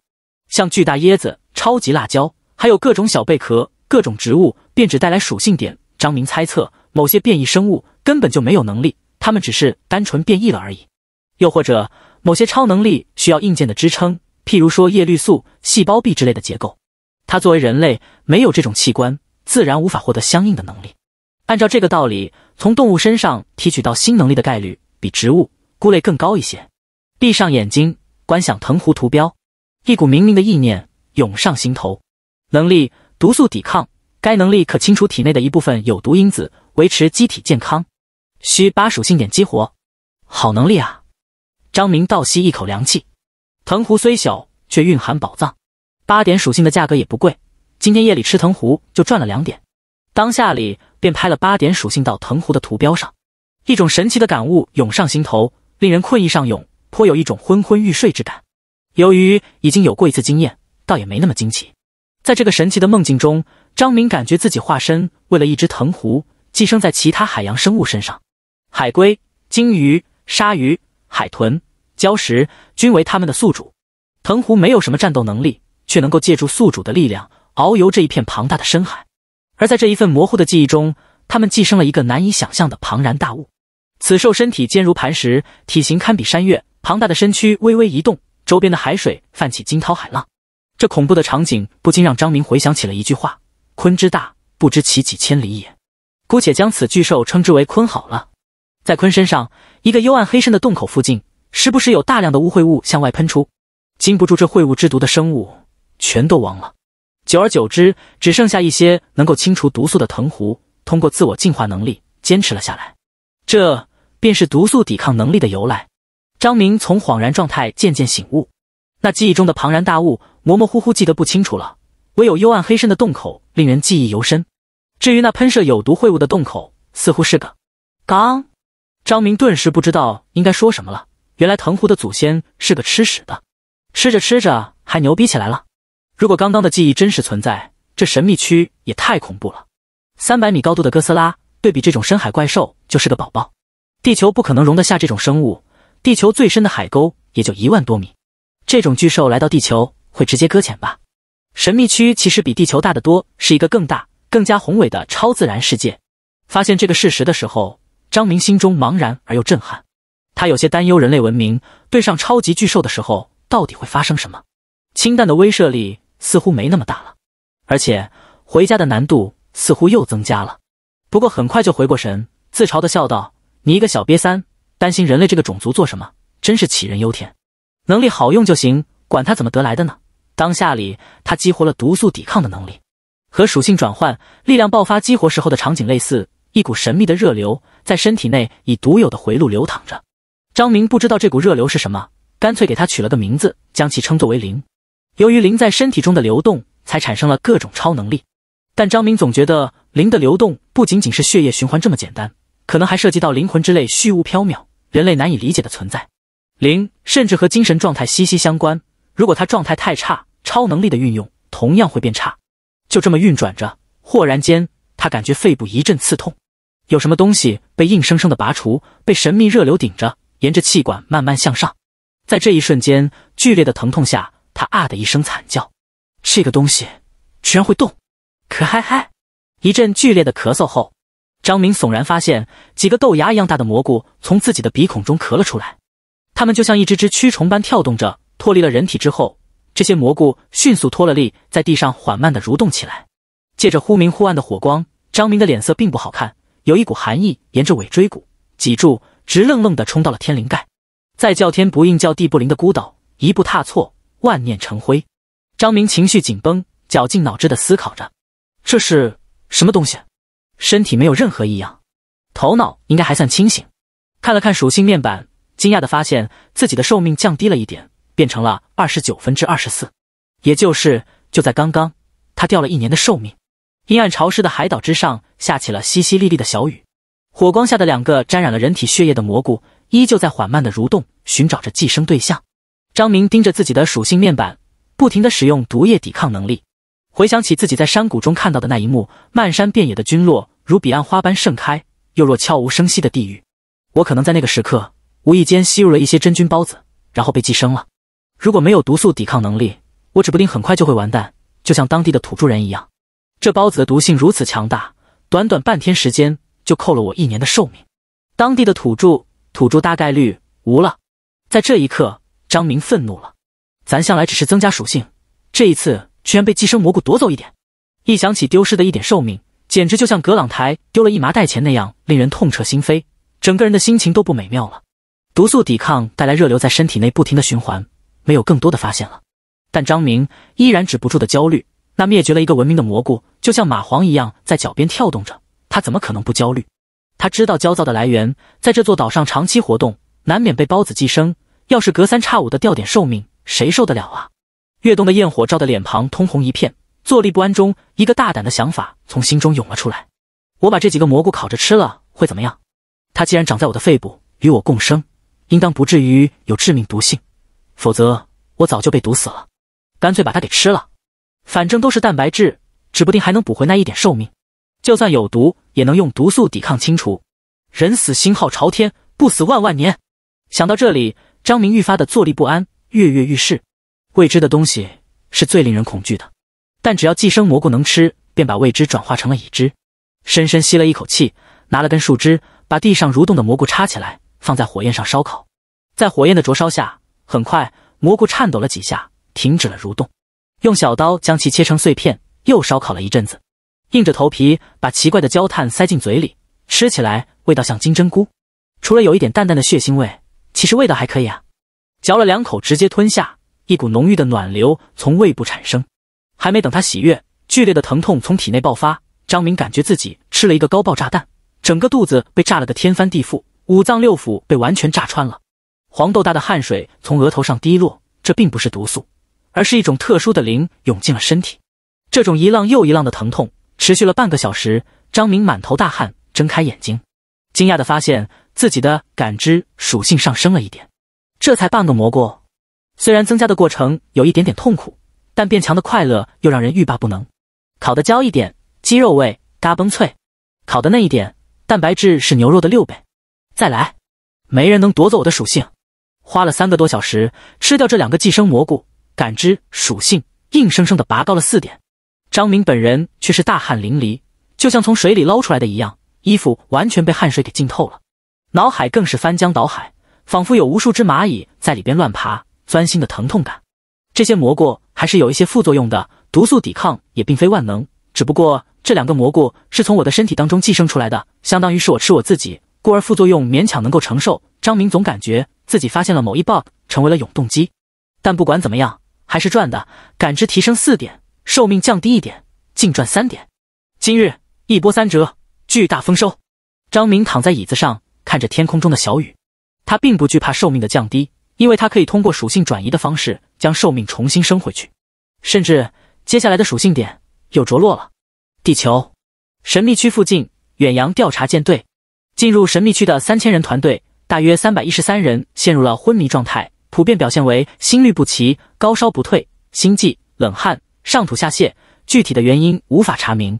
一般情况下，这些人会在一到两天内苏醒，同时有较高概率获得一项超能力。这和米国人提供的数据几乎一致。特殊事务部门李先锋躺在病床上，聆听专家报告。他们一船人从神秘区中回归后，昏迷了差不多百分之十左右的人口，也包括他本人。这一次的昏迷大概持续了两天两夜，情况才有所好转。卫星监测到的数据怎么样？分析出什么了吗？李先锋喝了一口床头柜上的温开水，有些疲乏的说道：“发现张明所在的岛屿了吗？有几个重要专家昏迷过去了，再加上船上的计算机并非超算，算力有限，故而数据分析进度比较缓慢。不过，张明所在的岛屿大概率找不到。”李先锋问：“既然找不到岛屿，他怎么听到卫星广播的？”众人纷纷沉默不已。理论上，地球上空与神秘区上空是两个不同的平行世界。结果张明的收音机居然能听到地球广播，搞得专家们都有些怀疑人生了。李先锋苦笑道：“哎，指不定他的收音机是一件奇物。既然地球上出现了超自然物品，神秘区应该也有一些吧？有这样的可能。对了，您本人有觉醒什么超能力吗？按照惯例，这些信息需要登记在数据库当中。我……”李先锋沉默了几秒钟，皱眉道：“我感觉整个世界变得有些不一样了，可以看到很远很远处的一些东西，嗅觉。”听觉也强化了，这是超感知者。这位负责登记的小姑娘面带笑容，倒也没什么太大的惊讶。肉体能力从数量上是最多的，超感知者的数量比例相当之高。最大的好处是不用戴眼镜了，不会得老花眼，也不会近视。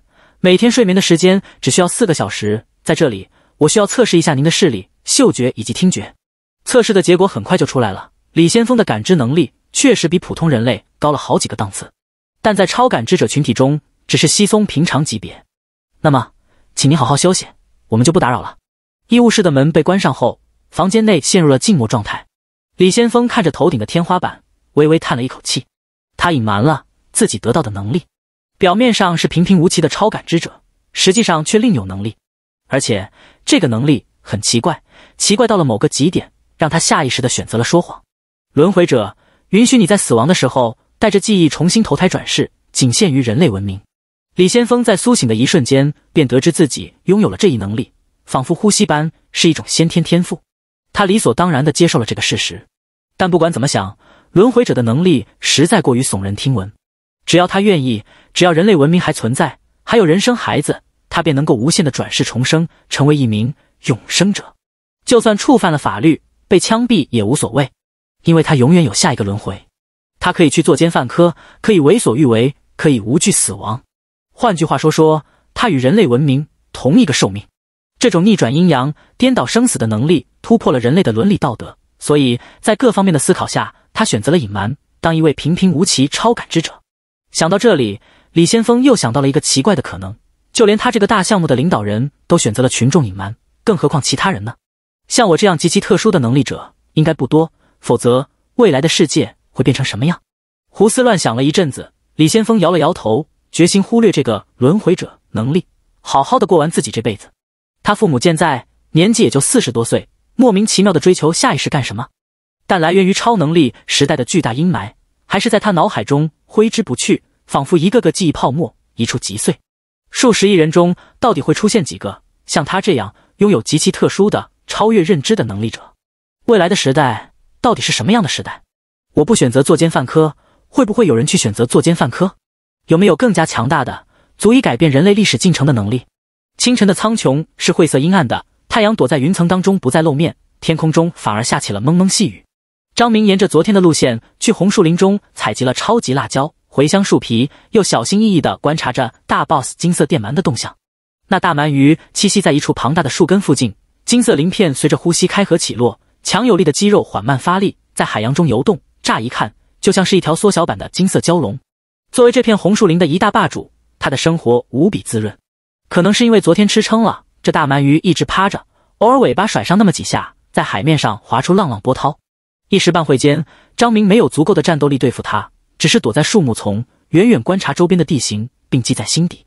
又到山谷的边缘搜寻关于土著文明的痕迹，大部分的建筑都被孢子蘑菇给寄生了，并不敢贸然深入。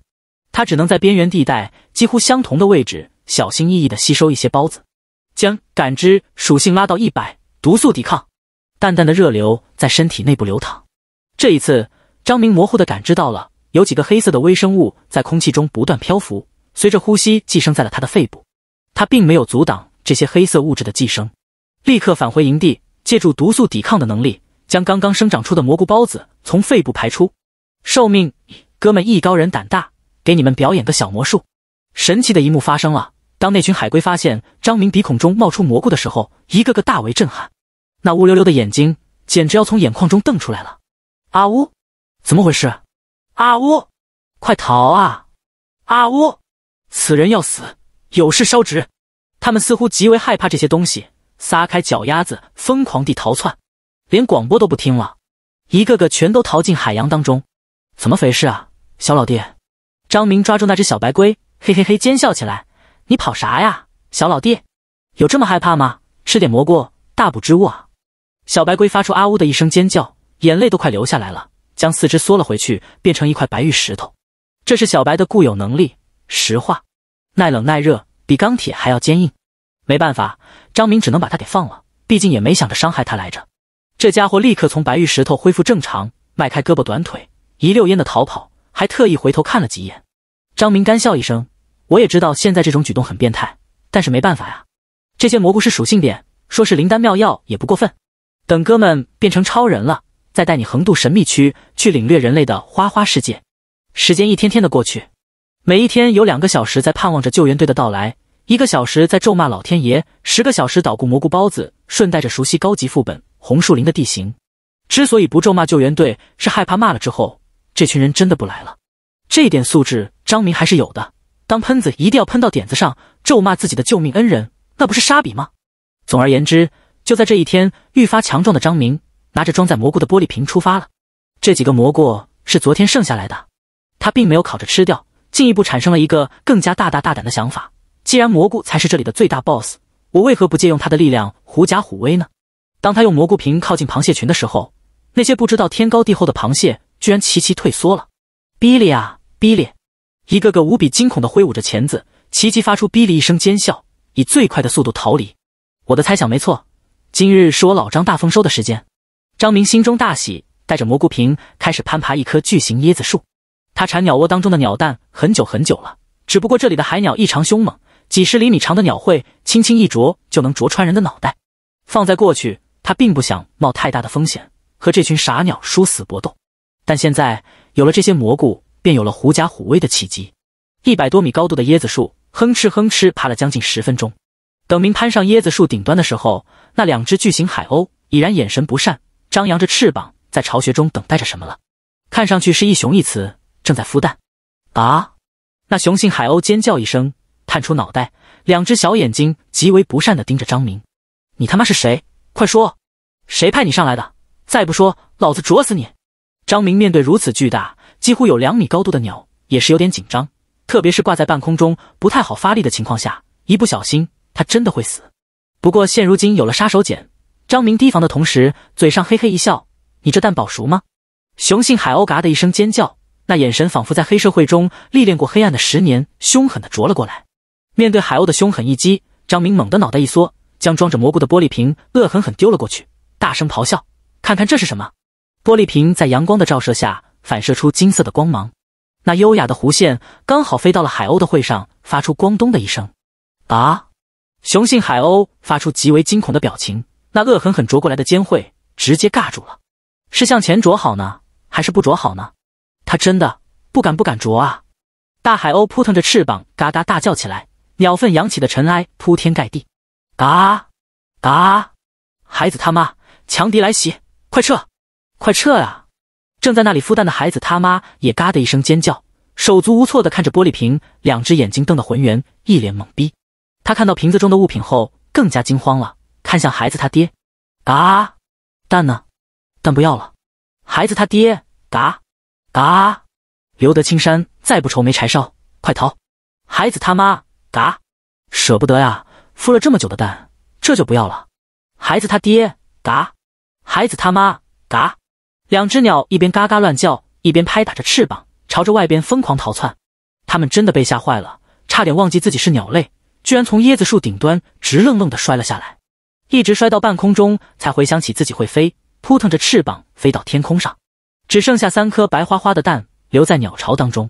好家伙，咱只是吃你一个蛋，至于这么害怕吗？张明来到巢穴附近，心中一喜，每一颗蛋的体积均有拳头大小，两三斤的重量。那黄褐色的蛋壳上点缀黑色斑纹，看上去像一颗颗大号的鹌鹑蛋。拿着三枚鸟蛋在阳光下照了一阵子，发现其中一颗已经长出了胚胎，毛细血管分明，有雏鸟的痕迹。另外两颗似乎是白蛋，没有任何生长发育的迹象。变异生物的繁殖能力会降低吗？难怪幼年期的变异生物很少，就连螃蟹这种繁殖能力旺盛的也鲜见小螃蟹。张明心中若有所思，转身将那枚已经生长出胚胎的鸟蛋。重新放到鸟巢当中，上天有好生之德，这一枚就还给你们吧，我也不差这么点。将两枚鸟蛋以及装着蘑菇的玻璃瓶返回背包当中，满怀喜悦地下了树。一开始还装模作样，担心海鸥报复，到后来忍不住喜上眉梢。回到大本营，迫不及待地用开水煮了其中的一枚。伴随着那咕噜噜的开水声，柴火散发出油脂香气，蛋壳上覆盖了一个又一个的气泡，那是蛋，令人向往的生命源泉。这么大的蛋，煮得久一点吧。甚至为了缓解等待带来焦虑，张明还拿了一本高等数学，津津有味的学习起抛弃已久的知识。现在的日子怎么说呢？很充实，却也很枯燥无聊。有着大把大把的时间可以用来挥霍。没有信息大爆炸带来的多巴胺刺激，没有可以说话聊天的对象，没有任何娱乐，也只能追求一些恬静而又单调的乐趣。更何况，除了那位考研党同志留下的一大堆书籍，他根本就无书可看。原来如此，这道题不能用洛必达法则，直接泰勒展开即可。妙啊！格林公式还是不太能理解。一阵稀稀疏疏的声音从草丛中传来，张明抬起头，原来是一群海龟，黑溜溜的眼睛打量着玻璃瓶中的奇异蘑菇以及散发出热气的锅。他们大为震撼，此人居然还活着！你们也要来一口吗？鉴于你们上一次的叛逃行径，这一次一点鸟蛋都不给。龟们啊呜大叫起来，表示他们不是故意逃跑的，只是身体控制不住，那四条腿忍不住就逃了。还有的龟在高声质疑：“你是怎么活下来的？你这厮……”体内长满蘑菇了吧？还有一只龟探头探脑的打量玻璃瓶中的蘑菇，突然间受到了惊吓，掉头就跑，结果引发了羊群效应，一大堆的龟跟随着一起跑。张明懒得搭理他们的戏剧表演，呼哧呼哧拿起水煮蛋，剥了颗自己享用。那属于生命之源的清香迎面来，这一枚蛋尝起来的感觉和鹅蛋差不多，蛋白的数量不多，橙色的蛋黄占据了整体的百分之七十有余，一口咬下去，满满的喷香，稍稍带着一点腥味。但又是这一点腥味带来一股奇妙的野性气息。海风不停流动，世间万物各自独立又相互联系，共同构成完整的命运。一股淡淡的暖流从体内流转了起来。鸟蛋带来的灵似乎不算太多，但不管怎么样都是第一次吃，增加属性的效果还是蛮不错的。至于有没有新技能，那就不得而知了。张明忽然产生了一个疑问：远古时期的第一只母鸡到底是怎么被人类驯服的？原始人拿走母鸡辛辛苦苦孵化的蛋。难道母鸡就不会感到心痛吗？原始人应该解决了温饱问题才会驯养母鸡，否则早就把母鸡给吃掉了吧？他总觉得从零到一的这一步很奇妙，刚好有个吃饱了的人抓住一只瑟瑟发抖的母鸡，这只鸡的逃跑能力还不能太强，还愿意贡献出自己的蛋，多么神奇的场面！别看现代化的养鸡场一年能捣鼓出几亿颗蛋，但在刀耕火种的原始时代，找到一只符合条件的鸡很难啊！感谢那只鸡，张明猛地摇晃了一下脑袋。心中唾了一句：“吃个鸟蛋，还吃出感慨来了。”他太寂寞了，脑海中的一个个杂念就像是一戳就破的肥皂泡，或者说他已经很久很久没有见到过人类，没有过社交了，必须要随便找点东西做做，否则排山倒海般的孤独将会把他彻底淹没。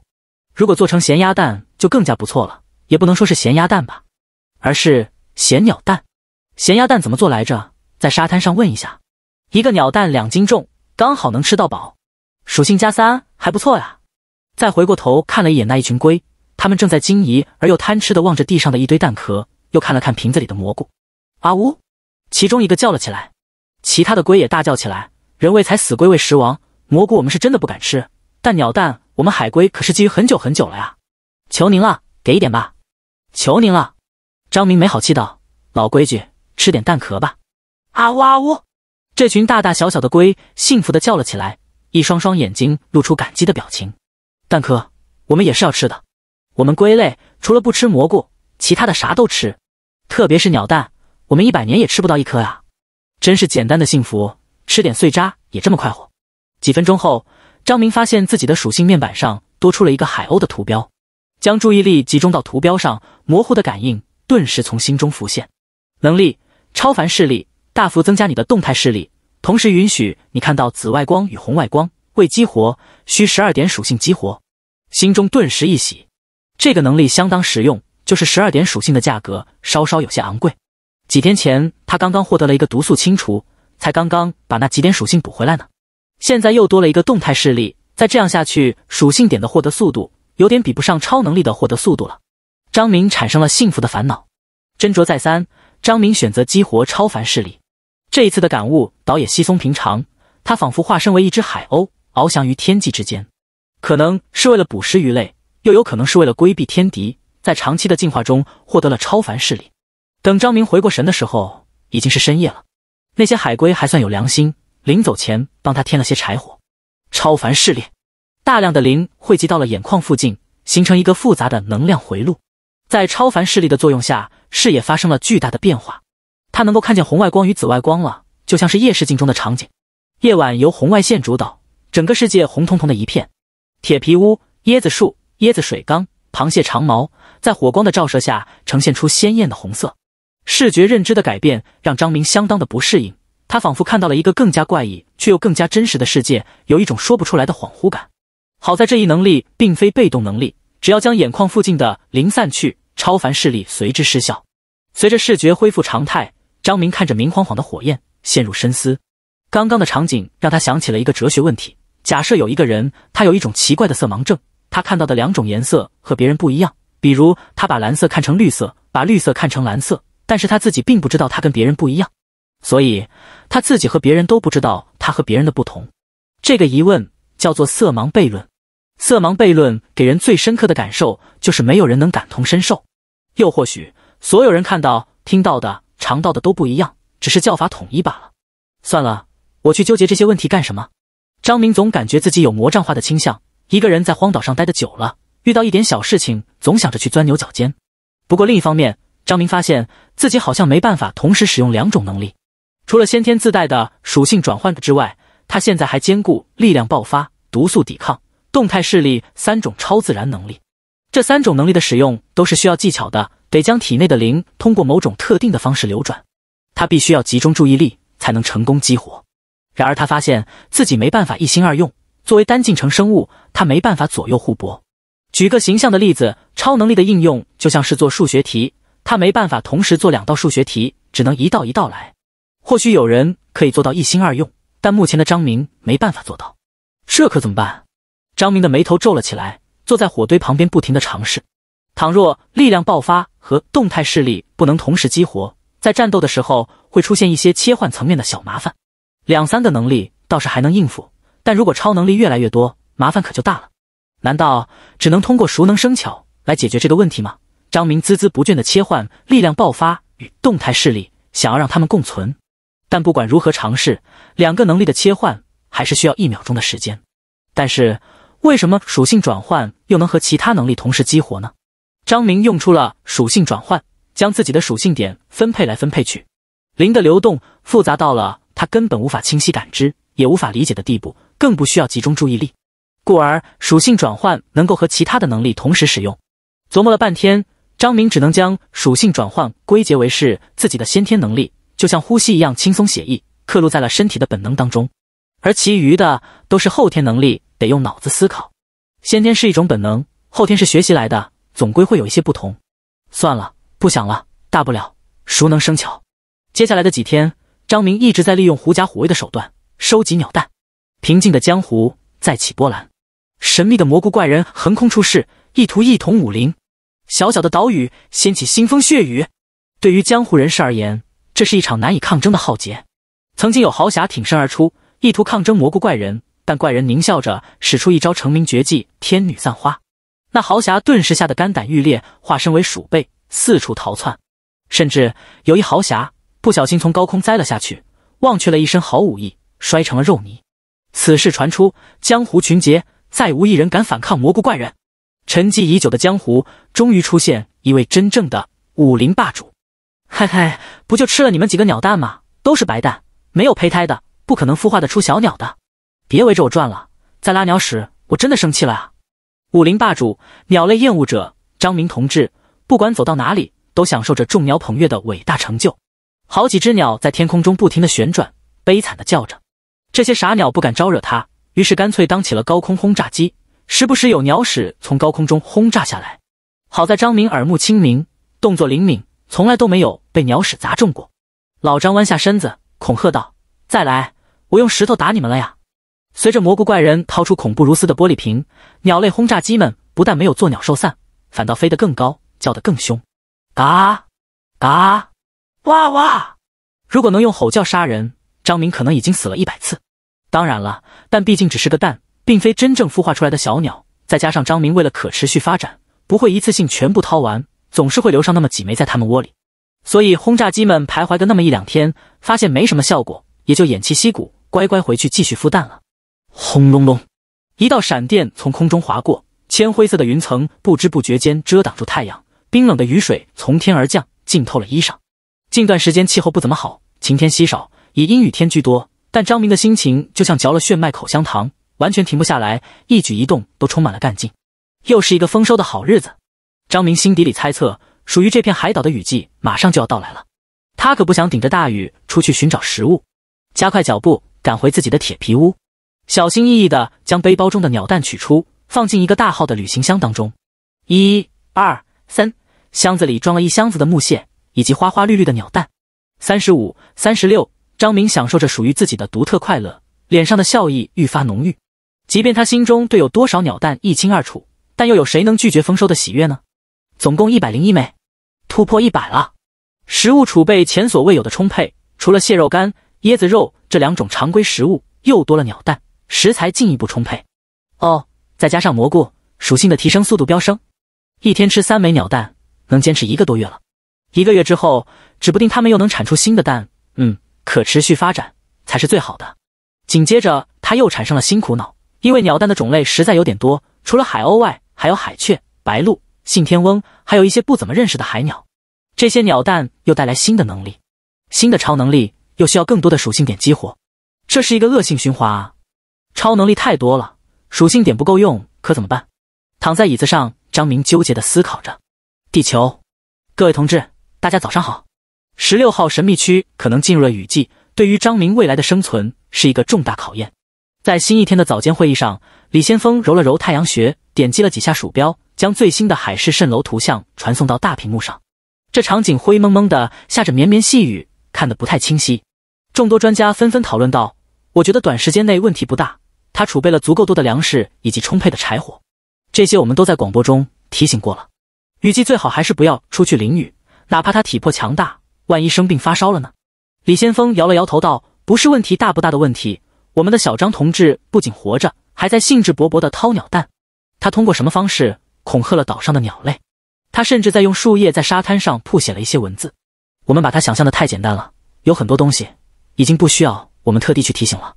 截取其中一个画面，将其放大，其中沙滩上一行用叶子铺盖的文字是“咸鸭蛋”，啥意思啊？当然是要求他们在广播中播放咸鸭蛋的制作方式。众多专家默然无语，相顾无言。这家伙天天在孤岛上大鱼大肉的，现在还玩起生活来了。不知道的人还以为他在热带雨林度假。亏得他们绞尽脑汁、呕心沥血，生怕这家伙突然暴毙，颇有一种皇帝不急太监急的感觉了。当然，海滩上还有另外两行文字引起了学者们的重视：求教法拉第龙的原理与制作方式。有土著速来！这两行文字的信息量有点大，搞得专家团队们都有点怀疑人生了。他要法拉第龙的制作原理干什么？难道害怕被闪电劈中？又或者岛上有喷射闪电的怪物？李先锋皱问道。法拉第笼，一种防护高压电的装置，其笼体与大地连通。当高压电命中金属笼子时，强电流会被引入地下，而躲在笼子里的人类却毫发无损。这一物理现象在电压防护、直击雷防护层面的应用相当之多，甚至在魔术领域也会应用到。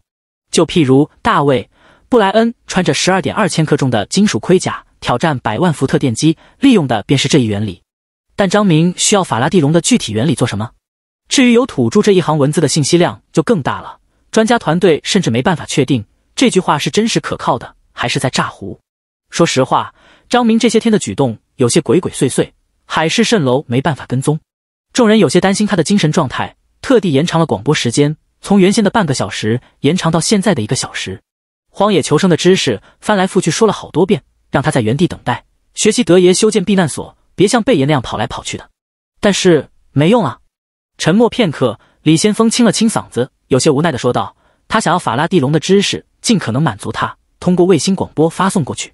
至于土著之类的消息，并非没有可能，但我们这边实在爱莫能助啊。就算那岛上真的有土著文明，咱又能咋办吗？他人在哪里，我们都搞不清楚。关于神秘区中可能存在智慧文明的相关事宜，大家私底下讨论了很多次。人造卫星的惊鸿一瞥，勾勒出一个广阔无边、深邃浩瀚的平行世界。”神秘区的面积比地球大了很多很多，甚至有可能是地球的千倍、万倍。量变带来质变，如此巨大的海洋面积诞生另外的智慧文明，也没什么好稀奇的。张明要的信息整理一下，下午发送过去。李先锋又道：“各位同志，接下来还得讨论两件事。第一是关于神秘区中幸存者的营救方案，这也是当代为数不多的国际合作了。葛院士，你简单介绍一下近些天分析到的卫星数据。”前几天发送的人造卫星，虽然只工作了十几秒的时间，但就是短时间得到的电波数据，已然能够分析出一些基本内容了。头发花白的葛院士拿着一叠厚厚的资料，脸上的两个黑眼圈有些疲惫的说道：“第一个结论，卫星接收到了国际合作者们发送的长波通讯，意味着太平洋、大西洋、印度洋、北冰洋这四大神秘区本质上是相连的，是同一个世界。我们可以认为，神秘区是一个庞大浩瀚的平行世界。我们当前生活的地球，通过某一未知的形式镶嵌进了这一庞大的平行世界当中，而太平洋、大西洋、印度洋、北冰洋。”其实是进入神秘区的入口。一位年轻的博士举手示意道：“您的意思是，我们所处的地球正在变成神秘区的一部分？”没错，你们也知道的，进入神秘区后很容易迷失方向。如果不通过绳索进行内外联系，哪怕近在咫尺，也难以发现地球的方位。葛院士淡淡的开口道：“这是一种特殊的空间现象，以我们当前的科技体系，暂时无法理解这种空间现象。如果用一些唯心的说法解释。”地球正在刻意的避免被神秘区同化的命运，它在隐藏自身，以规避神秘区中的风险。就像西方人说的那样，上帝庇护着人类，否则世界末日早就发生了。当然，我们并不相信上帝的存在，我们更认同有一个盖亚意识一样的存在，在这场大灾难中给了我们一点小小的帮助。盖亚意识，李先锋不由得挺直了腰板。盖亚假说的提出是当前超自然学科的一大研究热点。该假说认为。海市蜃楼的出现是地球盖亚意识的本能性自救行为，就好比人体生病了会自发的激活免疫系统。现在地球有被神秘区吞噬的可能，会产生强烈的自救倾向。该假说进一步推断，各大地区灾难的爆发是人类群体意识的共鸣。盖亚意识作为地球的群体意识，与世界万物相勾连，小到真菌、细菌、孢子，大到森林、草原、湖泊、大海。但不可否认，其中最大的变量其实是人类。当海市蜃楼中某一团体被团灭时，全人类群体会自发的出现该种族不适合在末日中生存这一观点。这种观点如此强烈，强烈到产生了群体共鸣，从而影响到盖亚意识，让该地区产生巨大灾难。也就是是人类自发的群体意识让盖亚摧毁了该国家，而不是所谓上帝的惩罚。这个假说其实蛮玄学的，一些证据链依然有待收集，信之者与不信者的争执也颇多。但不管怎么样，也算是给出了一个逻辑勉强完整的说法了。所谓科学就是如此，它并不排斥未知现象的出现，也不是刻板的框框条条。当出现未知现象时，科学家们反倒会尝试着建立更加完善的体系，将未知现象纳入其中进行解释。东拉西扯了半天，葛院士发现扯得有点远了，轻轻咳嗽一声，重新拉回话题，让我们把时间推回到一个月多前，当初全球地震的爆发。本质上是地球镶嵌进入神秘区后引发的全球震荡，在地球位面与神秘区的交界线上，空间产生大幅度的位移，故而那些不幸者们可能误打误撞的被传送到很远的地方去了。这种远距离空间位移只有在那一瞬间才发生。我们现在进入神秘区，已经不会产生这种空间位移现象了。李先锋微微点头。葛院士继续道：“在基于以上假说的基础上，我国在先前发射的人造卫星监听到了两个电磁波信号。”第一是一号海市蜃楼的大型游轮，那艘承载了三千名乘客的船只，大约在西南方向一点二万公里处。信号源很简单，用无线电发送的的 SOS。第二是北冰洋团队，在东北方向，距离一点七万公里。信号源很简单，用无线电发送的的 Mayday。以上两个数据并不算完全准确，至少需要两颗卫星才能够更加准确的定位。不过总体可信度还是较高的。这个消息实在是令人振奋不已。进入决赛圈的三支队伍，居然被一颗卫星寻找到了两支，其中确实有一部分国民是大夏国人。只要知道这两支团队的大概方位，便有援救的可能。房间内产生了一片嗡嗡的讨论声。他们那些轮船上的能源储备足够跨越一万多公里吗？没有可能。他们现在能源紧缺，食物也不多了，所以我们得派遣军舰、飞机去接应他们。所以说。这是为数不多的国际联合工作，花费大量人力物力营救国际队伍，可不是大发圣母心。一方面，确实是为了减少地理灾难的发生；另一方面，能够营造一个更加宽松的外交环境，是一种外交筹码。由于生存环境的急剧恶劣，战争的阴云笼罩在人类文明的头顶，有部分地区已经在打仗了。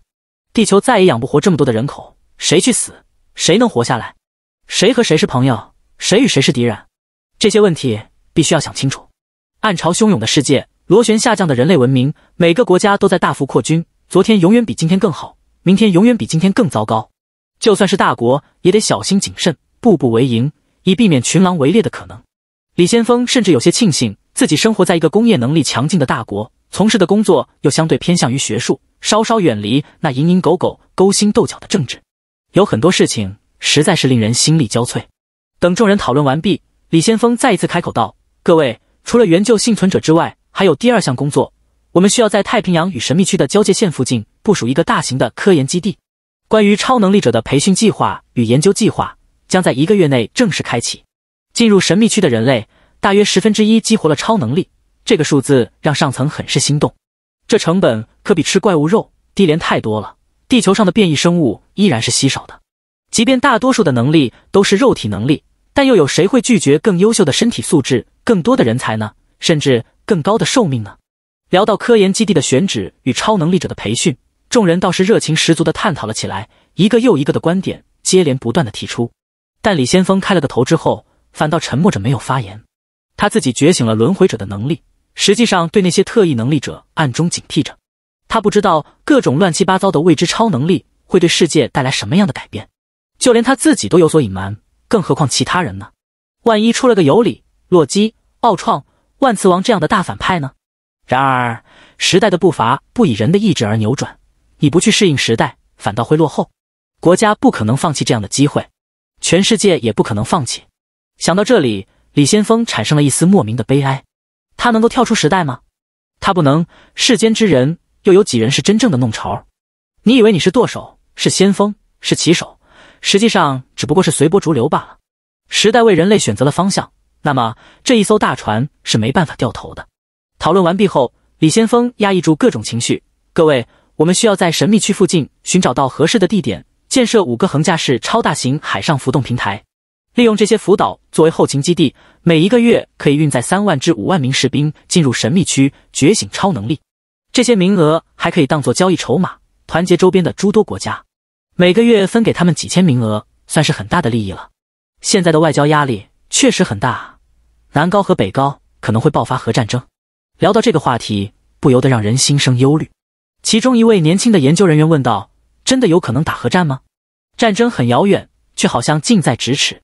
然而，随着超自然时代的到来，一切都变化了。”李先锋叹了一口气：“过去的地球理论上能养活一百二十亿人，却还是饥荒频发。”现在海平面上涨，陆地面积大幅缩小，只能养活六十亿了。未来再出一点变故，说不定只能养活三十亿人了。我就假设未来的地球能养活三十亿人吧。这个养活是所有人都在温饱线附近，刚好不至于饿死的状态。你愿意勤勤恳恳工作一天，只是为了吃饱饭？恩格尔系数接近百分之一百，工作了一天，除了吃饱之外，什么都买不起。你不愿意，对吧？那位研究员张了张嘴，说不出话来，年轻的脸庞一下子就暗淡下来了。你肯定想生活的更好一些，总归更多的人想生活的好一点。这个想法很自然，也是人类社会发展的底层基石。如果大家都想着躺平，人类就不会发展。正因为欲望与竞争促进了人类世界的发展，但生活的好一点就得消耗更多的资源，地球能养活的总人口就会减少。于是便出现了所谓的中产阶级。除了所谓的中产阶级，还有一群人站在金字塔的顶端，他们占有着绝大多数的资源，也掌控着世间的权力。新时代的到来，或许只是改变一部分塔顶的人罢了。塔顶之人，百分之一的人口，掌控百分之八十的资源，不成问题吧？那么你说，地球还能养活多少人口？房间内鸦雀无声，年纪最大的葛院士也轻轻摇了摇头。李先锋用手指轻轻敲击着桌子，闲话就说到这里。生活在大国是一种幸运。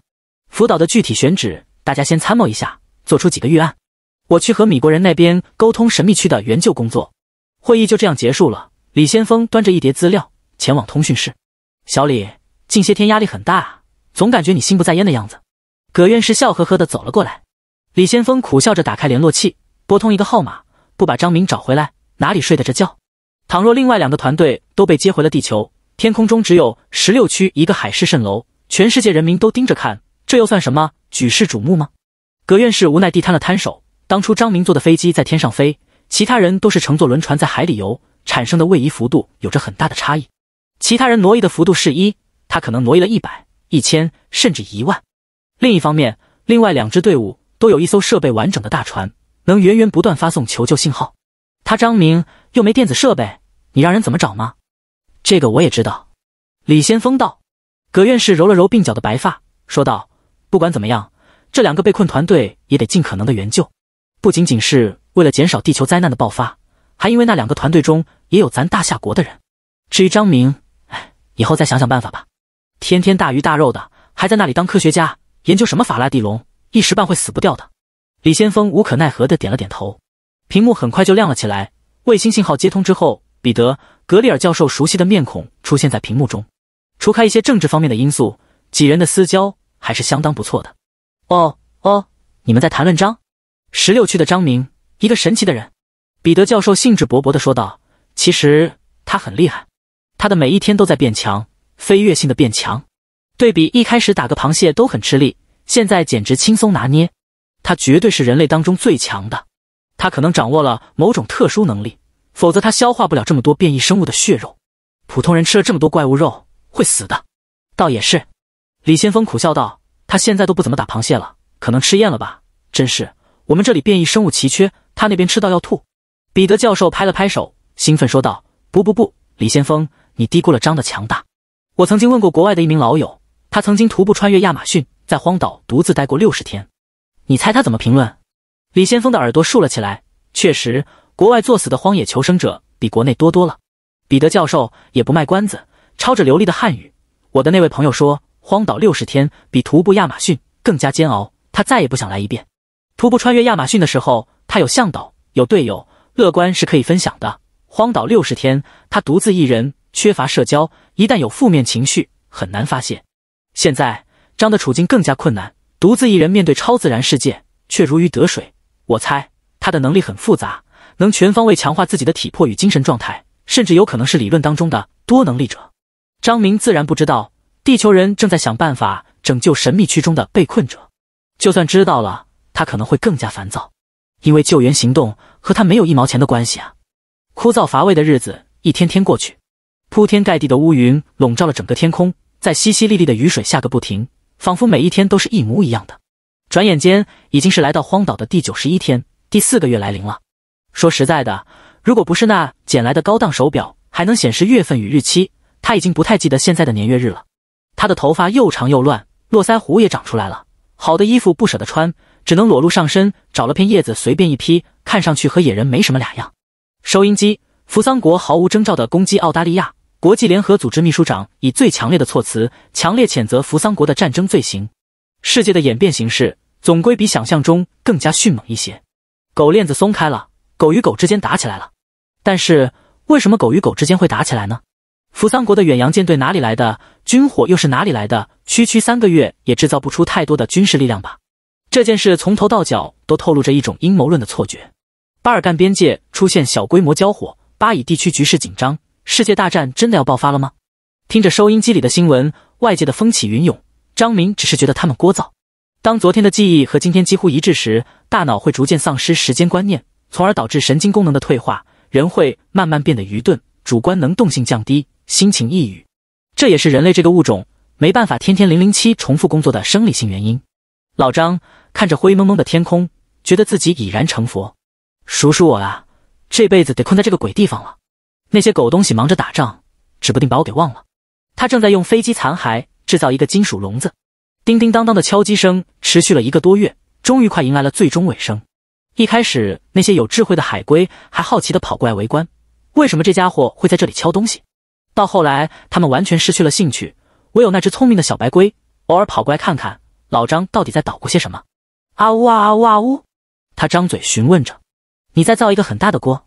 这可不是锅，而是法拉第笼，能够有效抵抗百万伏特的仪器，用来对抗黄金电鳗的。”张明快活解释，各种原理、各种理论唾沫横飞。他太渴望社交了，但对于吃货龟而言，顶多听得懂电鳗这个食物名词。什么法拉第笼的原理？能吃吗？啊呜啊呜！张明不太懂小白龟在说些什么，可能是电鳗很强大，不好招惹的意思吧。这两个月的时间，它变得更加强大了，各种鸟蛋再加上蘑菇，带来了整整二百九十二点属性。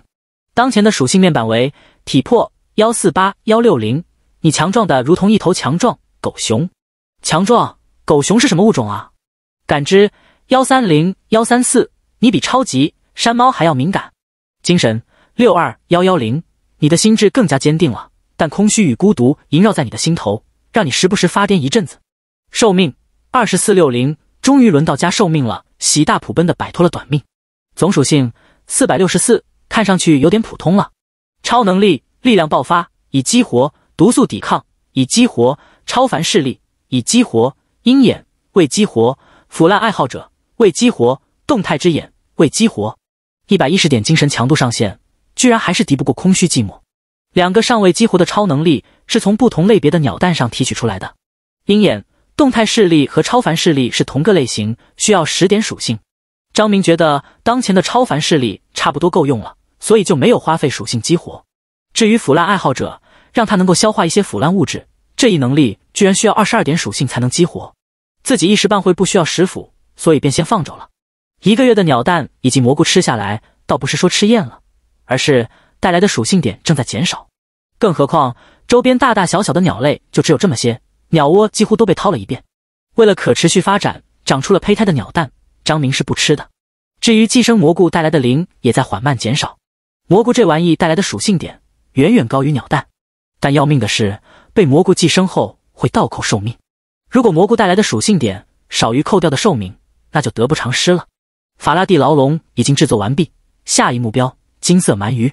张明拍了拍身边的铁笼，望着灰蒙蒙的天空，等待一个晴天，决战真正的未来。